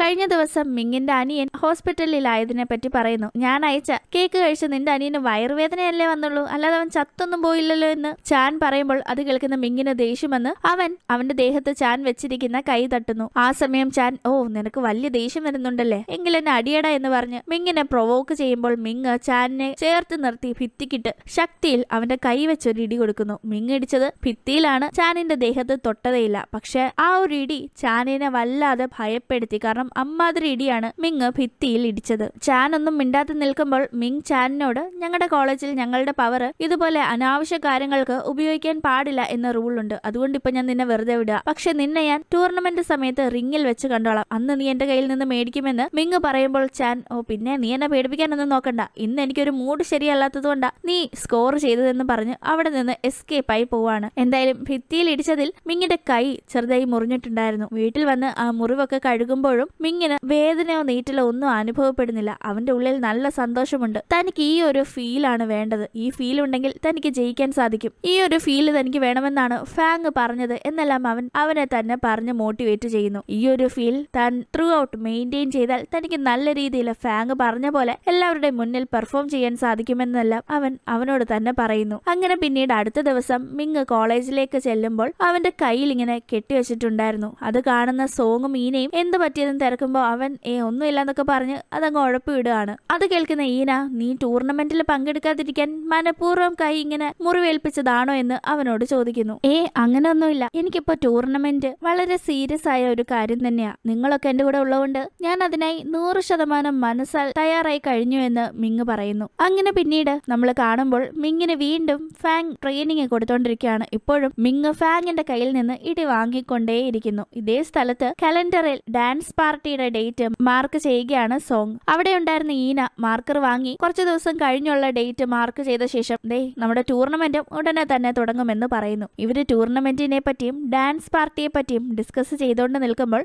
റിങ്ങിൽ ഫാങ്ങിന്റെ അടിയേറ്റ് മിങ് വീഴുന്നതാണ് കാണുന്നത്. അത് കണ്ടപാടെ രണ്ടുപേരും ഷോക്കാവുന്നു സോങ്ങിന് കലിയിളകി അവൾ ഫാങ്ങിന് നേരെ എത്ര ധൈര്യം ഉണ്ടെങ്കിൽ ട്രെയിനിങ് നൽകുന്നതിന്റെ ഇടയിൽ സീരിയസ് ആയിട്ട് നീ മിങ്ങിനെ ഇടിച്ചിടുമെന്ന് ആക്രോശിക്കുമ്പോൾ ഈനെയാണ് അവളെ തടുക്കുന്നത്. അവൾ ട്രെയിനിങ് കൊടുക്കല്ലേ? അതിനിടയിൽ ഇങ്ങനെ സംഭവിച്ചു വന്നിരിക്കും അതൊന്നും കാര്യമാക്കണ്ടെന്ന് ഈന സോങ്ങിനോട് പറയുന്നു. അടിയേറ്റ് ഒന്ന് രണ്ട് മിനിറ്റ് താഴെ കിടന്ന ശേഷം മിങ് വീണ്ടും എഴുതേറ്റ് ഫാങ്ങിനോട് അടി വാങ്ങാനായി ചെല്ലുന്നു. ഫാങ് അപ്പോഴും ഒരു ദയ്യം കാണിക്കാതെ നന്നായി ഇവനെ അടിക്കുന്നുണ്ട്. ഇതേ സമയം ഈ കോളേജിലെ എല്ലാ സ്റ്റുഡൻസിന്റെയും ഫോണിലേക്ക് ഡാൻസ് പാർട്ടിക്ക് എല്ലാവരും നല്ല കിടുകിടുക്കൻ ഡ്രസ്സൊക്കെ ധരിച്ചു വേണം വരാനെന്ന മെസ്സേജ് വരുന്നു. ഈ മെസ്സേജ് കണ്ടപാടെ സുൺ നേരെ ഒരു ഫാഷൻ ഡിസൈനറിന്റെ അടുത്തേക്ക് ചെന്ന് നല്ല കിടുക്കൻ ഡ്രസ്സ് കാണിക്കാൻ പറയുമ്പോൾ അയാൾ പല പല ഡ്രസ്സുകൾ കാണിക്കുന്നുണ്ട്. നിറയെ തൂവലുകൾ കൊണ്ടുണ്ടാക്കിയിരിക്കുന്ന ഒരു മഞ്ഞ കളറിലെ ഡ്രസ്സ് പച്ച തിളക്കമുള്ള കോട്ടുള്ള ഒരു ഡ്രസ്സ് മുഴുവൻ വെള്ളയുള്ള ഒരു ഡ്രസ്സ് കറുപ്പും വെള്ളയും ചേർന്ന ഡ്രസ്സ് അങ്ങനെ പല പല ഡ്രസ്സുകൾ. ഇതൊക്കെ ധരിച്ച് ഡാൻസ് ചെയ്ത് സുൻ നോക്കുമ്പോൾ അവൻ ഇതൊന്നും ഒരു സംതൃപ്തി നൽകുന്നില്ല. അവൻ എനിക്ക് ഇതൊന്നും അല്ല വേണ്ടത്. ഇന്ന് വരെ ആരും ഇടാത്ത ആരും കാണാത്ത ഒരു കീടുകിടുക്കൻ ഡ്രസ്സ് വേണം. ആ ഡ്രസ്സ് ഇട്ട് ഞാൻ ചെന്നാൽ ഞാൻ പ്രണയിക്കുന്ന പെൺകുട്ടി. അവൾ എന്നെ മതിയെന്നും പറഞ്ഞ് ഒറ്റക്കാലി തപസ് ചെയ്യണമെന്നെല്ലാം അവൻ പറയുമ്പോൾ കടക്കാരൻ ഒരു ഡ്രസ്സ് സുന്നിനെ കാണിക്കുന്നുണ്ട്. പക്ഷെ ആ ഡ്രസ്സ് എന്താണെന്ന് നമ്മളെ കാണിക്കുന്നില്ല. എന്തായാലും ആ ഡ്രസ്സ് കണ്ടപാടെ സുന്നിന് വലിയ സന്തോഷം. അവൻ അത് തന്നെ മതി. എന്ത് ഡ്രസ്സാണ് സുന്നിന് ഇത്രയേറെ ഇഷ്ടപ്പെട്ടതെന്ന് അറിയാൻ നമുക്ക് ആ ഡാൻസ് പാർട്ടി നടക്കുന്ന ദിവസം വരെ ഒന്ന് കാത്തിരിക്കാം. ഇതേ സമയം മിങ്ങിനുള്ള ഒരു കിടുക്കൻ ഡ്രസ്സ് വാങ്ങിക്കൊണ്ട് നമ്മുടെ സോങ് അവന്റെ അടുത്തേക്ക് എത്തിയിട്ടുണ്ടായിരുന്നു. സോങ് ആ ഡ്രസ്സ് മിങ്ങിന് കൊടുക്കാൻ നോക്കുമ്പോൾ അവൻ അത് വാങ്ങാൻ തയ്യാറല്ല. എനിക്ക് നിങ്ങൾ ഒരുപാട് ഉപകാരം ചെയ്തിട്ടുണ്ട്. അതിനു മേളിൽ ഇനിയും നിങ്ങളുടെ കയ്യിൽ നിന്ന് ഇങ്ങനെ ഉപകാരങ്ങൾ വാങ്ങാൻ എനിക്ക് സത്യം പറഞ്ഞാൽ മടിയുണ്ട്. കൂടാതെ കഴിഞ്ഞ ദിവസം എന്റെ സഹോദരനെ ഹോസ്പിറ്റലിൽ കൊണ്ടുപോയപ്പോൾ നിങ്ങളല്ലേ ബില്ലും എല്ലാം നോക്കിയത് അതിനുള്ള കാശ് ഞാൻ ഇന്ന് തരാം. എനിക്ക് ഇന്ന് ഞാൻ ജോലി ചെയ്യുന്നിടത്ത് നിന്ന് ശമ്പളം കിട്ടിയെന്ന് പറഞ്ഞ് കുറച്ച് കാശ് സോങ്ങിന് നേരെ മിങ് നീട്ടുമ്പോൾ സോങ് അത് വേണ്ട എന്ന് പറയുന്നുണ്ടെങ്കിലും മിങ് അത് സോങ് വാങ്ങാതെ തൃപ്തനാവുന്നില്ല. അത് മനസ്സിലാക്കുന്ന സോങ് മിങ്ങിന് വേണ്ടി അത് വാങ്ങുന്നു. അങ്ങനെ പിന്നീട് മിങ്ങിനെ പ്രിൻസിപ്പൾ വിളിക്കുന്നു. മിങ് പ്രിൻസിപ്പളിനെ കാണാനായി ചെല്ലുമ്പോൾ പ്രിൻസിപ്പൾ നല്ല ടിപ് ടോപ്പായി ഡ്രസ്സ് ഇട്ട് നിൽക്കാണ്. ഈ ഡ്രസ്സാണ് ഞാൻ ഡാൻസ് പാർട്ടിക്ക് ഇടുന്നത്. നമ്മുടെ ഓപ്പോസിറ്റ് കോളേജിലെ പ്രിൻസിപ്പളിനെക്കാളും നല്ല ടിപ് ടോപ്പായി ഞാൻ വേണം. എന്താ ഇത് കൊള്ളാമോ എന്നല്ല മിങ്ങിനോട് പ്രിൻസിപ്പൾ തിരക്കുമ്പോൾ മിങ് അടിപൊളിയായിട്ടുണ്ടെന്ന് പറയുന്നു. നീ ഡ്രസ്സ് എടുത്തോ? എന്ന് പ്രിൻസിപ്പൽ ചോദിക്കുമ്പോൾ ഇല്ല. എന്റെ കയ്യിൽ നല്ല ഡ്രസ്സൊന്നുമില്ല കൂടാതെ ഞാൻ ഡാൻസ് പാർട്ടിക്ക് വരുന്നില്ല. ഞാൻ ടൂർണമെന്റിന് പ്രാക്ടീസ് ചെയ്യാൻ പോകുകയാണെന്ന് മിങ് പറയുമ്പോൾ നീ കാരണമാണ് ഇങ്ങനെ ഒരു ഡാൻസ് പാർട്ടി തന്നെ വെക്കാൻ ഒരുങ്ങിയത്. നീ ആ കോളേജിൽ ചെന്ന് അടിയുണ്ടാക്കിയതിനെ തുടർന്ന് ഇങ്ങനെ ഒരു കാര്യത്തിലേക്ക് വന്നു പെട്ടതെന്ന കാര്യം നീ മറക്കണ്ട. അതുകൊണ്ട് നീ വന്നേ തീരുവെന്ന് പ്രിൻസിപ്പൽ പറയുന്നു. കൂടാതെ മിങ്ങിന് ഡ്രസ്സ് ഇല്ലാത്തത് കൊണ്ട് തന്നെ നല്ലൊരു ഡ്രസ്സ് താൻ ഏർപ്പാടാക്കി നൽകാമെന്നും അദ്ദേഹം പറയുന്നു. അത് കേൾക്കുന്ന മിങ് വളരെയധികം ഹാപ്പി ആവുന്നു. അങ്ങനെ പിന്നീട് കോളേജിൽ ഡാൻസ് പാർട്ടിയുടെ ഒരുക്കമെല്ലാം നടക്കുകയാണ്. ഡാൻസ് പാർട്ടിക്ക് വേണ്ടി സോങ് നല്ല കിടിലനായി മേക്കപ്പ് ഒക്കെ ധരിച്ച് നല്ല സുന്ദരിയായി നിൽക്കുന്നു. ഈ സമയം ഈനെ കാണുന്ന സോങ് ആകെപ്പാടെ പേടിച്ചു പോവാണ് കാരണം ഈന ഇന്ന് വരെ മേക്കപ്പ് ചെയ്തിട്ടുണ്ടായിരുന്നില്ല. അവൾ ഇപ്പൊ മേക്കപ്പ് ചെയ്തിരിക്കുന്നത് കണ്ടാൽ ആരായാലും ഒന്ന് പേടിച്ചു പോകും സോങ് ഈനയോട് നീ എന്താ ഡാൻസ് പാർട്ടിക്ക് എത്തുന്നവരെല്ലാം പേടിപ്പിച്ച് ഓടിക്കാനായിട്ടാണോ ഇങ്ങനെ നിൽക്കുന്നതെന്ന് ചോദിക്കുന്നു. അങ്ങനെ ഈ കോളേജിലെ എല്ലാ പെൺകുട്ടികളും ഡാൻസ് പാർട്ടിക്ക് വേണ്ടി റെഡി ആവുകയാണ് മേക്കപ്പ് ഒക്കെ ധരിച്ച്. ഇത് കാണുന്ന പ്രിൻസിപ്പൾ ഇങ്ങനെ ഒരു ഡാൻസ് പാർട്ടി വെച്ചത് എന്തുകൊണ്ടും നന്നായി എന്ന് കരുതുന്നു. കാരണം ഇപ്പോഴെങ്കിലും ഇവിടുത്തെ പെൺകുട്ടികൾക്ക് അവരൊരു പെൺകുട്ടിയാണെന്ന തോന്നലുണ്ടായല്ലോ. അതുകൊണ്ടല്ലേ മേക്കപ്പ് ചെയ്യുന്നത്. ഇവളുമാരെ ഈ കോലത്തിൽ ഇതിനു മുന്നേ എങ്ങാണ് കണ്ടിട്ടുണ്ടായി എപ്പോഴും അടിയിടിയായി നടക്കുകയല്ലേ എന്നെല്ലാം പ്രിൻസിപ്പൾ പറയുന്നു. അങ്ങനെ പിന്നീട് ഡാൻസ് പാർട്ടി തുടങ്ങാൻ ഏതാനും മിനിറ്റുകൾ മാത്രം ബാക്കി നിൽക്കെ പ്രിൻസിപ്പൾ സ്റ്റേജിലെത്തി. എല്ലാ കുട്ടികളോടും അടുത്ത കോളേജിലെ കുട്ടികൾ അല്പസമയത്തിനകം ഇവിടെ എത്തുന്നതായിരിക്കും. ആ സമയം അവർക്ക് നല്ല ഗംഭീരമായ സ്വീകരണം കൊടുക്കണം. കൂടാതെ നമ്മുടെ കോളേജിന്റെ പേര് കളയുന്ന രീതിയിൽ പെരുമാറുകയൊന്നും ചെയ്യരുത് എന്നെല്ലാം പറയുന്നു. അതിനുശേഷം അധ്യാപകൻ മെറ്റൽ ഡിക്റ്ററ്റർ വഴി ഓരോ പെൺകുട്ടികളെ പരിശോധിക്കുകയാണ്. അവർ ആയുധങ്ങൾ വല്ലതും ഒളിപ്പിച്ചു വെച്ചിട്ടുണ്ടോ എന്നറിയാനേ. നോക്കുമ്പോൾ ഒരു തൊണ്ണൂറ് ശതമാനം പെൺകുട്ടികളും കയ്യിൽ ചെറുതും വലുതുമായ പല ആയുധങ്ങൾ ഒളിപ്പിച്ചു വെച്ചിട്ടുണ്ടായിരുന്നു. നമ്മുടെ സോങ്ങിന്റെ കയ്യിലും ആയുധമുണ്ടായിരുന്നു. എല്ലാ ആയുധങ്ങളും അധ്യാപകൻ വാങ്ങി മാറ്റിവെക്കുന്നു ഇതേ ഒരു ഡാൻസ് പാർട്ടിയാ. അല്ലാതെ ഓപ്പോസിറ്റ് കോളേജിലെ കുട്ടികളെ കൊല്ലാനുള്ള കൊട്ടേഷൻ പരിപാടിയൊന്നും അല്ല എന്ന് അധ്യാപകൻ അവരെ ഓർമ്മിപ്പിക്കുന്നു. ഈന ഈ ഡാൻസ് പാർട്ടിക്ക് ഇങ്ങോട്ടേക്ക് ആണുങ്ങളെ പോലെയാണ് ഡ്രസ്സ് ധരിച്ച് വന്നിരിക്കുന്നത്. അത് കാണുന്ന അധ്യാപകൻ ഇന്ന് ഒരു ദിവസമെങ്കിലും മറ്റു കുട്ടികളെ പോലെ നിനക്ക് മര്യാദയ്ക്ക് ഒരു പെൺകൊച്ചിനെ പോലെ ഡ്രസ്സ് ധരിച്ച് വന്നൂടെ എന്നെല്ലാം കളിയാക്കുന്നു. അങ്ങനെ പിന്നീട് അപ്പുറത്തെ കോളേജിലെ പ്രിൻസിപ്പളും കുട്ടികളും വരികയാണ്. അവരെ എല്ലാവരെയും ഈ കോളേജിലെ പ്രിൻസിപ്പളും അധ്യാപകനും കുട്ടികളും വെൽക്കം ചെയ്യുന്നു. അതിനുശേഷമാണ് ഇങ്ങോട്ടേക്ക് ഫാങ് വരുന്നത്. ഫാങ് എപ്പോഴും നല്ല കിടുക്കനായി ഡ്രസ്സ് ഇടാറുള്ളത് പോലെ തന്നെ ഇന്ന് നല്ലൊരു ഡ്രസ്സിലാണ് വന്നു നിൽക്കുന്നത്. ഫാങ്ങിന് കാണുന്ന സോങ്ങിന് അല്പം കുശുമ്പൊക്കെ തോന്നുന്നുണ്ട്. ഫാങ് ആണെങ്കിൽ വന്ന പാടെ തിരക്കുന്നത് മിങ്ങിനെയാണ്. പക്ഷെ മിങ് അതുവരെ വന്നിട്ടില്ല. പിന്നീട് അങ്ങോട്ടേക്ക് സുൻ വരുന്നു. മാജിക്കുകാർ ഇടുന്ന പോലത്തെ ഒരു ഡ്രസ്സൊക്കെ ഇട്ടാണ് വരുന്നത്. ഈ ഡ്രസ്സ് കണ്ടിട്ടാണോ ഇവൻ അത്രയും സന്തോഷിച്ചതെന്ന് ഇത് കാണുമ്പോൾ നമുക്ക് തോന്നും. എന്തായാലും നീ എന്താ വല്ല മാജിക് ഷോയ്ക്കും പോവുകയാണോ എന്ന് സോങ് അവനെ കളിയാക്കുന്നു. അങ്ങനെ പിന്നീട് ഓഡിറ്റോറിയത്തിൽ വെച്ച് രണ്ട് കോളേജിന്റെയും പ്രിൻസിപ്പൽസ് മാറി മാറി ഘോര ഘോരം പ്രസംഗിക്കുകയാണ്. അതിനുശേഷം നിങ്ങൾ ഡാൻസ് പാർട്ടി എൻജോയ് ചെയ്യും മക്കളെ എന്ന് പറഞ്ഞ് കുട്ടികൾക്ക് വേണ്ടി വിട്ടുകൊടുക്കുന്നു. അങ്ങനെ ലൈറ്റ് ഒക്കെ ഓഫായി നല്ല ഡിസ്കോ ലൈറ്റ്സ് ഒക്കെ വരുന്നു. ബാക്ക്ഗ്രൗണ്ടിൽ നല്ല നല്ല പാട്ട് പ്ലേ ആവുന്നു. ആ സമയം അങ്ങോട്ടേക്ക് മിങ് വരുവാണ്. മിങ് നല്ല ടിപ് ടോപ്പായി ഡ്രസ്സ് ധരിച്ചായിരുന്നു വരുന്നത്. മിങ്ങിനെ കാണുന്ന പെൺകുട്ടികളെല്ലാം അവനെ തന്നെ നോക്കുന്നു. അവൻ നടന്ന് നമ്മുടെ ഗ്യാങ്ങിന്റെ അടുത്ത് വന്ന് നിൽക്കാണ്. അവരും മിങ്ങിന്റെ ഡ്രസ്സ് കണ്ട് അന്തം വിട്ട് നിൽക്കുന്നു. നല്ല കിടുക്കൻ ഡ്രസ്സാണല്ലോ എന്ന് അവർ പറയുമ്പോൾ ഇത് നമ്മുടെ പ്രിൻസിപ്പലിന്റെ സെലക്ഷനാ അദ്ദേഹം എനിക്ക് തന്നതാണെന്ന് അവൻ പറയുന്നു. കൂടാതെ എല്ലാവരും ഡാൻസ് കളിക്കുന്നത് കാണുന്ന സോങ് മിങ്ങിനെ ഡാൻസ് കളിക്കാനായി വിളിക്കുന്നു. അവൻ പോകാൻ മടിച്ചു നിൽക്കുന്നു. ഫാങ് ആണെങ്കിൽ അവൻ പോകുമോ എന്ന പേടിയിലും നിൽക്കുന്നു. ഇത് മനസ്സിലാക്കുന്ന ഈന സോങ്ങിനെ പിടിച്ചു മാറ്റുന്നുണ്ട്. പക്ഷെ അവൾ വീണ്ടും മിങ്ങിന്റെ അടുത്തേക്ക് പോവാണ്. ആ സമയം ഈന ഫാങ്ങിനോട് നീ അവന്റെ അടുത്ത് പോയി ഡാൻസ് കളിക്കുന്ന ആക്ഷൻ കാണിക്കുന്നുണ്ടെങ്കിലും പോകാനുള്ള മടിയിൽ ഫാങ് മാറി നിൽക്കുന്നു. ഈന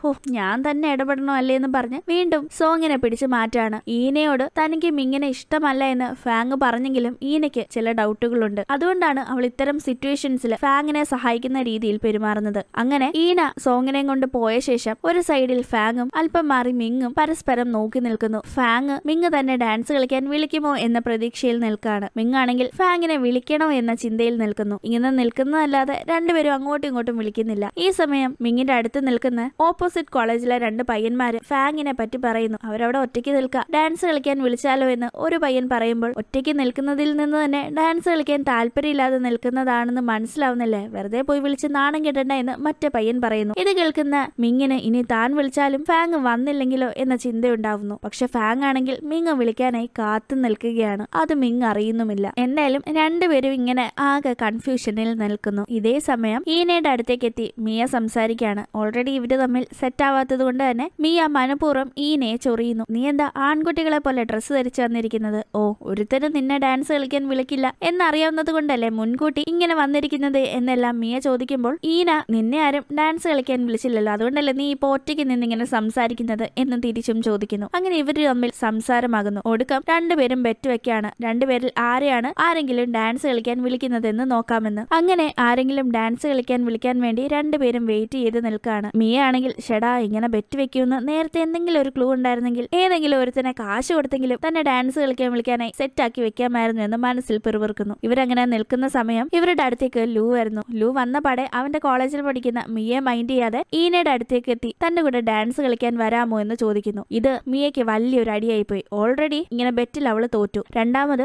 അവൾക്ക് ലൂവിനെ വലിയ ഇഷ്ടമാണല്ലോ. അങ്ങനെ ലൂ വിളിച്ച പാടെ അതിനെന്താ നമുക്ക് നൂറ് വട്ടം ഡാൻസ് കളിക്കാന്നും പറഞ്ഞ് മിയയുടെ ആ വളിച്ച മുഖം നോക്കിക്കൊണ്ട് ഈന ലൂവിന്റെ കൂടെ ഡാൻസ് കളിക്കാനായി പോകുന്നു. അങ്ങനെ രണ്ടുപേരും ഡാൻസ് കളിക്കുന്ന സമയം ഇവർ ഡാൻസ് കളിക്കുന്നതിന്റെ തൊട്ടടുത്ത് ഡാൻസ് കളിക്കുന്ന കപ്പിളിലെ പയ്യൻ എന്തായാലും നിനക്ക് പെൺപിള്ളാരെ ഒന്നും ഡാൻസ് കളിക്കാൻ കിട്ടിയില്ലേ? എന്ന് ലൂവിനോട് ചോദിക്കുമ്പോൾ ഈനയ്ക്ക് ദേഷ്യം വരുന്നു. എന്താടാ ഞാൻ പെണ്ണാണെന്ന് നിനക്ക് കണ്ണു കാണുന്നില്ലേ? കൂടുതൽ ചൊറിയാൻ നിൽക്കല്ലേ എന്ന് അവനോട് അവൾ തട്ടിക്കയറുമ്പോൾ ലൂ ചിരിക്കുകയാണ്. ഇത് കേട്ട് ഈന എന്താ ഇത്ര ചിരിക്കാനുള്ളത് എന്താ എന്നെ കണ്ട ആൺകൊച്ചിനെ പോലെ ഉണ്ടോ എന്ന് ലൂവിനോട് ചോദിക്കുന്നു. ആ സമയം ലൂ നിന്നെ വേറൊരാൾക്ക് കണ്ടിട്ട് ആണിനെ പോലെയൊക്കെ തോന്നായിരിക്കാം എനിക്കതറിയില്ല. പക്ഷെ എന്റെ കണ്ണിൽ നീ ഒരു ദേവതയാണെന്നും പറഞ്ഞ് അവളുടെ കൂടെ ഡാൻസ് കളിക്കും. എന്നെ കണ്ടാൽ ഒരു ആൺകൊച്ചിനെ പോലെ ഉണ്ടോ എന്ന ഈനയുടെ ചോദ്യത്തിന് മറ്റുള്ളവർക്ക് അങ്ങനെ തോന്നിയാലും നിന്നെ എനിക്കൊരു ദേവതയെ പോലെയാണ് തോന്നുന്നത് എന്ന ഒരു കിടുക്കൻ മറുപടി ലൂ ഈനയ്ക്ക് കൊടുത്തിരുന്നു. ഇവരുടെ കാര്യം ഇങ്ങനെ നടക്കുന്ന സമയം മിങ്ങും ഫാങ്ങും ഇപ്പോഴും കൺഫ്യൂഷനിൽ തന്നെയാണ്. മിങ്ങിന് ഫാങ്ങിനെ ഡാൻസ് കളിക്കാൻ വിളിക്കണമെന്നുണ്ട്. പക്ഷെ അവൾ എങ്ങനെ റെസ്പോണ്ട് ചെയ്യുമെന്ന പേടിയാണ് അവന്. ഫാങ് ആണെങ്കിൽ മിങ് തന്നെ ഡാൻസ് കളിക്കാൻ വിളിക്കുമെന്ന് പ്രതീക്ഷയിലും നിൽക്കുന്നു. ഇവരിങ്ങനെ നിൽക്കുമ്പോൾ ഇവരുടെ സ്വർഗത്തിലെ കട്ടുറുമ്പാവാൻ തയ്യാറായി സോങ്ങും സുന്നും അവിടെ നിൽപ്പുണ്ട്. സോങ്ങിന് ഫാങ്ങും മിങ്ങും തമ്മിൽ ഡാൻസ് കളിക്കുന്നത് ചിന്തിക്കാനേ വയ്യ. അതെങ്ങനെയും തടയണമെന്ന ലക്ഷ്യത്തിൽ അവൾ സുന്നിനെ തോണ്ടുകയാണ് ഫാങ്ങിനെ ഡാൻസ് കളിക്കാൻ വിളിക്കാനായി. അങ്ങനെ ഉള്ളിലെ ഡാൻസ് കളിക്കണമെന്ന ആഗ്രഹമുണ്ടെങ്കിലും പേടി മൂലം ഒന്ന് ഒതുങ്ങി നിൽക്കുന്ന സുൻ സോങ്ങിന്റെ നിർബന്ധം മൂലം ഫാങ്ങിനെ ഡാൻസ് കളിക്കാനായി വിളിക്കുമ്പോൾ ഫാങ് തനിക്ക് താല്പര്യമില്ല എന്ന് പറയാണ്. സുൻ ആകെപ്പാടെ നിരാശയിൽ അവസ്ഥയിലാവുന്നു ഈ സമയം സോങ് സുന്നിനോട് മിങ്ങിനെ ഇവിടെ നിന്ന് കൂട്ടിക്കൊണ്ടു പോകാനായി ആംഗ്യം കാണിച്ച് ആവശ്യപ്പെടുന്നു. അങ്ങനെ മിങ്ങിനെ വാടാ ഒന്ന് വെളിയിൽ പോയിട്ട് വരാമെന്ന് പറഞ്ഞ് സുൻ വിളിക്കുമ്പോൾ മിങ് ഞാൻ എങ്ങോട്ടും ഇല്ലാന്ന് പറയുന്നുണ്ടെങ്കിലും സുൻ അവനെ നിർബന്ധിച്ച് വിളിച്ചുകൊണ്ട് പോകുന്നു. ഈ സമയം സോങ്ങും ഫാങ്ങും അവിടെ ഒറ്റയ്ക്ക് നിൽക്കുകയാണ് ഇവരുടെ അടുത്തേക്ക് ചാൻ എത്തിയിട്ട് എന്താ നിങ്ങളെ ആരും ഡാൻസ് കളിക്കാൻ വിളിച്ചില്ലേ? എന്റെ കൂടെ ഡാൻസ് കളിക്കാൻ വരുന്നു? എന്ന് ചോദിക്കുന്നു. ചാനിന്റെ ചോദ്യം കേൾക്കുന്ന ഫാങ് പിന്നെന്താ ഡാൻസ് അല്ലേ? ഇപ്പൊ തന്നെ കളിക്കാം. അതിനു മുന്നേ നീ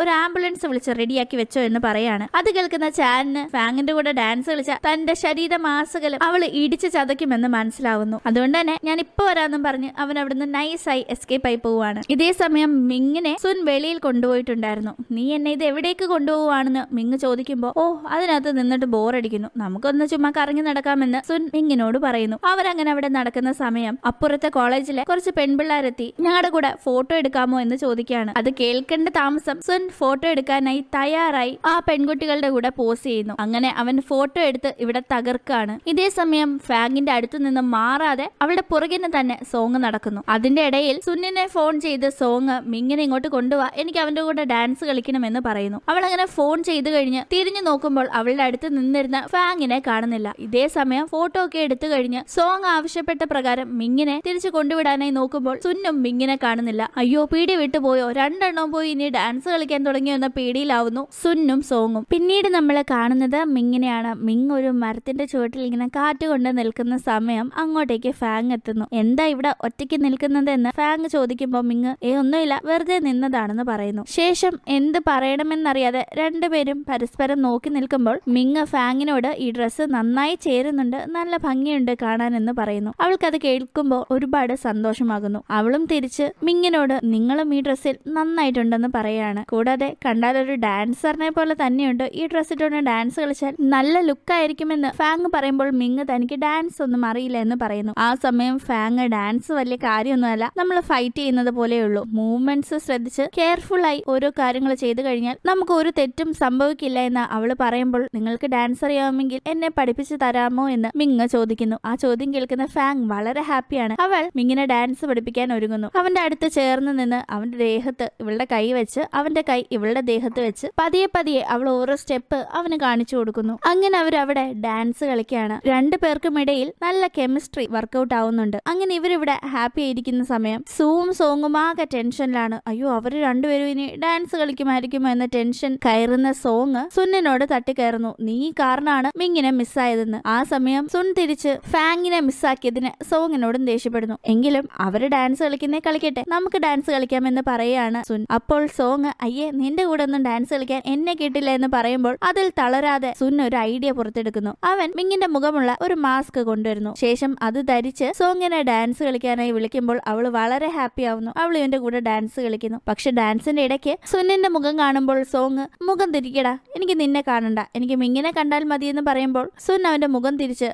മിങ്ങിന്റെ മാസ്ക് ഉള്ള ഭാഗം നോക്കി വീണ്ടും സോങ്ങിന്റെ കൂടെ ഡാൻസ് കളിക്കുന്നു. അങ്ങനെ ഇവരും ഇവിടെ ഒന്നിച്ച് ഡാൻസ് കളിച്ച് സമയം ചെലവഴിക്കുകയാണ്. ഈ കാര്യങ്ങളൊക്കെ ഡാൻസ് കളിച്ച ശേഷം ഇന്ന് വർത്താനം പറയുകയായിരുന്ന ലൂവും ഈനയും ശ്രദ്ധിക്കുന്നു. ലൂ സുന്നും സോങ്ങും നല്ല ജോഡിയാണല്ലോ എന്ന് ഈനയോട് പറയുന്നു. അപ്പോഴേ ഇതിന്റെ ഇടയിൽ ഒരു കുഞ്ഞു കാര്യം. നമ്മുടെ ഈ ഒരു ഡ്രാമ നിങ്ങൾക്കൊക്കെ ഒരുപാട് ഇഷ്ടമായി എന്നറിഞ്ഞതിൽ ഒത്തിരി സന്തോഷമുണ്ട്. അതിനോടൊപ്പം തന്നെ നമ്മുടെ ഈ വീഡിയോസ് കാണുന്ന നിങ്ങൾ വീഡിയോസ് ഇഷ്ടപ്പെട്ടാൽ ലൈക്ക് ചെയ്തും കൂടി ഒന്ന് സപ്പോർട്ട് ചെയ്യുക. വീഡിയോസ് കാണുന്നതിൽ ഒരു ഇരുപത്തിയഞ്ച് ശതമാനം ആളുകൾ പോലും അത് ലൈക്ക് ചെയ്യുന്നില്ല. ഇന്നത്തെ ഈ ഒരു എപ്പിസോഡ് ഒന്ന് ലൈക്ക് ചെയ്ത് നോക്കാം. എത്ര പേർക്ക് ഈ ഡ്രാമ ഒത്തിരി ഇഷ്ടമാണെന്ന് ഒന്നറിയാലോ? കൂടാതെ ഈ ഡ്രാമയുടെ ഒറിജിനൽ എപ്പിസോഡ്സ് നമ്മൾ ടെലഗ്രാമിലും അപ്ലോഡ് ചെയ്യുന്നതാണ്. അതുകൊണ്ട് നമ്മുടെ ഡിസ്ക്രിപ്ഷനിൽ കൊടുത്തിരിക്കുന്ന ടെലഗ്രാമിന്റെ ലിങ്കിൽ കയറി ജോയിൻ ചെയ്ത് കഴിഞ്ഞാൽ ഫുൾ വീഡിയോ നിങ്ങൾക്ക് അതിൽ കാണാൻ സാധിക്കും. അങ്ങനെ പിന്നീട് മിങ്ങിനെ ഡാൻസ് ഒക്കെ പഠിപ്പിച്ചു കൊടുത്ത ശേഷം ഫാങ് അവനെയും കൊണ്ട് അവളുടെ വീട്ടിലേക്ക് ചെല്ലുന്നു. നീ കുറച്ചുകൂടെ നന്നായി ട്രെയിൻ ചെയ്ത് ആര് ഫൈറ്റിന് വന്നാലും അവരെ ഡിഫീറ്റ് ചെയ്യുന്ന ലെവലിലേക്ക് എത്തണം. ഡിഫെൻഡ് ചെയ്താൽ മാത്രം പോരാ തിരിച്ചടിക്കണം. എന്നെല്ലാം ഫാങ് മിങ്ങിനോട് പറയുന്നു. കൂടാതെ വീട്ടിലുണ്ടായിരുന്ന ഫാങ്ങിന്റെ അനിയനായ ഡിങ്ങിനെ കാണിച്ച ശേഷം നീ ഇവനുമായി ഫൈറ്റ് ചെയ്യുന്നു പറയാണ്. അത് കേൾക്കുന്ന മിങ് ഇവൻ ചെറിയ പയ്യനല്ലേ എന്ന് പറയുമ്പോൾ ഡിങ്ങിന് അത് ഇഷ്ടപ്പെടുന്നില്ല. എന്നെ കണ്ടാൽ ചെറിയ പയ്യനായി തോന്നുമെങ്കിലും ഞാനുമായി ഫൈറ്റ് ചെയ്ത ശേഷം നിങ്ങൾ ഒരിക്കലും ഞാൻ ചെറിയ പയ്യനാണെന്ന് പറയില്ല. ഞാൻ വെൽ ട്രെയിൻഡ് ആണെന്ന് അവൻ വളരെ കോൺഫിഡന്റ് ആയി പറയുന്നു. അങ്ങനെ രണ്ടുപേരും ഫൈറ്റ് ചെയ്യാണ്. പറഞ്ഞ പോലെ തന്നെ താൻ വെൽ ട്രെയിൻഡ് ആണെന്ന് ഡിങ് അവന്റെ മൂവ്സിലൂടെ പ്രൂവ് ചെയ്യുന്നു. അവൻ വളരെ നന്നായി തന്നെ ഫൈറ്റ് ചെയ്യുന്നുണ്ട്. മിങ് അതെല്ലാം തിരിച്ചടിക്കാതെ ഡിഫെൻഡ് ചെയ്ത് ചെയ്ത് കളയാണ്. ഒടുക്കം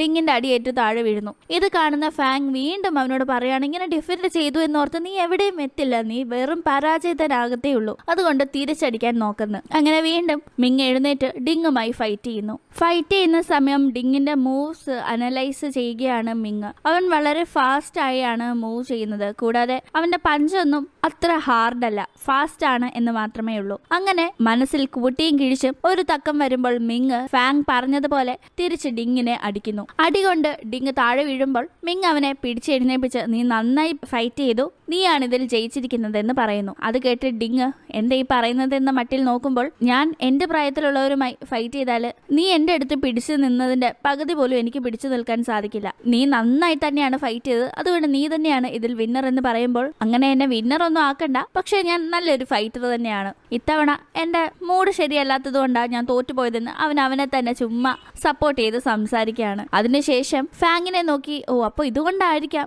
എന്റെ ചേച്ചിക്ക് നിങ്ങളെ ഇഷ്ടപ്പെട്ടത്. എന്നും പറഞ്ഞ് ഈ ഒരു കാര്യം കൊണ്ട് എന്റെ ചേച്ചി അങ്ങ് നിങ്ങൾക്ക് തരാനൊന്നും സാധിക്കില്ല എന്ന് അവൻ തമാശയായി പറഞ്ഞ് ചിരിച്ച് അവിടെ നിന്ന് ഓടി ഓടിപ്പോകുമ്പോൾ ഷെടാ ഇവനിതെല്ലാം കുളമാക്കുമോ എന്ന മട്ടിൽ അവിടെ ഫാങ് നിൽക്കാണ്. പിന്നീട് ഫാങ്ങും മിങ്ങും തമ്മിൽ സംസാരിക്കുന്നു. അവൻ എന്റെ അനിയനാണെങ്കിലും എന്റെ ചേട്ടനാണെന്ന് അവന്റെ വിചാരമെന്ന് ഫാങ് പറയുമ്പോൾ ചെറിയ പ്രായത്തിലെ വലിയ കമ്പനി ഉത്തരവാദിത്തം ഏറ്റെടുത്തവൻ ഉറപ്പായും വലിയവൻ തന്നെയാണെന്ന് മിങ് പറയുന്നു. അത് കേൾക്കുന്ന ഫാങ് താൻ ഈ കോളേജിൽ പഠിക്കാൻ തന്നെ കാരണം തന്റെ അനിയനാണെന്ന് പറഞ്ഞ് ഒരു ചെറിയ ഫ്ലാഷ് ബാക്ക് പറയുന്നു. നമ്മൾ ഈ ഒരു ഡ്രാമയുടെ ഒരു എപ്പിസോഡിൽ ഫാമിലി ബിസിനസ് നോക്കി നടത്തണോ അതോ തന്റെ പാഷൻ പ്രകാരം ഈ ഒരു കോളേജിൽ അഡ്മിഷൻ കിട്ടിയപ്പോൾ അത് കണ്ടിന്യൂ ചെയ്ത് മുന്നോട്ട് പോകണോ എന്ന കൺഫ്യൂഷനിൽ ഫാങ് നിൽക്കുന്നത് നമ്മൾ കണ്ടിരുന്നല്ലോ. അവൾ ആ സമയം ടോസ് ഇട്ട് കോളേജിൽ ചേർന്ന് പഠിക്കാനായി തന്നെ തീരുമാനിച്ചിരുന്നു. അന്ന് നടന്ന ഒരു സംഭവമാണ് ഈ ഫ്ലാഷ് ബാക്കിൽ പറയുന്നത്. കോളേജിൽ ചേർന്ന് പഠിക്കാൻ പോവുകയാണ് താൻ. തനിക്ക് ഫാമിലി ബിസിനസ് നോക്കി നടത്താൻ താല്പര്യമില്ല എന്ന് ഫാങ് മുത്തശ്ശനെ അറിയിക്കുമ്പോൾ മുത്തശ്ശൻ അവൾക്ക് നേരെ ഷൗട്ട് ചെയ്യാണ്. ഇത്ര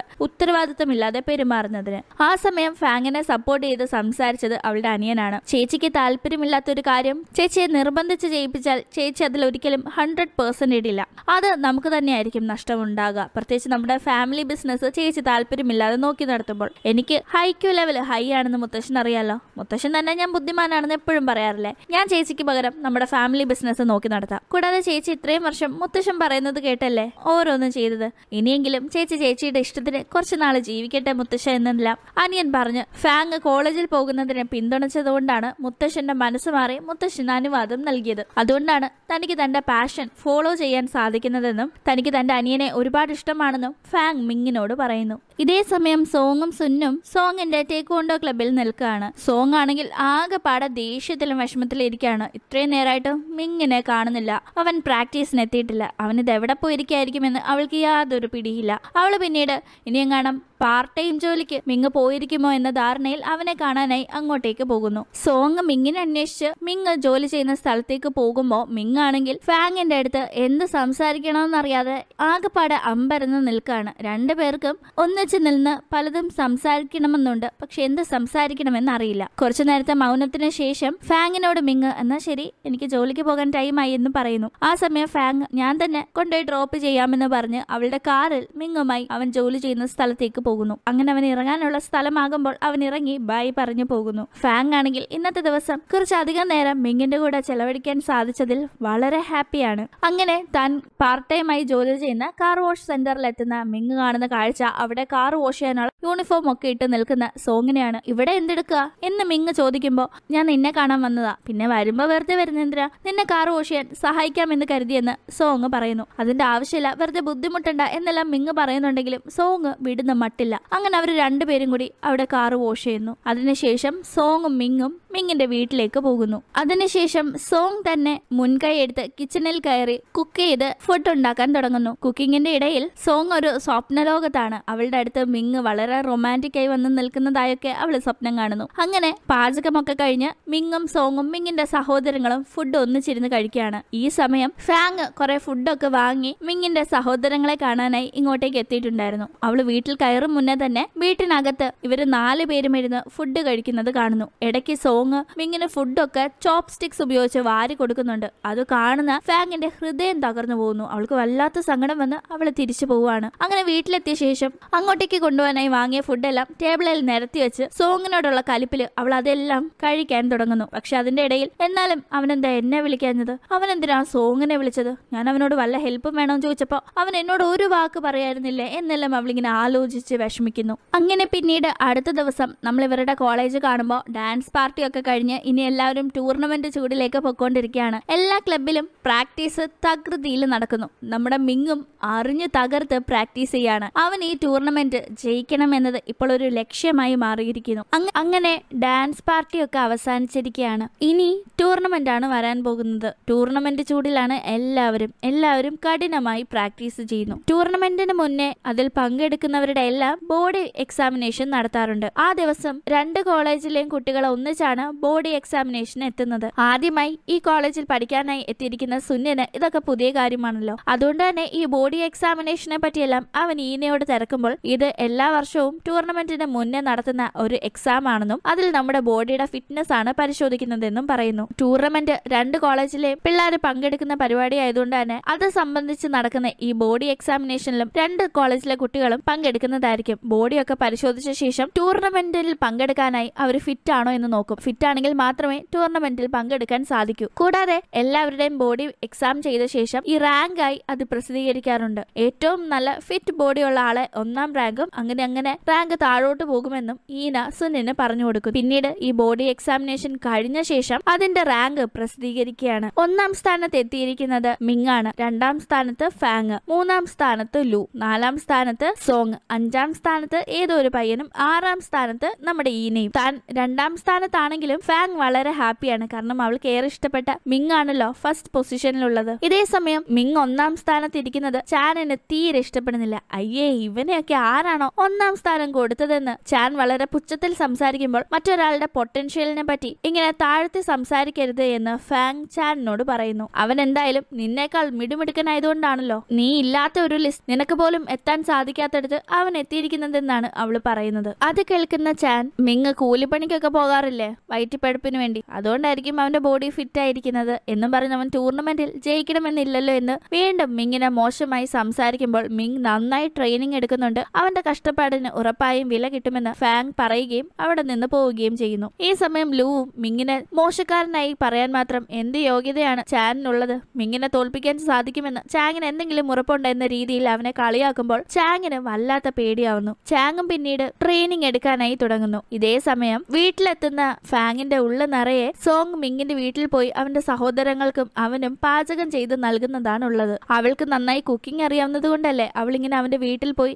കുക്കിങ്ങിലൂടെ അവനെ വളച്ചെടുക്കാൻ നോക്കുന്നത്? തനിക്ക് കുക്കിംഗ് അറിയാത്തതുകൊണ്ട് അത് സാധിക്കില്ല. ഏത് വിധേനയും കുക്കിംഗ് പഠിക്കണമെന്ന് തീരുമാനിച്ച അവൾ യൂട്യൂബിലെ വീഡിയോസ് ഒക്കെ നോക്കി പാചകം ചെയ്യാണ് പിന്നീട് ഡിങ് നോക്കുന്ന സമയം ഡൈനിങ് ടേബിൾ നിറയെ പല ടൈപ്പ് ഭക്ഷണം ഉണ്ടാക്കി വിളമ്പി വെച്ചിരിക്കുന്നു. അത് കാണുന്നവൻ ഇതൊക്കെ ആരുണ്ടാക്കിയതാണെന്ന് തിരക്കുമ്പോഴാണ് ഫാങ് അവളാണ് ഇതെല്ലാം ഉണ്ടാക്കിയതെന്ന് പറയുന്നത്. ആ സമയം ഡിങ് ഇത്രയേറെ ഭക്ഷണം നീ ഉണ്ടാക്കിയെന്ന് ചോദിച്ച് ആകെപ്പാടെ ആശ്ചര്യപ്പെടുകയാണ്. കൂടാതെ ഫാങ് അത് കഴിക്കാനായി അവനോട് ആവശ്യപ്പെടുമ്പോൾ അവന് നല്ല പേടിയുമാകുന്നുണ്ട് ഇതൊക്കെ കഴിച്ച് ഇവളുടെ പരീക്ഷണത്തിന് ഇരയായാൽ തനിക്ക് വയറിന് വല്ല കേടും സംഭവിക്കുമോ എന്ന്. പിന്നീട് നമ്മൾ കാണുന്നത് മിങ്ങിന് സോങ് ട്രെയിനിങ് നൽകുന്നതാണ്. അവനെ അവൾ നന്നായി കിക്ക് ചെയ്തുകൊണ്ടേ ഇരിക്കുന്നു. സോങ്ങിന് മിങ്ങിനെ ഇങ്ങനെ കിക്ക് ചെയ്യാൻ താല്പര്യമില്ലെങ്കിലും അത് ട്രെയിനിങ്ങിന്റെ ഭാഗമായതുകൊണ്ട് തന്നെ നീ കുറച്ചു നേരം അഡ്ജസ്റ്റ് ചെയ്ത് പിടിച്ചു നിൽക്കുന്ന പറഞ്ഞിട്ടാണ് അവൾ അങ്ങനെ ചെയ്യുന്നത്. കിക്ക് ചെയ്യുന്നതിന്റെ ഇടയിൽ ഇടയ്ക്ക് മിങ്ങിന് പരുക്ക് പറ്റുമ്പോൾ സോങ് വല്ലാതെ പേടിച്ച് ട്രെയിനിങ് നിർത്താനായി ഒരുങ്ങുന്നു. ആ സമയം മിങ് വേണ്ട വേണ്ട നിർത്തണ്ട. ഇനിയും എനിക്ക് ട്രെയിൻ ചെയ്യണമെന്ന് പറയാണ്. അപ്പോൾ ആകെപ്പാടെ മടിച്ച് കിക്ക് ചെയ്യാതെ സോങ് നിൽക്കുമ്പോൾ ഈന നീ എന്തിനാ ഇങ്ങനെ മടിച്ചു നിൽക്കുന്നത്? അവന് യാതൊരു കുഴപ്പമില്ലല്ലോ നീ നല്ല ശക്തിയിൽ തന്നെ കിക്ക് ചെയ്യുന്നു പറയുമ്പോൾ സോങ് അത് കേൾക്കുന്നില്ല. അപ്പോൾ ഈന തന്നെ നേരിട്ട് മിങ്ങിനെ കിക്ക് ചെയ്യാൻ ശ്രമിക്കുമ്പോൾ സോങ് അവളെ തടയാണ്. കാരണം മിങ്ങിന് നോവുമോ എന്ന പേടിയിലാണ് സോങ് കിക്ക് ചെയ്യുന്നത്. പക്ഷെ ഈന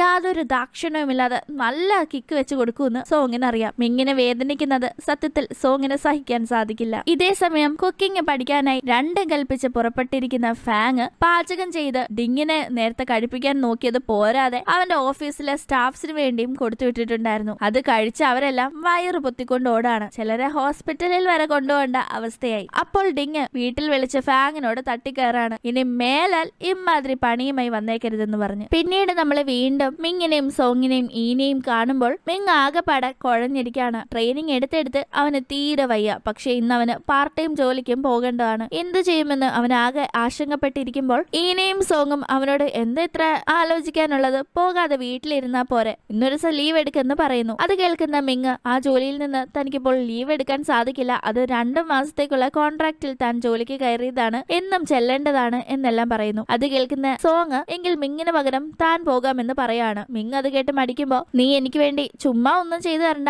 നിനക്ക് അത്ര മടിയാണെങ്കിൽ നീ ഇന്നത്തെ ഒരു ദിവസത്തെ ശമ്പളം എനിക്ക് തന്നാൽ മതി എന്ന് പറയുന്നു. അങ്ങനെ മിങ് അതിനോട് യോജിക്കുമ്പോൾ സോങ് ജോലിക്ക് പോകുന്നു. അവൾ വന്നിരിക്കുന്നത് മറ്റേ റെസ്റ്റോറന്റിലെ ബണ്ണിയായി നിൽക്കാനാണ്. അവൾ അങ്ങനെ ബണ്ണിയുടെ ഡ്രസ് ഇട്ട് അവിടെ നിൽക്കുന്ന സമയം അങ്ങോട്ടേക്ക് ഫാങ് വരുന്നു. ബണ്ണിയെ കണ്ടപാടെ ഫാങ് ബണ്ണിയുടെ അടുത്തെത്തി. ബണ്ണി ഞാൻ ഒരു കാര്യം ചോദിക്കട്ടെ? ആൺകുട്ടികൾക്ക് കുക്കിംഗ് അറിയാവുന്ന പെൺകുട്ടികളെ ഇഷ്ടമായിരിക്കുമോ എന്ന് ചോദിക്കുമ്പോൾ ബണ്ണിയായി നിൽക്കുന്ന സോങ് അപ്പോഴാണ് ഫാങ്ങിനെ കാണുന്നത്. ഇവളെന്താ ഇവിടെ? ഇവളെന്താ ഇപ്പൊ ഇവിടെ വന്ന് ഇങ്ങനെയൊക്കെ ചോദിക്കുന്നത് എന്ന മട്ടിൽ സോങ്ങിന് ഫീൽ ആകുന്നുണ്ടെങ്കിലും സോങ് നേരത്തെ ഫാങ് ചോദിച്ച ചോദ്യത്തിന് ഉത്തരമായി അതെ എന്ന് തലയാട്ടുന്നു. അത് കേൾക്കുന്ന ഫാങ് എങ്കിൽ ഞാൻ കുക്കിംഗ് പഠിക്കേണ്ടി വരുമല്ലോ എന്നിങ്ങനെ പറയുമ്പോൾ സോങ്ങിന്റെ കൺട്രോൾ പോകുന്നു. അവളെ തലയിൽ നിന്ന് ബണ്ണിയുടെ ആ ഒരു ഹെഡ് ഊരി എടുത്ത ശേഷം നീയൊന്നും കുക്കിംഗ് പഠിക്കണമെന്ന് വിചാരിച്ചാലും നടക്കാൻ പോകുന്ന കാര്യമല്ല. ഞാൻ കുക്ക് ചെയ്യുന്നതിന്റെ ഏഴ് അയൽവക്കത്ത് നിനക്ക് കുക്ക് ചെയ്യാൻ സാധിക്കില്ല എന്ന് പറയുന്നു. ഇവളിങ്ങനെ പറയുമ്പോഴാണ് ബണ്ണിയായി നിന്നത് സോങ് ആണെന്ന കാര്യം ഫാങ് അറിയുന്നത്. നീയോ? നീ എന്താ ഇവിടെയെന്ന് ഫാങ് ചോദിക്കുമ്പോൾ സോങ് പിന്നെ നീ ആരെ കാണാനാ വന്നത്? ഓ മിങ് ആയിരിക്കും എന്ന് വിചാരിച്ച് വന്നതായിരിക്കുമല്ലേ? എന്ന് പറയുന്നു. അത് കേൾക്കുന്ന ഫാങ് ഷോക്കാവാണ്. മിങ്ങോ നീ ഇപ്പൊ മിങ്ങിനെ പറ്റി പറഞ്ഞതെന്ന് ഫാങ് തിരക്കുമ്പോൾ മിങ് ഇവിടെ ജോലി ചെയ്യുന്ന ആളാണെന്നും മിങ്ങിന് പകരമാണ് താൻ ഇവിടെ ബണ്ണിയായി ഇന്ന് വന്നതെന്നും സോങ് പറയുമ്പോഴാണ് മുന്നേ ഇവൾ സംസാരിച്ച ബണ്ണിയും ഇവൾക്ക് ഐസ്ക്രീം കൊണ്ട് കൊടുത്ത ബണ്ണിയും എല്ലാം മിങ്ങാണെന്ന കാര്യം തന്നെ മനസ്സിലാവുന്നത്. ആ ഒരു സത്യം അറിഞ്ഞ പാടെ ആകെ പാടെ വട്ടുപിടിക്കുകയാണ് ഫാങ്ങിന്. അവൾ വേഗം തന്നെ ആ ഒരു സ്ഥലത്ത് നിന്ന് പോകുന്നു. ഫാങ്ങിന്റെ മനസ്സിലൂടെ ആ ബണ്ണി അവൾക്ക് വേണ്ടി സ്ട്രോബെറി ഐസ്ക്രീം റിസർവ് ചെയ്തതും പിന്നീട് ആ ബണ്ണിയോട് മിങ്ങിനെ പറ്റി സംസാരിച്ചതും മിങ് പിന്നീട് കാർ വാഷ് ചെയ്യുന്ന സ്ഥലത്ത് വെച്ച് സഹായിക്കുന്നതിനെ പറ്റി പറഞ്ഞതുമെല്ലാം ഓർമ്മ വരുന്നു. മിങ് തന്റെ ഉള്ളിൽ തനിക്ക് അവനോടുള്ള ഫീലിങ്സ് മനസ്സിലാക്കിയിരിക്കുന്നു. അന്ന് അവനോടല്ല താൻ അവനാണെന്നറിയാതെ തുറന്നു പറഞ്ഞത്. എന്നെല്ലാം ഓർത്ത് ചമ്മല സഹിക്കാൻ വയ്യ. അവൾ നേരെ ഈനയുടെ അടുത്ത് ചെന്ന് നടന്ന കാര്യങ്ങൾ പറയുന്നു. എങ്ങനെ അവനെ ഇനി ഫേസ് ചെയ്യുമെന്ന് ഫാങ് സങ്കടപ്പെടുമ്പോൾ ഈന ഫാങ്ങിനോട് പറയുന്നത് ഇതാണ്. അവനാണ് അതെന്ന് നീ ഇപ്പോഴല്ലേ അറിഞ്ഞത്. പക്ഷെ അവന് മുന്നേ നീ അവനെ പറ്റി ഇങ്ങനെയൊക്കെയാണ് കരുതി വെച്ചിരിക്കുന്നതെന്ന് അറിയാമായിരുന്നല്ലോ.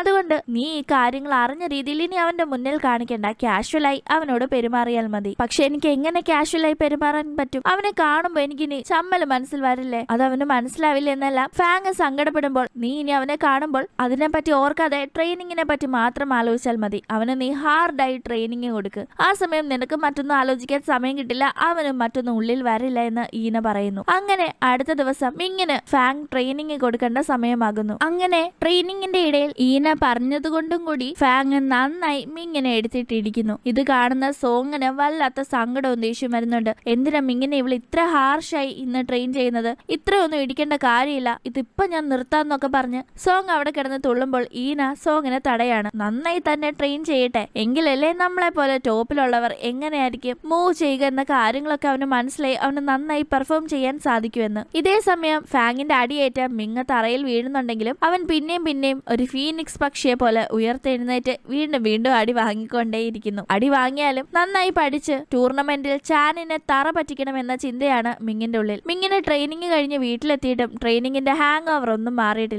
അവന് നല്ല ശരീരവേദന അനുഭവപ്പെടുന്നു. പക്ഷെ ഈ വേദന നാളെ ചാനിനെ തോൽപ്പിക്കാനുള്ള കരുത്താണെന്ന തിരിച്ചറിവ് അവനെ ആ വേദന മറക്കാനായി സഹായിക്കുകയാണ്. പിന്നീട് നമ്മൾ കാണുന്നത് ഈനയും ഫാങ്ങും തമ്മിലുള്ള സംസാരമാണ്. ഫാങ്ങിനോട് ഈന എന്തുകൊണ്ടാണ് മിങ്ങിനോടുള്ള ഇഷ്ടം അവനോട് നേരിട്ട് പറയാത്തതെന്ന് ചോദിക്കുന്നു. അതിനൊരു ഉത്തരം പോലും ഫാങ്ങിന്റെ കയ്യിൽ കൊടുക്കാനില്ല. അവൾ മിങ്ങിന്റെ കാര്യം വരുമ്പോൾ ആകെ പേടിത്തൊണ്ടിയാണ് സൈലന്റ് ആണ് എന്ന് മനസ്സിലാക്കുന്ന ഈന ഫാങ്ങിനോട് നീ ഫൈറ്റിങ്ങിൽ കാണിക്കുന്ന ഒരു കാൽ ശതമാനം ധൈര്യമെങ്കിലും ഈ കാര്യത്തിൽ കാണിക്കും. അവനോടുള്ള നിന്റെ ഇഷ്ടം നീ തുറന്നു പറയണം. വൈകി കഴിഞ്ഞാൽ എന്തായിരിക്കും സംഭവിക്കുക എന്നറിയില്ല. പറയാനുള്ള കാര്യങ്ങൾ പറയേണ്ട സമയത്ത് പറയണം. പിന്നെ വൈകി കഴിഞ്ഞാൽ ചിലപ്പോൾ പിടി കിട്ടാത്ത രീതിയിലേക്ക് കാര്യങ്ങൾ പോകും. നിന്റെ ഈ കാര്യം നീ തന്നെ ചെയ്യണം. കാരണം ഇത് നിന്റെ പ്രണയത്തെ പറ്റിയുള്ളതാണ്. അതിൽ നീ ചമ്മലോ മടിയോ വിചാരിച്ചിട്ട് കാര്യമില്ല. എന്തായാലും ഞാൻ പറയാനുള്ളത് പറഞ്ഞു. ബാക്കിയൊക്കെ നിന്റെ കയ്യിലാണെന്നും പറഞ്ഞ് ഈനെ അങ്ങ് പോകുന്നു. എന്തായാലും ഈ ഒരു കാര്യത്തിൽ എന്ത് ചെയ്യണമെന്ന് ഫാങ്ങിന് യാതൊരു പിടുത്തവുമില്ല. പിന്നീട് നമ്മൾ കാണുന്നത് മിങ്ങിന്റെ അടുത്ത് സുൻ അവൻ പാർട്ട് ടൈം പാർട്ടിയുമായി ജോലി ചെയ്യുന്ന ആ ഒരു ബണ്ണി വേഷം ധരിക്കാൻ തനിക്ക് പോകാൻ ആഗ്രഹമുണ്ടെന്ന് പറയുന്നു. ആദ്യം മിങ് സമ്മതിക്കുന്നില്ലെങ്കിലും തനിക്ക് ആ വേഷം ധരിച്ച് നിൽക്കണമെന്നത് വലിയ ആഗ്രഹമാണെന്ന് സുൻ ആവർത്തിക്കുമ്പോൾ മിങ് സമ്മതിക്കുന്നു. അങ്ങനെ സുൻ മിങ്ങിന് പകരം ആ ജോലി ചെയ്യാനായി പോകുന്നു. അങ്ങനെ ബണ്ണിയുടെ വേഷം ധരിച്ച് റോഡ് സൈഡിൽ നിന്ന് വരുന്നവരെയും പോകുന്നവരെയും എല്ലാം ഗ്രീറ്റ് ചെയ്ത് നിൽക്കുകയാണ് ഇവൻ. അതിന്റെ ഇടയിൽ അവൻ മുന്നേ സോങ് പറഞ്ഞതോർത്ത് ഇന്ന് മിങ് വരുവാണെങ്കിൽ അവളെ കാണാമല്ലോ എന്ന ത്രില്ലിലും നിൽക്കുന്നു. അതേസമയം എങ്ങനെയാണോ ഇത്ര പാടുപെട്ട ജോലികളൊക്കെ മിങ് ചെയ്യുന്നത് എന്ന് പുറവുറക്കുകയുണ്ട്. എന്തായാലും അവൻ അവിടെ ഫാങ് വരും ഈ ബണ്ണിയെ കണ്ട് സംസാരിക്കും എന്ന് കരുതി നിൽക്കുമ്പോൾ അങ്ങോട്ടേക്ക് എത്തുന്നത് സോങ് ആണ് സോങ്ങിനെ കണ്ടപാടെ അയ്യോ ഇവളെന്താ ഇവിടെ എന്ന്? സുൻ ആകെപ്പാടെ ആശങ്കപ്പെടുന്നു. സോങ് ആണെങ്കിൽ ആ ബണ്ണിയുടെ ഡ്രസ്സിനകത്തുള്ളത് സുന്നാണെന്ന് അറിയാതെ അത് മിങ് ആണെന്ന് കരുതി അതിനോട് സംസാരിക്കുകയാണ്. എനിക്ക് നിന്നെ ഒരുപാട് ഇഷ്ടമാണ്. നിനക്ക് ആ ഇഷ്ടം എന്നോട് തിരിച്ചുണ്ടോ ഇല്ലയോ എന്ന് അറിയില്ല എങ്കിലും ഞാൻ നിന്നെ ഒരുപാട് സ്നേഹിക്കുന്നു എന്നെല്ലാം സോങ് പറയുമ്പോൾ അവളുടെ മുന്നിൽ പെടാതെ അവിടെ നിന്ന് പോകാനായി സുൻ ശ്രമിക്കുന്നുണ്ടെങ്കിലും ഈ ബണ്ണിയെ വിടാതെ സോങ് വട്ടം പിടിക്കുന്നു. അങ്ങനെ ആ സമയം വേറെ വഴിയില്ലാതെ മുഖംമൂടി മാറ്റി ഇത് താനാണെന്ന് സുന്നിന് സോങ്ങിന്റെ മുന്നിൽ വെളിപ്പെടുത്തേണ്ടി വരികയാണ്. ഇത് കണ്ടപാടെ ഇവൾക്ക് നന്നായി കലി ഇളകുന്നു അവൾ അവനെ അടിക്കാനായി ഇട്ടോടിക്കുന്നു പിന്നീട് മുഖത്തൊക്കെ അടി കിട്ടിയതിന്റെ പാടുമായി ഇരിക്കുന്ന സുന്നിനെയാണ് നമ്മൾ കാണുന്നത്. എന്തായാലും സോങ് അവനിട്ട് ശരിക്ക് കൊടുത്തിട്ടുണ്ട്. അങ്ങനെ പിന്നീട് വീണ്ടും ഫാങ്ങിനെ കാണുമ്പോൾ അവൾ വിട്ടുകൊടുക്കാൻ തയ്യാറല്ലാതെ യൂട്യൂബ് നോക്കി വീണ്ടും പാചകം പഠിക്കാനുള്ള ശ്രമത്തിലാണ്. പക്ഷെ അവൾ എത്ര ശ്രമിച്ചിട്ടും അവൾക്ക് നന്നായി പാചകം ചെയ്യാൻ സാധിക്കുന്നില്ല. എല്ലാം കുളമാവുകയാണ്. ഷെഡ ഇതെന്താ ഇങ്ങനെയെന്നോർത്ത് അവൾ നിൽക്കുന്ന സമയം നല്ല ഭക്ഷണത്തിന്റെ മണം വരുന്നു. അവൾ ചെന്ന് നോക്കുമ്പോൾ ഡൈനിങ് ടേബിളിൽ ഡിങ്ങിരിപ്പുണ്ട്. അവന്റെ മുന്നിൽ നല്ല സ്വാദിഷ്ടമായ കൊതിയൂറുന്ന മണവും നിറവും ലുക്കുമുള്ള ഫുഡും ഇരിക്കുന്നു. ഇവളിത് എവിടെ നിന്നാണെന്ന് അവനോട് തിരക്കുമ്പോൾ അവൻ ഇത് താൻ സുന്നിന്റെ റെസ്റ്റോറന്റിൽ നിന്ന് വാങ്ങിയതാണെന്ന് പറയുന്നു. ആ സമയം താൻ പാചകം എത്ര പഠിക്കാൻ ശ്രമിച്ചിട്ടും വിജയിക്കാത്തതിനെ പറ്റി ഫാങ് സങ്കടപ്പെടുമ്പോൾ ഡിങ് ഫാങ്ങിനെ ഉപദേശിക്കുകയാണ്. നീ മാർഷ്യൽ ആർട്സ് പഠിക്കുന്നത് പോലെയാണ് പാചകവും. ഒരു സമയം പലതിൽ കോൺസെൻട്രേറ്റ് ചെയ്യാൻ നോക്കിയാൽ സാധിക്കില്ല. ഇപ്പോൾ ബോക്സിങ്ങും കരാട്ടയും അങ്ങനെ പലതും ഒരേ ടൈമിൽ പഠിക്കാൻ നോക്കിയാൽ ഒന്നും എങ്ങും എത്താതാവും. നീ ഓരോന്നോരോന്നായല്ലേ പഠിച്ചെടുത്തത്. അതേപോലെ തന്നെ പാചകത്തിൽ നീ പല ഐറ്റംസ് ഉണ്ടാക്കാൻ ഒന്നിച്ച് പഠിക്കാതെ ഒരു ഐറ്റത്തിൽ നന്നായി കഴിവ് തെളിയിക്കണം. അതിനുശേഷം നീ അടുത്തതിലേക്ക് പോകണമെന്ന് പറയുന്നു. കൂടാതെ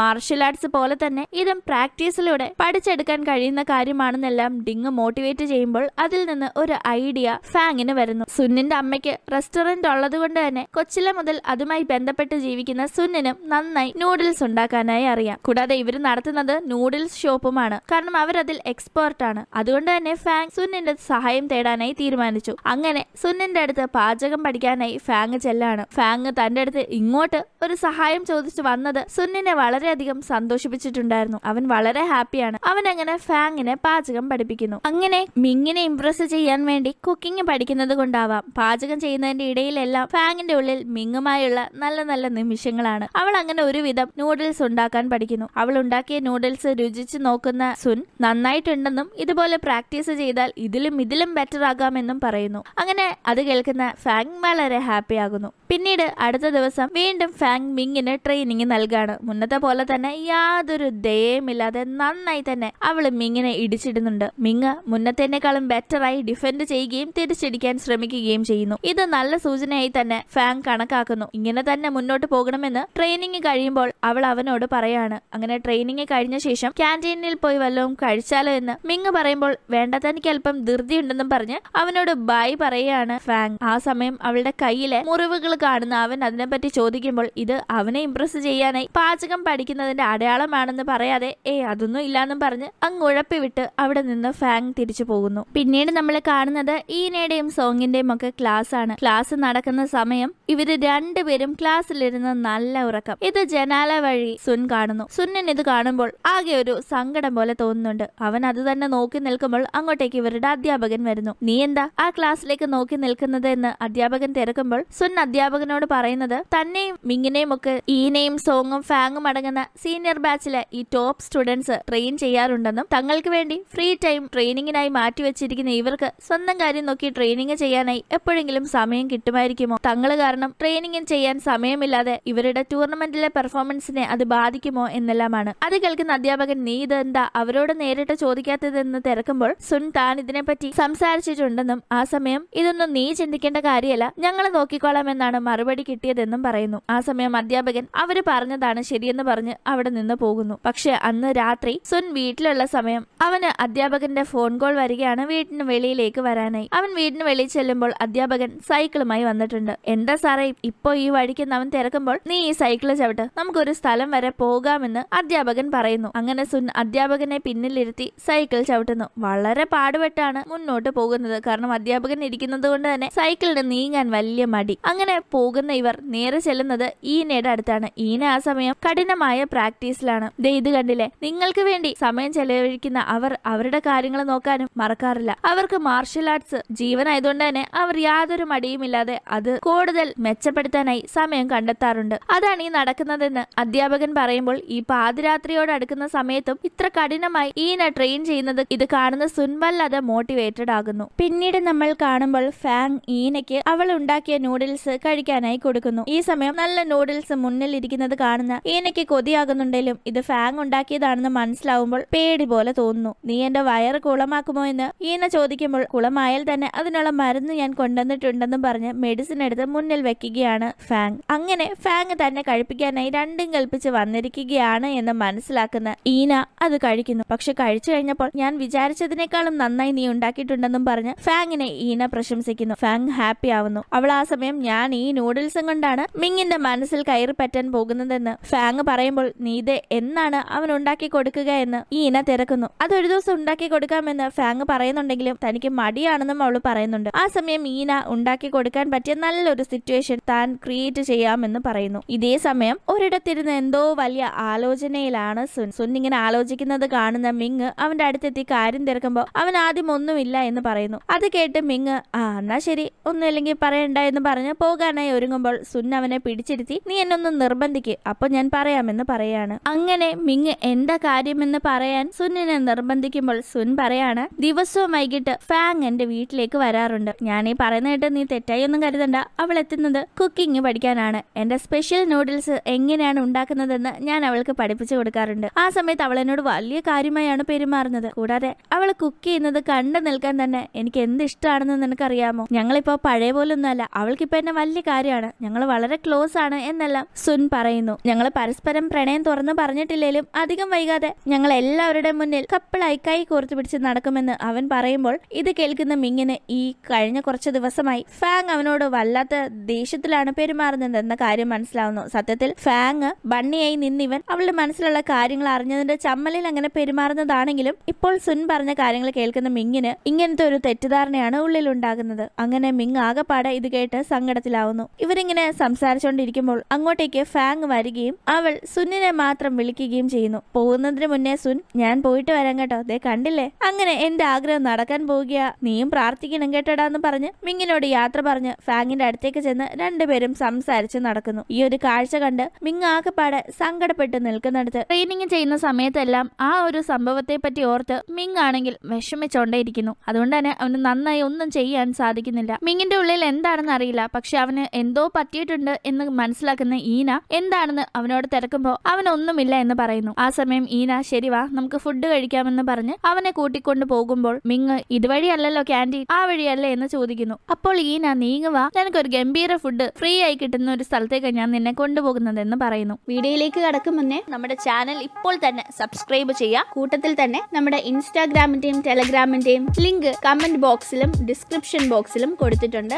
താല്പര്യമുള്ളവർ ചെക്ക് ചെയ്യുക. അങ്ങനെ ചെല്ലുമ്പോൾ അവിടെ ഒരു നീണ്ട ക്യൂ കാണുന്നു. നോക്കുമ്പോൾ അവിടെ ഫാങ്ങും സുന്നും കൂടി ന്യൂഡിൽസ് വിതരണം ചെയ്യാണ്. അങ്ങോട്ടേക്കാണ് ഈന മിങ്ങിനെയും കൂട്ടി വന്നത്. മുന്നേ ഈന ഫാങ്ങിന് അവൾ ഉണ്ടാക്കിയ നൂഡിൽസ് മിങ്ങിന് കൊടുക്കാനായിട്ട് തുടർന്ന് അവളുടെ മനസ്സിലുള്ള ഇഷ്ടം തുറന്നു പറയാനായും ഒരു ഐഡിയ കണ്ടുപിടിക്കാമെന്ന് പറഞ്ഞിരുന്നല്ലോ. ആ ഐഡിയ ആണ് ഇത്. ഈ ഒരു കാര്യത്തിന് വേണ്ടിയാണ് മുന്നേ മിങ്ങിന്റെ അടുത്ത് നിന്ന് സുന്നിനെ ഫാങ് വിളിച്ചോണ്ട് പോയതും. അങ്ങനെ ക്യൂ നിൽക്കുന്ന സമയം നൈസായിട്ട് ഒരു തുടക്കം ഇടാൻ നോക്കുകയാണ് ഈന. ഫാങ്ങിന് ഒരാളെ ഇഷ്ടമാണ്. അവൾ അയാൾക്ക് വേണ്ടിയാണ് ഇതെല്ലാം ചെയ്യുന്നതെന്ന് അവൾ പറയുമ്പോൾ ഇത് കേൾക്കുന്ന മിങ്ങിന് ഫാങ്ങിന് ഇഷ്ടം സുന്നിനെയാണ്. അതുകൊണ്ടാണ് അവന്റെ അമ്മയുടെ കടയിൽ അതേപോലത്തെ നൂഡിൽസ് അവൾ ഉണ്ടാക്കി വിൽക്കുന്നതെന്ന് അവന് തോന്നുന്നു. അവൻ ആകെപ്പാടെ വിഷമത്തിലാവുന്നു. അവൻ ഇവിടെ നിന്ന് കഴിക്കാനേ താല്പര്യമില്ല. ഇവിടെ നിന്ന് പോയാൽ മതിയെന്ന് മാത്രമേ അവന്റെ ഉള്ളിലുള്ളൂ. ഇവൻ ഇങ്ങനെ ക്യൂ നിൽക്കുന്ന ഇതേ സമയം സോങ് മിങ്ങിന് അവിടെ എല്ലാം തിരക്കാണ്. കാരണം അവൾ മിങ്ങിന് വേണ്ടി സ്പെഷ്യലായി ഒരു ഡിഷ് പ്രിപ്പയർ ചെയ്ത് ലഞ്ചിന് കഴിക്കാനായി കൊണ്ടുവന്നിട്ടുണ്ടായിരുന്നു. ആ സമയത്താണ് ഇങ്ങനെ ഫ്രീ ലഞ്ച് കൊടുക്കുന്ന കാര്യം അവൾ അറിയുന്നത്. അവൾ അവിടേക്ക് ചെന്ന് നോക്കുമ്പോൾ ക്യൂവിൽ ഈനയും മിങ്ങും നിൽപ്പുണ്ട്. മിങ്ങിനോട് സോങ് നീ എന്റെ കൂടെ ലഞ്ച് കഴിക്കാൻ വാ. ഞാൻ നിനക്ക് സ്പെഷ്യലായി ലഞ്ച് കൊണ്ടുവന്നിട്ടുണ്ടെന്ന് പറയുമ്പോൾ ഈന അതൊന്നും പറ്റില്ല. ഇവൻ ഓൾറെഡി ക്യൂവിൽ നിൽക്കല്ലേ. ഇവൻ ഇവിടെ നിന്ന് ഇന്ന് ഫുഡ് കഴിക്കുന്നുള്ളെന്ന് പറയുന്നു. പക്ഷെ ഇതൊരു ചാൻസ് ആയി കണക്കാക്കി ഇവിടെ നിന്ന് എസ്കേപ്പ് ആവാൻ ശ്രമിക്കുകയാണ് മിങ് അവൻ സോങ്ങിനോട് ഞാൻ ആ ഫുഡ് കഴിക്കാം ഇങ്ങ് താന്ന് പറഞ്ഞ് അത് വാങ്ങി അവളുടെ കൂടെ ലൈനിൽ നിന്ന് മാറിപ്പോകുന്നു. ഇത് ഈനയ്ക്ക് വലിയ നിരാശയുണ്ടാക്കി. അങ്ങനെ മാറിയിരുന്ന് സോങ്ങും മിങ്ങും ഫുഡ് കഴിക്കുന്നത് ഫാങ് കാണുന്നു. അവൾക്കിത് സഹിക്കാനാവുന്നില്ലായിരുന്നു. കാരണം അവൾ മിങ്ങിനെ കൊണ്ട് കഴിപ്പിക്കാനായിട്ടാണ് ഇത്രയും കഷ്ടപ്പെട്ട് നൂഡിൽസ് ഉണ്ടാക്കാൻ പഠിച്ചതും കൂടാതെ ഇത്രയേറെ വിദ്യാർത്ഥികൾക്കും കൊടുക്കുന്ന രീതിയിൽ ഒരു ലഞ്ച് അറേഞ്ച് ചെയ്തതും. ഇവനെ ഒരാളെ കൊണ്ട് കഴിപ്പിക്കാനായി അവൾ എത്ര പേരെ കഴിപ്പിക്കുന്ന സിറ്റുവേഷൻ ആണ് ഉണ്ടാക്കിയത്. എല്ലാം വെറുതെ ആയാലോ എന്ന് അവൾ സങ്കടപ്പെടുന്നു. കൂടാതെ ലഞ്ച് കഴിക്കുന്നതിന്റെ ഇടയിൽ മിങ്ങിന്റെ ചുണ്ടിന്റെ സൈഡിൽ കുറച്ച് ഫുഡ് പറ്റിയിരിപ്പുണ്ടായിരുന്നു. സോങ് അത് അവളുടെ വാ കൊണ്ട് എടുക്കുകയാണ്. ഇത് ദൂരെ നിന്ന് കാണുന്ന ഒരാൾക്ക് ഇവർ കിസ് ചെയ്യുന്ന പോലാണ് തോന്നുന്നത്. അതുകൊണ്ട് തന്നെ ഈ ഒരു കാഴ്ച കണ്ട് ഫാങ് വീണ്ടും തകരുന്നു. ഇതേ സമയം സോങ് ഇങ്ങനെ ആ പറ്റിപ്പിടിച്ച ഫുഡ് എടുത്തത് മിങ്ങിന് വളരെ ഷോക്കിംഗ് ആയിരുന്നു. അവനും അമ്പരന്നിരിക്കുകയാണ്. എന്തായാലും ഇവർ ഒന്നിച്ചുള്ളത് കണ്ടു നിൽക്കാൻ സാധിക്കാതെ ഫാങ് അവിടെ നിന്ന് സങ്കടത്തിൽ നടന്നു പോകുമ്പോൾ അങ്ങോട്ടേക്ക് സുൻ വരുന്നു. ഫാങ്ങിന്റെ മുഖഭാവവും അവളുടെ സങ്കടവും എല്ലാം കാണുന്ന അവന് കാര്യം മനസ്സിലാവുന്നു. ഇവൻ കരുതിയതുപോലെ ഇവനെ കാണാനോ ഇവനുമായി അടുക്കാനോ ആയിരുന്നില്ല. ഫാങ് നൂഡിൽസ് ഉണ്ടാക്കുന്നത് പഠിക്കാനായി വന്നതും ഇത്രയും കാര്യങ്ങൾ ചെയ്തതും അതെല്ലാം മിങ്ങിന് വേണ്ടിയായിരുന്നു. ഫാങ് മിങ്ങിനെ പ്രണയിക്കുന്നു എന്ന് അവൻ കൺഫേം ചെയ്യുന്നു. മുന്നേ അമ്മ ഈ ഒരു കാര്യം പറഞ്ഞപ്പോഴും സുൻ ഇത് വിശ്വസിച്ചിട്ടുണ്ടായിരുന്നില്ല. പക്ഷെ ഇപ്പോൾ അവൻ അത് ഉറപ്പായിരിക്കുന്നു. പിന്നീട് നമ്മൾ കാണുന്നത് ഫാങ്ങിനെയാണ് അവൾ ഉള്ളിലുള്ള ദേഷ്യവും വിഷമവും എല്ലാം തീരാനായി സാൻഡ് ബാഗിനിട്ട് കണക്കിന്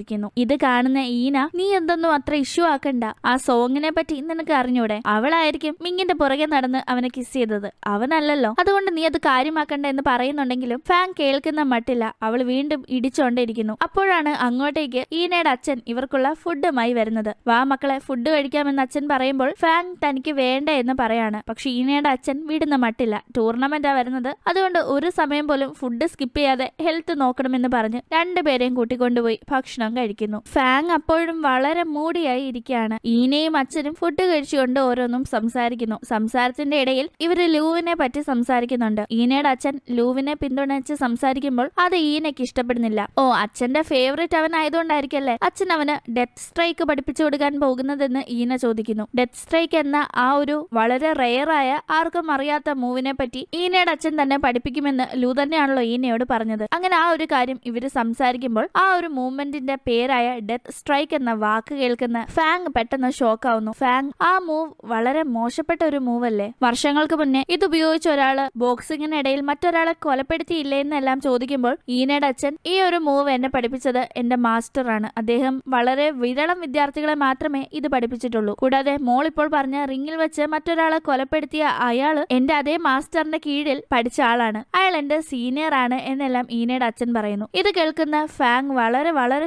ഷോക്കാവുകയാണ് അവൾ ഒരു കാര്യം അപ്പോൾ ആലോചിക്കുന്നു. അതിൽ കാണിക്കുന്നത് അവളുടെ അങ്കിളിനെയാണ്. അവൾക്ക് വളരെയേറെ പ്രിയപ്പെട്ട അവളുടെ അങ്കിൾ. അവൾക്ക് ഒരുപാട് ഇഷ്ടമുണ്ടായിരുന്ന ആ ഒരു ബണ്ണിയുടെ പാവ അവൾക്ക് സമ്മാനിച്ച അങ്കിൾ. ആ അങ്കിൾ ഇതുപോലെ റിംഗിൽ വെച്ച് ഫൈറ്റ് ചെയ്യുന്നതിന്റെ ഇടയിൽ ഒപ്പോണന്റ് ഡെത്ത് സ്ട്രൈക്ക് ഉപയോഗിച്ചത് മൂലം മരണപ്പെട്ട ആളാണ്. ഇപ്പോഴാണ് അവൾ അറിയുന്നത് അവളുടെ അങ്കിളുടെ കൊലയാളി ഈനയുടെ അച്ഛന്റെ സീനിയർ ആണ് എന്ന കാര്യം. അവൾക്ക് തന്റെ അങ്കിളുടെ മരണം എന്നും വലിയൊരു നഷ്ടമായിട്ടാണ് തോന്നുന്നത്. അവൾ ഇടയ്ക്കിടയ്ക്ക് അങ്കിളുടെ കല്ലറയിൽ പോകാറുണ്ട്. പൂക്കൾ വെച്ച് പ്രാർത്ഥിക്കാറുണ്ട്. അങ്കിളിനെ എന്നും ഓർക്കാറുണ്ട്. അങ്കിളുടെ ഭാര്യയെ ഈ അടുത്ത് അവൾ കാണുകയും ചെയ്തിരുന്നു. ഈ കാര്യങ്ങളെല്ലാം ഓർക്കുന്ന അവൾ പെട്ടെന്ന് ദേഷ്യം പിടിച്ച് അവിടെ നിന്ന് പോകാനായി ഒരുങ്ങുമ്പോൾ ഈന നീ എന്തിനിങ്ങനെ ദേഷ്യം പിടിച്ചു പോകുന്നത്? എന്താ ഇപ്പൊ അതിന് സംഭവിച്ചത്? എന്ന് തിരക്കുന്നു. ആ സമയം ഫാങ് ഈനയോട് പറയുന്നത് ഡെത്ത് സ്ട്രൈക്ക് എന്നത് വളരെ മോശപ്പെട്ട ഒരു മൂവാണ് അത് നീ പഠിച്ചു കഴിഞ്ഞാൽ ഉറപ്പായും നീയും ഞാനും തമ്മിലുള്ള സൗഹൃദത്തെ അത് ബാധിക്കുമെന്ന്. ഇങ്ങനെ ഫാങ് പറയുന്നത് എന്തിനാണെന്ന് മനസ്സിലാവാതെ ഈന നിൽക്കുമ്പോൾ ഫാങ് കൂടുതൽ വിശദമായി പറയുന്നു. അതായത് ഈനയുടെ അച്ഛന്റെ സീനിയർ ഡെത്ത് സ്ട്രൈക്ക് ഉപയോഗിച്ച് റിങ്ങിൽ കൊലപ്പെടുത്തിയ ആൾ മറ്റാരുമല്ല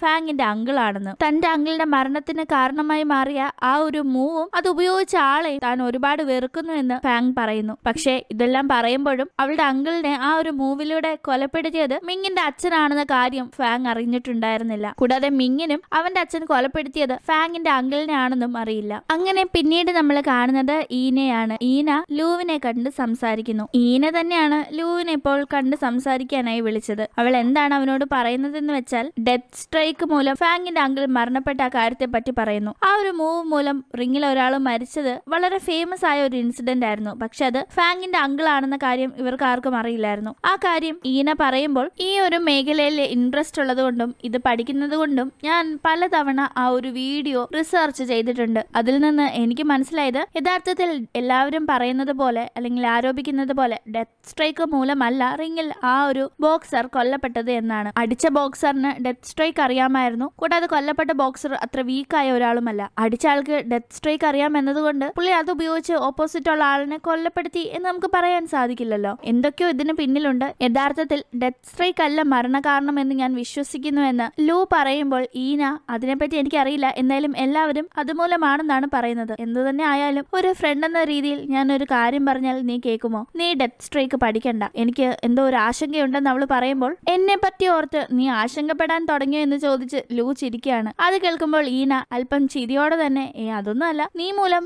മറ്റാർക്കൊന്നും പറ്റണ്ടെന്ന് കരുതി പറഞ്ഞതാണെന്നേ ഉള്ളെന്ന് പറയുന്നു. അങ്ങനെ രണ്ടുപേരും അല്പനേരം സംസാരിച്ച് സമയം ചെലവഴിച്ച് പിരിയുന്നു. പിന്നീട് നമ്മൾ കാണുന്നത് ടൂർണമെന്റ് ദിവസമാണ്. കഴിഞ്ഞ കുറെ ദിവസങ്ങളായി എല്ലാവരും കാത്തിരുന്ന ദിവസം അങ്ങനെ വന്നെത്തിയിരിക്കുന്നു. ടൂർണമെന്റിൽ പങ്കെടുക്കാനായി മിങ്ങിന്റെയും ഫാങ്ങിന്റെയും ഒക്കെ കോളേജിലേക്ക് ഓപ്പോസിറ്റ് കോളേജിലെ വിദ്യാർത്ഥികൾ എത്തുന്നു. കൂടാതെ ഈ കോളേജിലെയും ആ കോളേജിലെയും ടൂർണമെന്റിൽ പങ്കെടുക്കുന്ന വിദ്യാർത്ഥികളുടെ വേണ്ടപ്പെട്ടവരും അവരെ ചിയർ ചെയ്യാനായി എത്തിയിട്ടുണ്ട്. സുന്നിന്റെ കൂടെ എത്തുന്നത് അവന്റെ അമ്മയാണ്. സോങ് ആണെങ്കിൽ മിങ്ങിന്റെ സഹോദരങ്ങളെ കൂട്ടിക്കൊണ്ടുവന്ന് മിങ്ങിന്റെ മുന്നിൽ നിർത്തി അവരെ കൊണ്ട് അവനെ മോട്ടിവേറ്റ് ചെയ്യിക്കുന്നു. ഇതിന്റെ ഇടയിൽ ചാൻ മിങ്ങിന്റെ അടുത്തെത്തി. അന്നൊരു ദിവസം എന്നെ അടിച്ചതിന്റെ ധൈര്യത്തിൽ ഇന്ന് എന്നെ തകർത്ത് തരിപ്പണമാക്കാവുന്ന ഓവർ കോൺഫിഡൻസിൽ നീ നിൽക്കണ്ട. ഒടുക്കം നീയായിരിക്കും തകർന്നടിയാൻ പോകുന്നത് എന്ന് പറയുന്നു. അങ്ങനെ പിന്നീട് ഈ രണ്ട് കോളേജിലെയും പ്രിൻസിപ്പൽസ് തമ്മിൽ സംസാരിക്കുകയാണ്. മിങ്ങിന്റെ പ്രിൻസിപ്പൽ ലൂവിന്റെ പ്രിൻസിപ്പലിനോട് നിങ്ങളുടെ കോളേജിലെ കുട്ടികളെ എന്റെ കോളേജിലെ കുട്ടികൾ തോപ്പിച്ചാൽ മോശമൊന്നും തോന്നരുത് സങ്കടപ്പെടരുത് എന്ന് പറയുമ്പോൾ ലൂവിന്റെ പ്രിൻസിപ്പൽ മിങ്ങിന്റെ പ്രിൻസിപ്പലിന് കൊടുക്കുന്ന മറുപടി നിങ്ങളുടെ കോളേജിലേക്ക് വന്ന് എന്റെ കുട്ടികൾ നിങ്ങളുടെ കുട്ടികളെ തോൽപ്പിച്ചാൽ നിങ്ങൾക്കതിൽ നാണക്കേടൊന്നും തോന്നില്ലല്ലോ അല്ലേ എന്നാണ്. എന്തായാലും രണ്ട് പ്രിൻസിപ്പൽമാരും അങ്ങോട്ടും ഇങ്ങോട്ടും ഇങ്ങനെ ഓരോന്നും പറഞ്ഞുകൊണ്ടിരിക്കുന്നു പിന്നീട് ടൂർണമെന്റ് ആരംഭിച്ച് ഫസ്റ്റ് മാച്ച് നടക്കാൻ പോവുകയാണ്. ആദ്യത്തെ മത്സരം സുന്നും ഓപ്പോസിറ്റ് കോളേജിലെ ഒരു പെണ്ണും തമ്മിലാണ്. സുന്നിന് വേണ്ടി അവന്റെ അമ്മയും സോങ്ങും മറ്റുള്ളവരും എല്ലാം ചിയർ ചെയ്യുന്നു. അങ്ങനെ മത്സരം ആരംഭിക്കുമ്പോൾ ആദ്യം സുൻ ഒന്ന് ഡൗൺ ആവുന്നുണ്ടെങ്കിലും അവൻ ആ പെണ്ണിനെ അടിച്ചു തോൽപ്പിക്കുന്നു. അവൾ റിങ്ങിന് വെളിയിലാകുന്നു ഔട്ടാകുന്നു അങ്ങനെ സുൻ മത്സരിക്കുന്ന സമയത്ത് ഈന മിങ്ങിനോട് പറയുന്നുണ്ടായിരുന്നു ഇവരുടെ മൂവ്മെന്റ്സ് ശ്രദ്ധിച്ച് പഠിക്കണം. അത് നിനക്ക് നിന്റേത് വരുമ്പോൾ ഗുണകരമാവുമെന്ന്. അങ്ങനെ ഫസ്റ്റ് മാച്ചിന് ശേഷം സുന്ന് രണ്ടാമത് മത്സരിക്കാൻ പോകുന്നത് ലൂവിന്റെ കൂടെയാണ്. ഇതേ സമയം നമ്മൾ ഇതുവരെ കണ്ടിട്ടില്ലാത്ത ഒരു പുതിയ പയ്യൻ അവിടെ നിൽക്കുന്നതായും അവൻ ഈ മാച്ചൊക്കെ ഒന്ന് വീക്ഷിച്ച ശേഷം പിന്നീട് വെളിയിലേക്ക് ഇറങ്ങി വന്ന് ആരോ ഫോൺ ചെയ്യുന്നതായും കാണിക്കുന്നു. ഇവനിങ്ങനെ ഫോണിൽ സംസാരിക്കുന്നത് വെളിയിലേക്ക് വന്ന ഫാങ് ശ്രദ്ധിക്കുന്നുണ്ടായിരുന്നു. അവൻ ഫോണിൽ ഈ മാച്ചിനെ പറ്റി വളരെ മോശമായാണ് സംസാരിക്കുന്നത്. അതിനുശേഷം അവൻ അങ്ങ് പോകുന്നു. ഇവൻ ആരാണ് എന്താണ് എന്ന് ഫാങ്ങിന് അറിയില്ല. പക്ഷേ അവൻ ടൂർണമെന്റിനെ പറ്റിയും അതിൽ നടക്കുന്ന മത്സരങ്ങൾ നിലവാരമില്ലാത്തതാണ് എന്നതുമൊക്കെ പറഞ്ഞത് അവൾക്ക് തീരെ ഇഷ്ടപ്പെട്ടിട്ടുണ്ടായിരുന്നില്ല. അവൾ അങ്ങനെ അവിടെ നിൽക്കുമ്പോൾ അങ്ങോട്ടേക്ക് മിങ് വരുന്നു. മിങ്ങിനോട് ഫാങ് എന്താ ഇവിടെ ഇങ്ങനെ നടക്കുന്നത്? പോയി ആ മാച്ചൊക്കെ ശ്രദ്ധിക്ക്. അത് നിനക്ക് ഉപകാരപ്പെടുമെന്ന് പറയുമ്പോൾ അവൻ ഞാനൊന്ന് കാറ്റ് കൊള്ളാൻ വന്നതാണെന്ന് പറയുന്നു. അവൾ ഇനി എന്തവനോട് സംസാരിക്കുമെന്ന്? അവനെ നോക്കി ഇങ്ങനെ ഓർത്ത് നിൽക്കാണ്. അവനും ഇനി എന്തൊക്കെയോ സംസാരിക്കണമെന്നുണ്ട് പക്ഷെ സാധിക്കുന്നില്ല. എന്നാ ശരിയെന്ന് പറഞ്ഞ് ഫാങ് അവിടെ നിന്ന് പോകാനായി ഒരുങ്ങുമ്പോൾ മിങ് അവളുടെ കയ്യിൽ കയറി അറിയാതെ പിടിക്കുന്നു. അവൾ എന്താണെന്ന് മട്ടിൽ അവനെ നോക്കുമ്പോൾ അവൻ ഏ ഒന്നുമില്ലാന്ന് പറഞ്ഞ് കൈവിടുകയാണ് അങ്ങനെ രണ്ടുപേരും വീണ്ടും ചിരിച്ചു പിരിയുന്നു. അങ്ങനെ ലൂവിന്റെയും സുന്നിന്റെയും മാച്ച് സ്റ്റാർട്ട് ആവുന്നതിന് മുന്നേ ഇവിടേക്ക് ഈനയുടെ അച്ഛനും ലൂവിന്റെ മാച്ച് കാണാനായി എത്തിയിട്ടുണ്ടായിരുന്നു. ലൂ അവരുടെ കോളേജിലെ ചാമ്പ്യൻ ആയതുകൊണ്ട് തന്നെ എല്ലാവരും വളരെ ആകാംക്ഷയിലാണ് ഈ മാച്ചിനെ നോക്കി കാണുന്നത്. അങ്ങനെ മാച്ച് സ്റ്റാർട്ട് ആകുന്നു നീ വലിയ ചാമ്പ്യൻ അല്ലേ വാ നമുക്കൊരു കൈ നോക്കാമെന്ന് പറഞ്ഞു തന്നെയാണ് സുൻ അടിക്കാൻ തുടങ്ങുന്നത്. സുൻ ആദ്യം മുതലേ ലൂവിനെ അറ്റാക്ക് ചെയ്യാണ്. കിട്ടുന്ന ഒരു ചാൻസും വെറുതെ വിടുന്നില്ല. പക്ഷേ ലൂ ആണെങ്കിൽ തിരിച്ച് അറ്റാക്ക് ചെയ്യാതെ അതെല്ലാം ഡിഫെൻഡ് ചെയ്ത് വിടുന്നു. ഇത് ഗാലറിയിൽ ഇരുന്ന് കാണുന്ന ലൂവിന്റെ കോച്ചായ ഈനയുടെ അച്ഛൻ ഇവനെന്താ തിരിച്ച് അറ്റാക്ക് ചെയ്യാത്തത് എന്ന് ആശങ്കപ്പെടുകയാണ്. ഇത് കാണുന്ന മിങ് അവന്റെ കൂടെയുള്ള ഈനയോടും സോങ്ങിനോടും ലൂ സുന്നിന്റെ മൂവ്മെന്റ്സ് ഒക്കെ മനസ്സിലാക്കി ഉള്ളിൽ കാൽക്കുലേറ്റ് ചെയ്യുകയാണെന്ന് എനിക്ക് തോന്നുന്നത് എന്ന് പറയുന്നു. ഇതേ സമയം ഇത് കാണുന്ന ചാനും മിയയും ലൂ തിരിച്ചടിക്കാത്തതിൽ ഫ്രസ്ട്രേറ്റഡ് ആയിരിക്കുന്നു. ഇതേ സമയം ഒരുപാട് തവണ താൻ അറ്റാക്ക് ചെയ്തിട്ടും ഡിഫെൻഡ് ചെയ്യുന്നതല്ലാതെ തന്നെ തിരിച്ച് അറ്റാക്ക് ചെയ്യാത്ത ലൂവിനോട് സുൻ വെറുതെ എന്റെ ടൈം കളയാതെ തിരിച്ച് അറ്റാക്ക് ചെയ്യാനായി ആവശ്യപ്പെടുന്നു. സുൻ വീണ്ടും വളരെ വീറോടെയും വാശിയോടെയും ലൂവിനെ അറ്റാക്ക് ചെയ്യുന്നു. ലൂ അപ്പോഴും ഡിഫെൻഡ് ചെയ്തുകൊണ്ടിരിക്കുകയാണ്. പക്ഷെ പെട്ടെന്ന് ലൂവിന്റെ ഭാവം മാറുന്നു. ലൂ തിരിച്ച് സുന്നിനെ അറ്റാക്ക് ചെയ്യാൻ തുടങ്ങുന്നു. ലൂവിന്റെ ചില മൂവ്മെന്റ്സ് കണ്ടാൽ ഏത് സൈഡിലൂടെയാണ് ഇടി വരുന്നതെന്ന് പോലും സുന്നിന് മനസ്സിലാവാത്ത അവസ്ഥയായിരുന്നു. അങ്ങനെ ലൂ അധികം വൈകാതെ സുന്നിനെ ഇടിച്ച് താഴെയിടുന്നു. അങ്ങനെ ഈ ഒരു റൗണ്ടിൽ സുന്നിനെ ലൂ തോൽപ്പിച്ചിരിക്കുകയാണ്. ഇത് കണ്ട് സുന്നിന്റെ അമ്മയ്ക്ക് വളരെ സങ്കടവും ലൂവിന്റെ കോച്ചിന് വളരെയധികം സന്തോഷവും ആവുന്നു താഴെ വീണ് കിടക്കുന്ന സുന്നിന്റെ അടുത്തെത്തി ലൂ നീ വളരെ നന്നായി കളിച്ചു. കുറച്ചുകൂടെ പ്രാക്ടീസ് ചെയ്ത് അല്പം കൂടി പോളിഷ് ചെയ്യാനുണ്ടെന്ന് പറയുന്നു. തന്റെ എതിരാളിയെ പോലും വളരെ ബഹുമാനിക്കുന്ന നല്ലൊരു ഗെയിം സ്പിരിറ്റ് ഉള്ള ആളാണ് ലൂ. അങ്ങനെ പിന്നീട് നമ്മൾ കാണുന്നത് ഡിങ്ങിനെ ഡിങ്ങിനെയാണ് ഡിങ്ങിന് ഓഫീസിൽ ഒരു മീറ്റിംഗ് ഉണ്ടായിരുന്നു. ആ മീറ്റിംഗിന്റെ ഇടയിൽ ഡിങ്ങിന്റെ അടുത്ത് ഒരു സ്റ്റാഫ് എത്തി. അടുത്തതായി മിങ്ങിന്റെ മാച്ച് ആണെന്ന് പറയുമ്പോൾ ഡിങ് ആ മീറ്റിംഗ് ഡിസ്പേഴ്സ് ചെയ്ത് ലാപ്ടോപ്പിൽ മാച്ച് കാണാനായി ഇരിക്കുന്നു. അതെ ഇനി അടുത്തതായി മിങ്ങിന്റെ മാച്ചാണ് അവൻ മാച്ചിന് പോകുന്നതിന് മുന്നേ മിങ്ങിനെ ലൂവും ഈനയും ഫാങ്ങും മോട്ടിവേറ്റ് ചെയ്യുന്നു. ഫാങ് മിങ്ങിനോട് നീ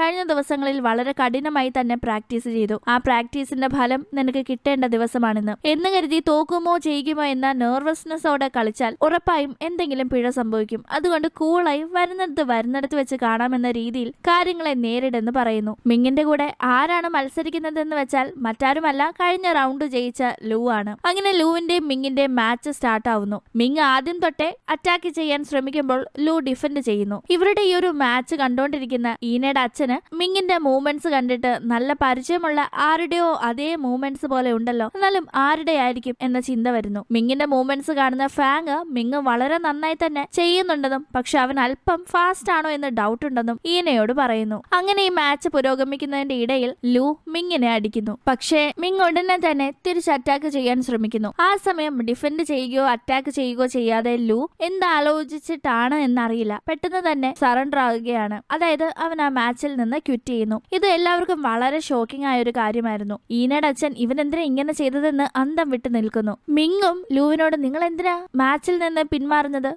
മത്സരിക്കൂ എന്ന് പറയുമ്പോൾ ലൂ മിങ്ങിന് മറുപടി കൊടുക്കാതെ ചിരിച്ചുകൊണ്ട് അവിടെ നിന്ന് പോവാണ്. ലൂവിന്റെ ഈ പ്രവൃത്തി അവന്റെ പ്രിൻസിപ്പളിനെ വല്ലാതെ നിരാശയിലാക്കിയിട്ടുണ്ടായിരുന്നു. പ്രിൻസിപ്പൾ അവിടെ നിന്ന് ഇറങ്ങി പോകുന്നു. ഇതേ സമയം ലൂ മാച്ചിൽ നിന്ന് പിന്മാറിയത് കൊണ്ട് തന്നെ ലൂവിനെ തോറ്റവനായി പ്രഖ്യാപിച്ച് മിങ്ങിനെ വിജയിയായി പ്രഖ്യാപിക്കാൻ തുടങ്ങുമ്പോൾ ഈനയുടെ അച്ഛൻ പിന്മാറി എന്ന് കരുതി തോറ്റു എന്നല്ല അർത്ഥമെന്ന് പറഞ്ഞ് വാദിക്കാൻ നോക്കുന്നുണ്ടെങ്കിലും അത് അവിടെ വില പോകുന്നില്ല. അങ്ങനെ മിങ് അടുത്ത റൗണ്ടിലേക്ക് ക്വാളിഫൈ ആകുന്നു. ഇതേസമയം വെളിയിലേക്ക് എത്തുന്ന ലൂവിനെ മിയ മാറ്റി നിർത്തി. ഇങ്ങനെ ചെയ്തതിൽ ദേഷ്യപ്പെടുന്നു. നമ്മുടെ കോളേജിനെയാണ് നീ ടൂർണമെന്റിൽ തോപ്പിച്ചു കളഞ്ഞതെന്ന് മിയ പറയുമ്പോൾ ഞാൻ ഒരിക്കലും കോളേജിനെയോ ഈ ഒരു ഗെയിമിനെയോ തോൽപ്പിച്ചിട്ടില്ല. ഞാൻ ഈ ഒരു റൗണ്ടിൽ വിട്ടുകൊടുത്തു എന്ന് കരുതി ഞാൻ ഈ ടൂർണമെന്റിൽ നിന്ന് തന്നെ ഔട്ടായി എന്ന് അതിനർത്ഥമില്ല. എനിക്ക് എന്റേതായ ചില കാരണങ്ങൾ അതിനുണ്ടെന്ന് പറയുന്നു. എന്തായാലും നിന്റെ ഈ പ്രവൃത്തിയൊന്നും തീരെ ശരിയായില്ല. നീ ഇതിനെല്ലാം പ്രിൻസിപ്പലിനോട് മറുപടി പറയേണ്ടി വരുമെന്ന് പറഞ്ഞാണ് മിയ അവിടെ നിന്ന് പോകുന്നത്. അങ്ങനെ അതിനുശേഷം മാച്ച് നടക്കാൻ പോകുന്നത് ചാനിനും മിങ്ങിനും ഇടയിലാണ് ചാൻ വലിയ അഹങ്കാരത്തിലാണ് മിങ്ങുമായി മത്സരിച്ച് തുടങ്ങുന്നത് തന്നെ. എങ്കിലും മത്സരത്തിൽ രണ്ടുപേരും കട്ടയ്ക്ക് കട്ടയ്ക്ക് നിൽക്കുന്നുണ്ട്. പക്ഷെ പിന്നീട് ചാനാണ് മേൽക്കൈ വരുന്നത്. ചാൻ മിങ്ങിനെ അടിക്കുകയും അടിച്ചു താഴെ ഇടുകയും ചെയ്യുന്നു. മിങ്ങിന് എഴുന്നേൽക്കാൻ പറ്റാത്ത അവസ്ഥ പോലെ ആകുന്നുണ്ടെങ്കിലും അവൻ മുന്നേ അവന്റെ മുന്നിൽ വെച്ച് ചാൻ തന്റെ അനിയനെ ഉപദ്രവിച്ചതോർത്ത് സർവശക്തിയും എടുത്ത് എഴുന്നേറ്റ് നിൽക്കാൻ ശ്രമിക്കുമ്പോൾ ചാൻ വീണ്ടും ആക്രമിക്കാൻ എത്തുന്നു ഇത്തവണ തിരിച്ച് അറ്റാക്ക് ചെയ്യാതെ ഡിഫൻസ് പൊസിഷനിൽ നിന്നുകൊണ്ട് ചാനിന്റെ അറ്റാക്കിംഗ് സ്റ്റൈൽസ് എല്ലാം കണ്ട് മനസ്സിലാക്കുകയാണ് മിങ് അങ്ങനെ ചാങ് തുരുതുര മിങ്ങിനെ അറ്റാക്ക് ചെയ്തുകൊണ്ടിരിക്കുന്ന സമയം പെട്ടെന്ന് ഡിഫൻസ് പൊസിഷനിൽ നിന്ന് മാറി മിങ് ചാനിനിട്ട് തിരിച്ചൊരെണ്ണം കൊടുത്ത് അവനെ താഴെയിട്ട് അവൻ അനങ്ങാൻ പറ്റാത്ത രീതിയിൽ അവനെ ലോക്ക് ചെയ്ത് ടൈം ഔട്ട് ആക്കുന്നു. അങ്ങനെ ടൈം ഔട്ട് ആകുന്നിടം വരെ അനങ്ങാൻ സാധിക്കാതെ ചാൻ ലോക്കായി കിടന്നത് കൊണ്ട് തന്നെ ചാൻ ഇതിൽ തോറ്റതായും മിങ് ജയിച്ചതായും പ്രഖ്യാപിക്കുന്നു. അതെ മിങ്ങിനെ ഏറെ ദ്രോഹിക്കുകയും അപമാനിക്കുകയും ഒക്കെ ചെയ്തിരുന്ന ചാൻ മിങ്ങിന്റെ മുന്നിൽ മുട്ടുകുത്തിയിരിക്കുന്നു. മിങ് ചാനിനെ മുട്ടുകുത്തിച്ചിരിക്കുന്നു. അങ്ങനെ മിങ്ങിന്റെ വിജയത്തോടെ ഇന്നത്തെ എപ്പിസോഡ് അവസാനിക്കുകയാണ്. ഇന്നത്തെ വീഡിയോ നിങ്ങൾക്ക് ഇഷ്ടപ്പെട്ട് കാണുമെന്ന് പ്രതീക്ഷിക്കുന്നു. ഇഷ്ടപ്പെട്ടെങ്കിൽ മറക്കാതെ വീഡിയോ ലൈക്ക് ചെയ്യുക ചാനൽ സബ്സ്ക്രൈബ് ചെയ്യുക. അപ്പോൾ നമുക്ക് വീണ്ടും മറ്റൊരു വീഡിയോയിലൂടെ കാണാം. ബൈ.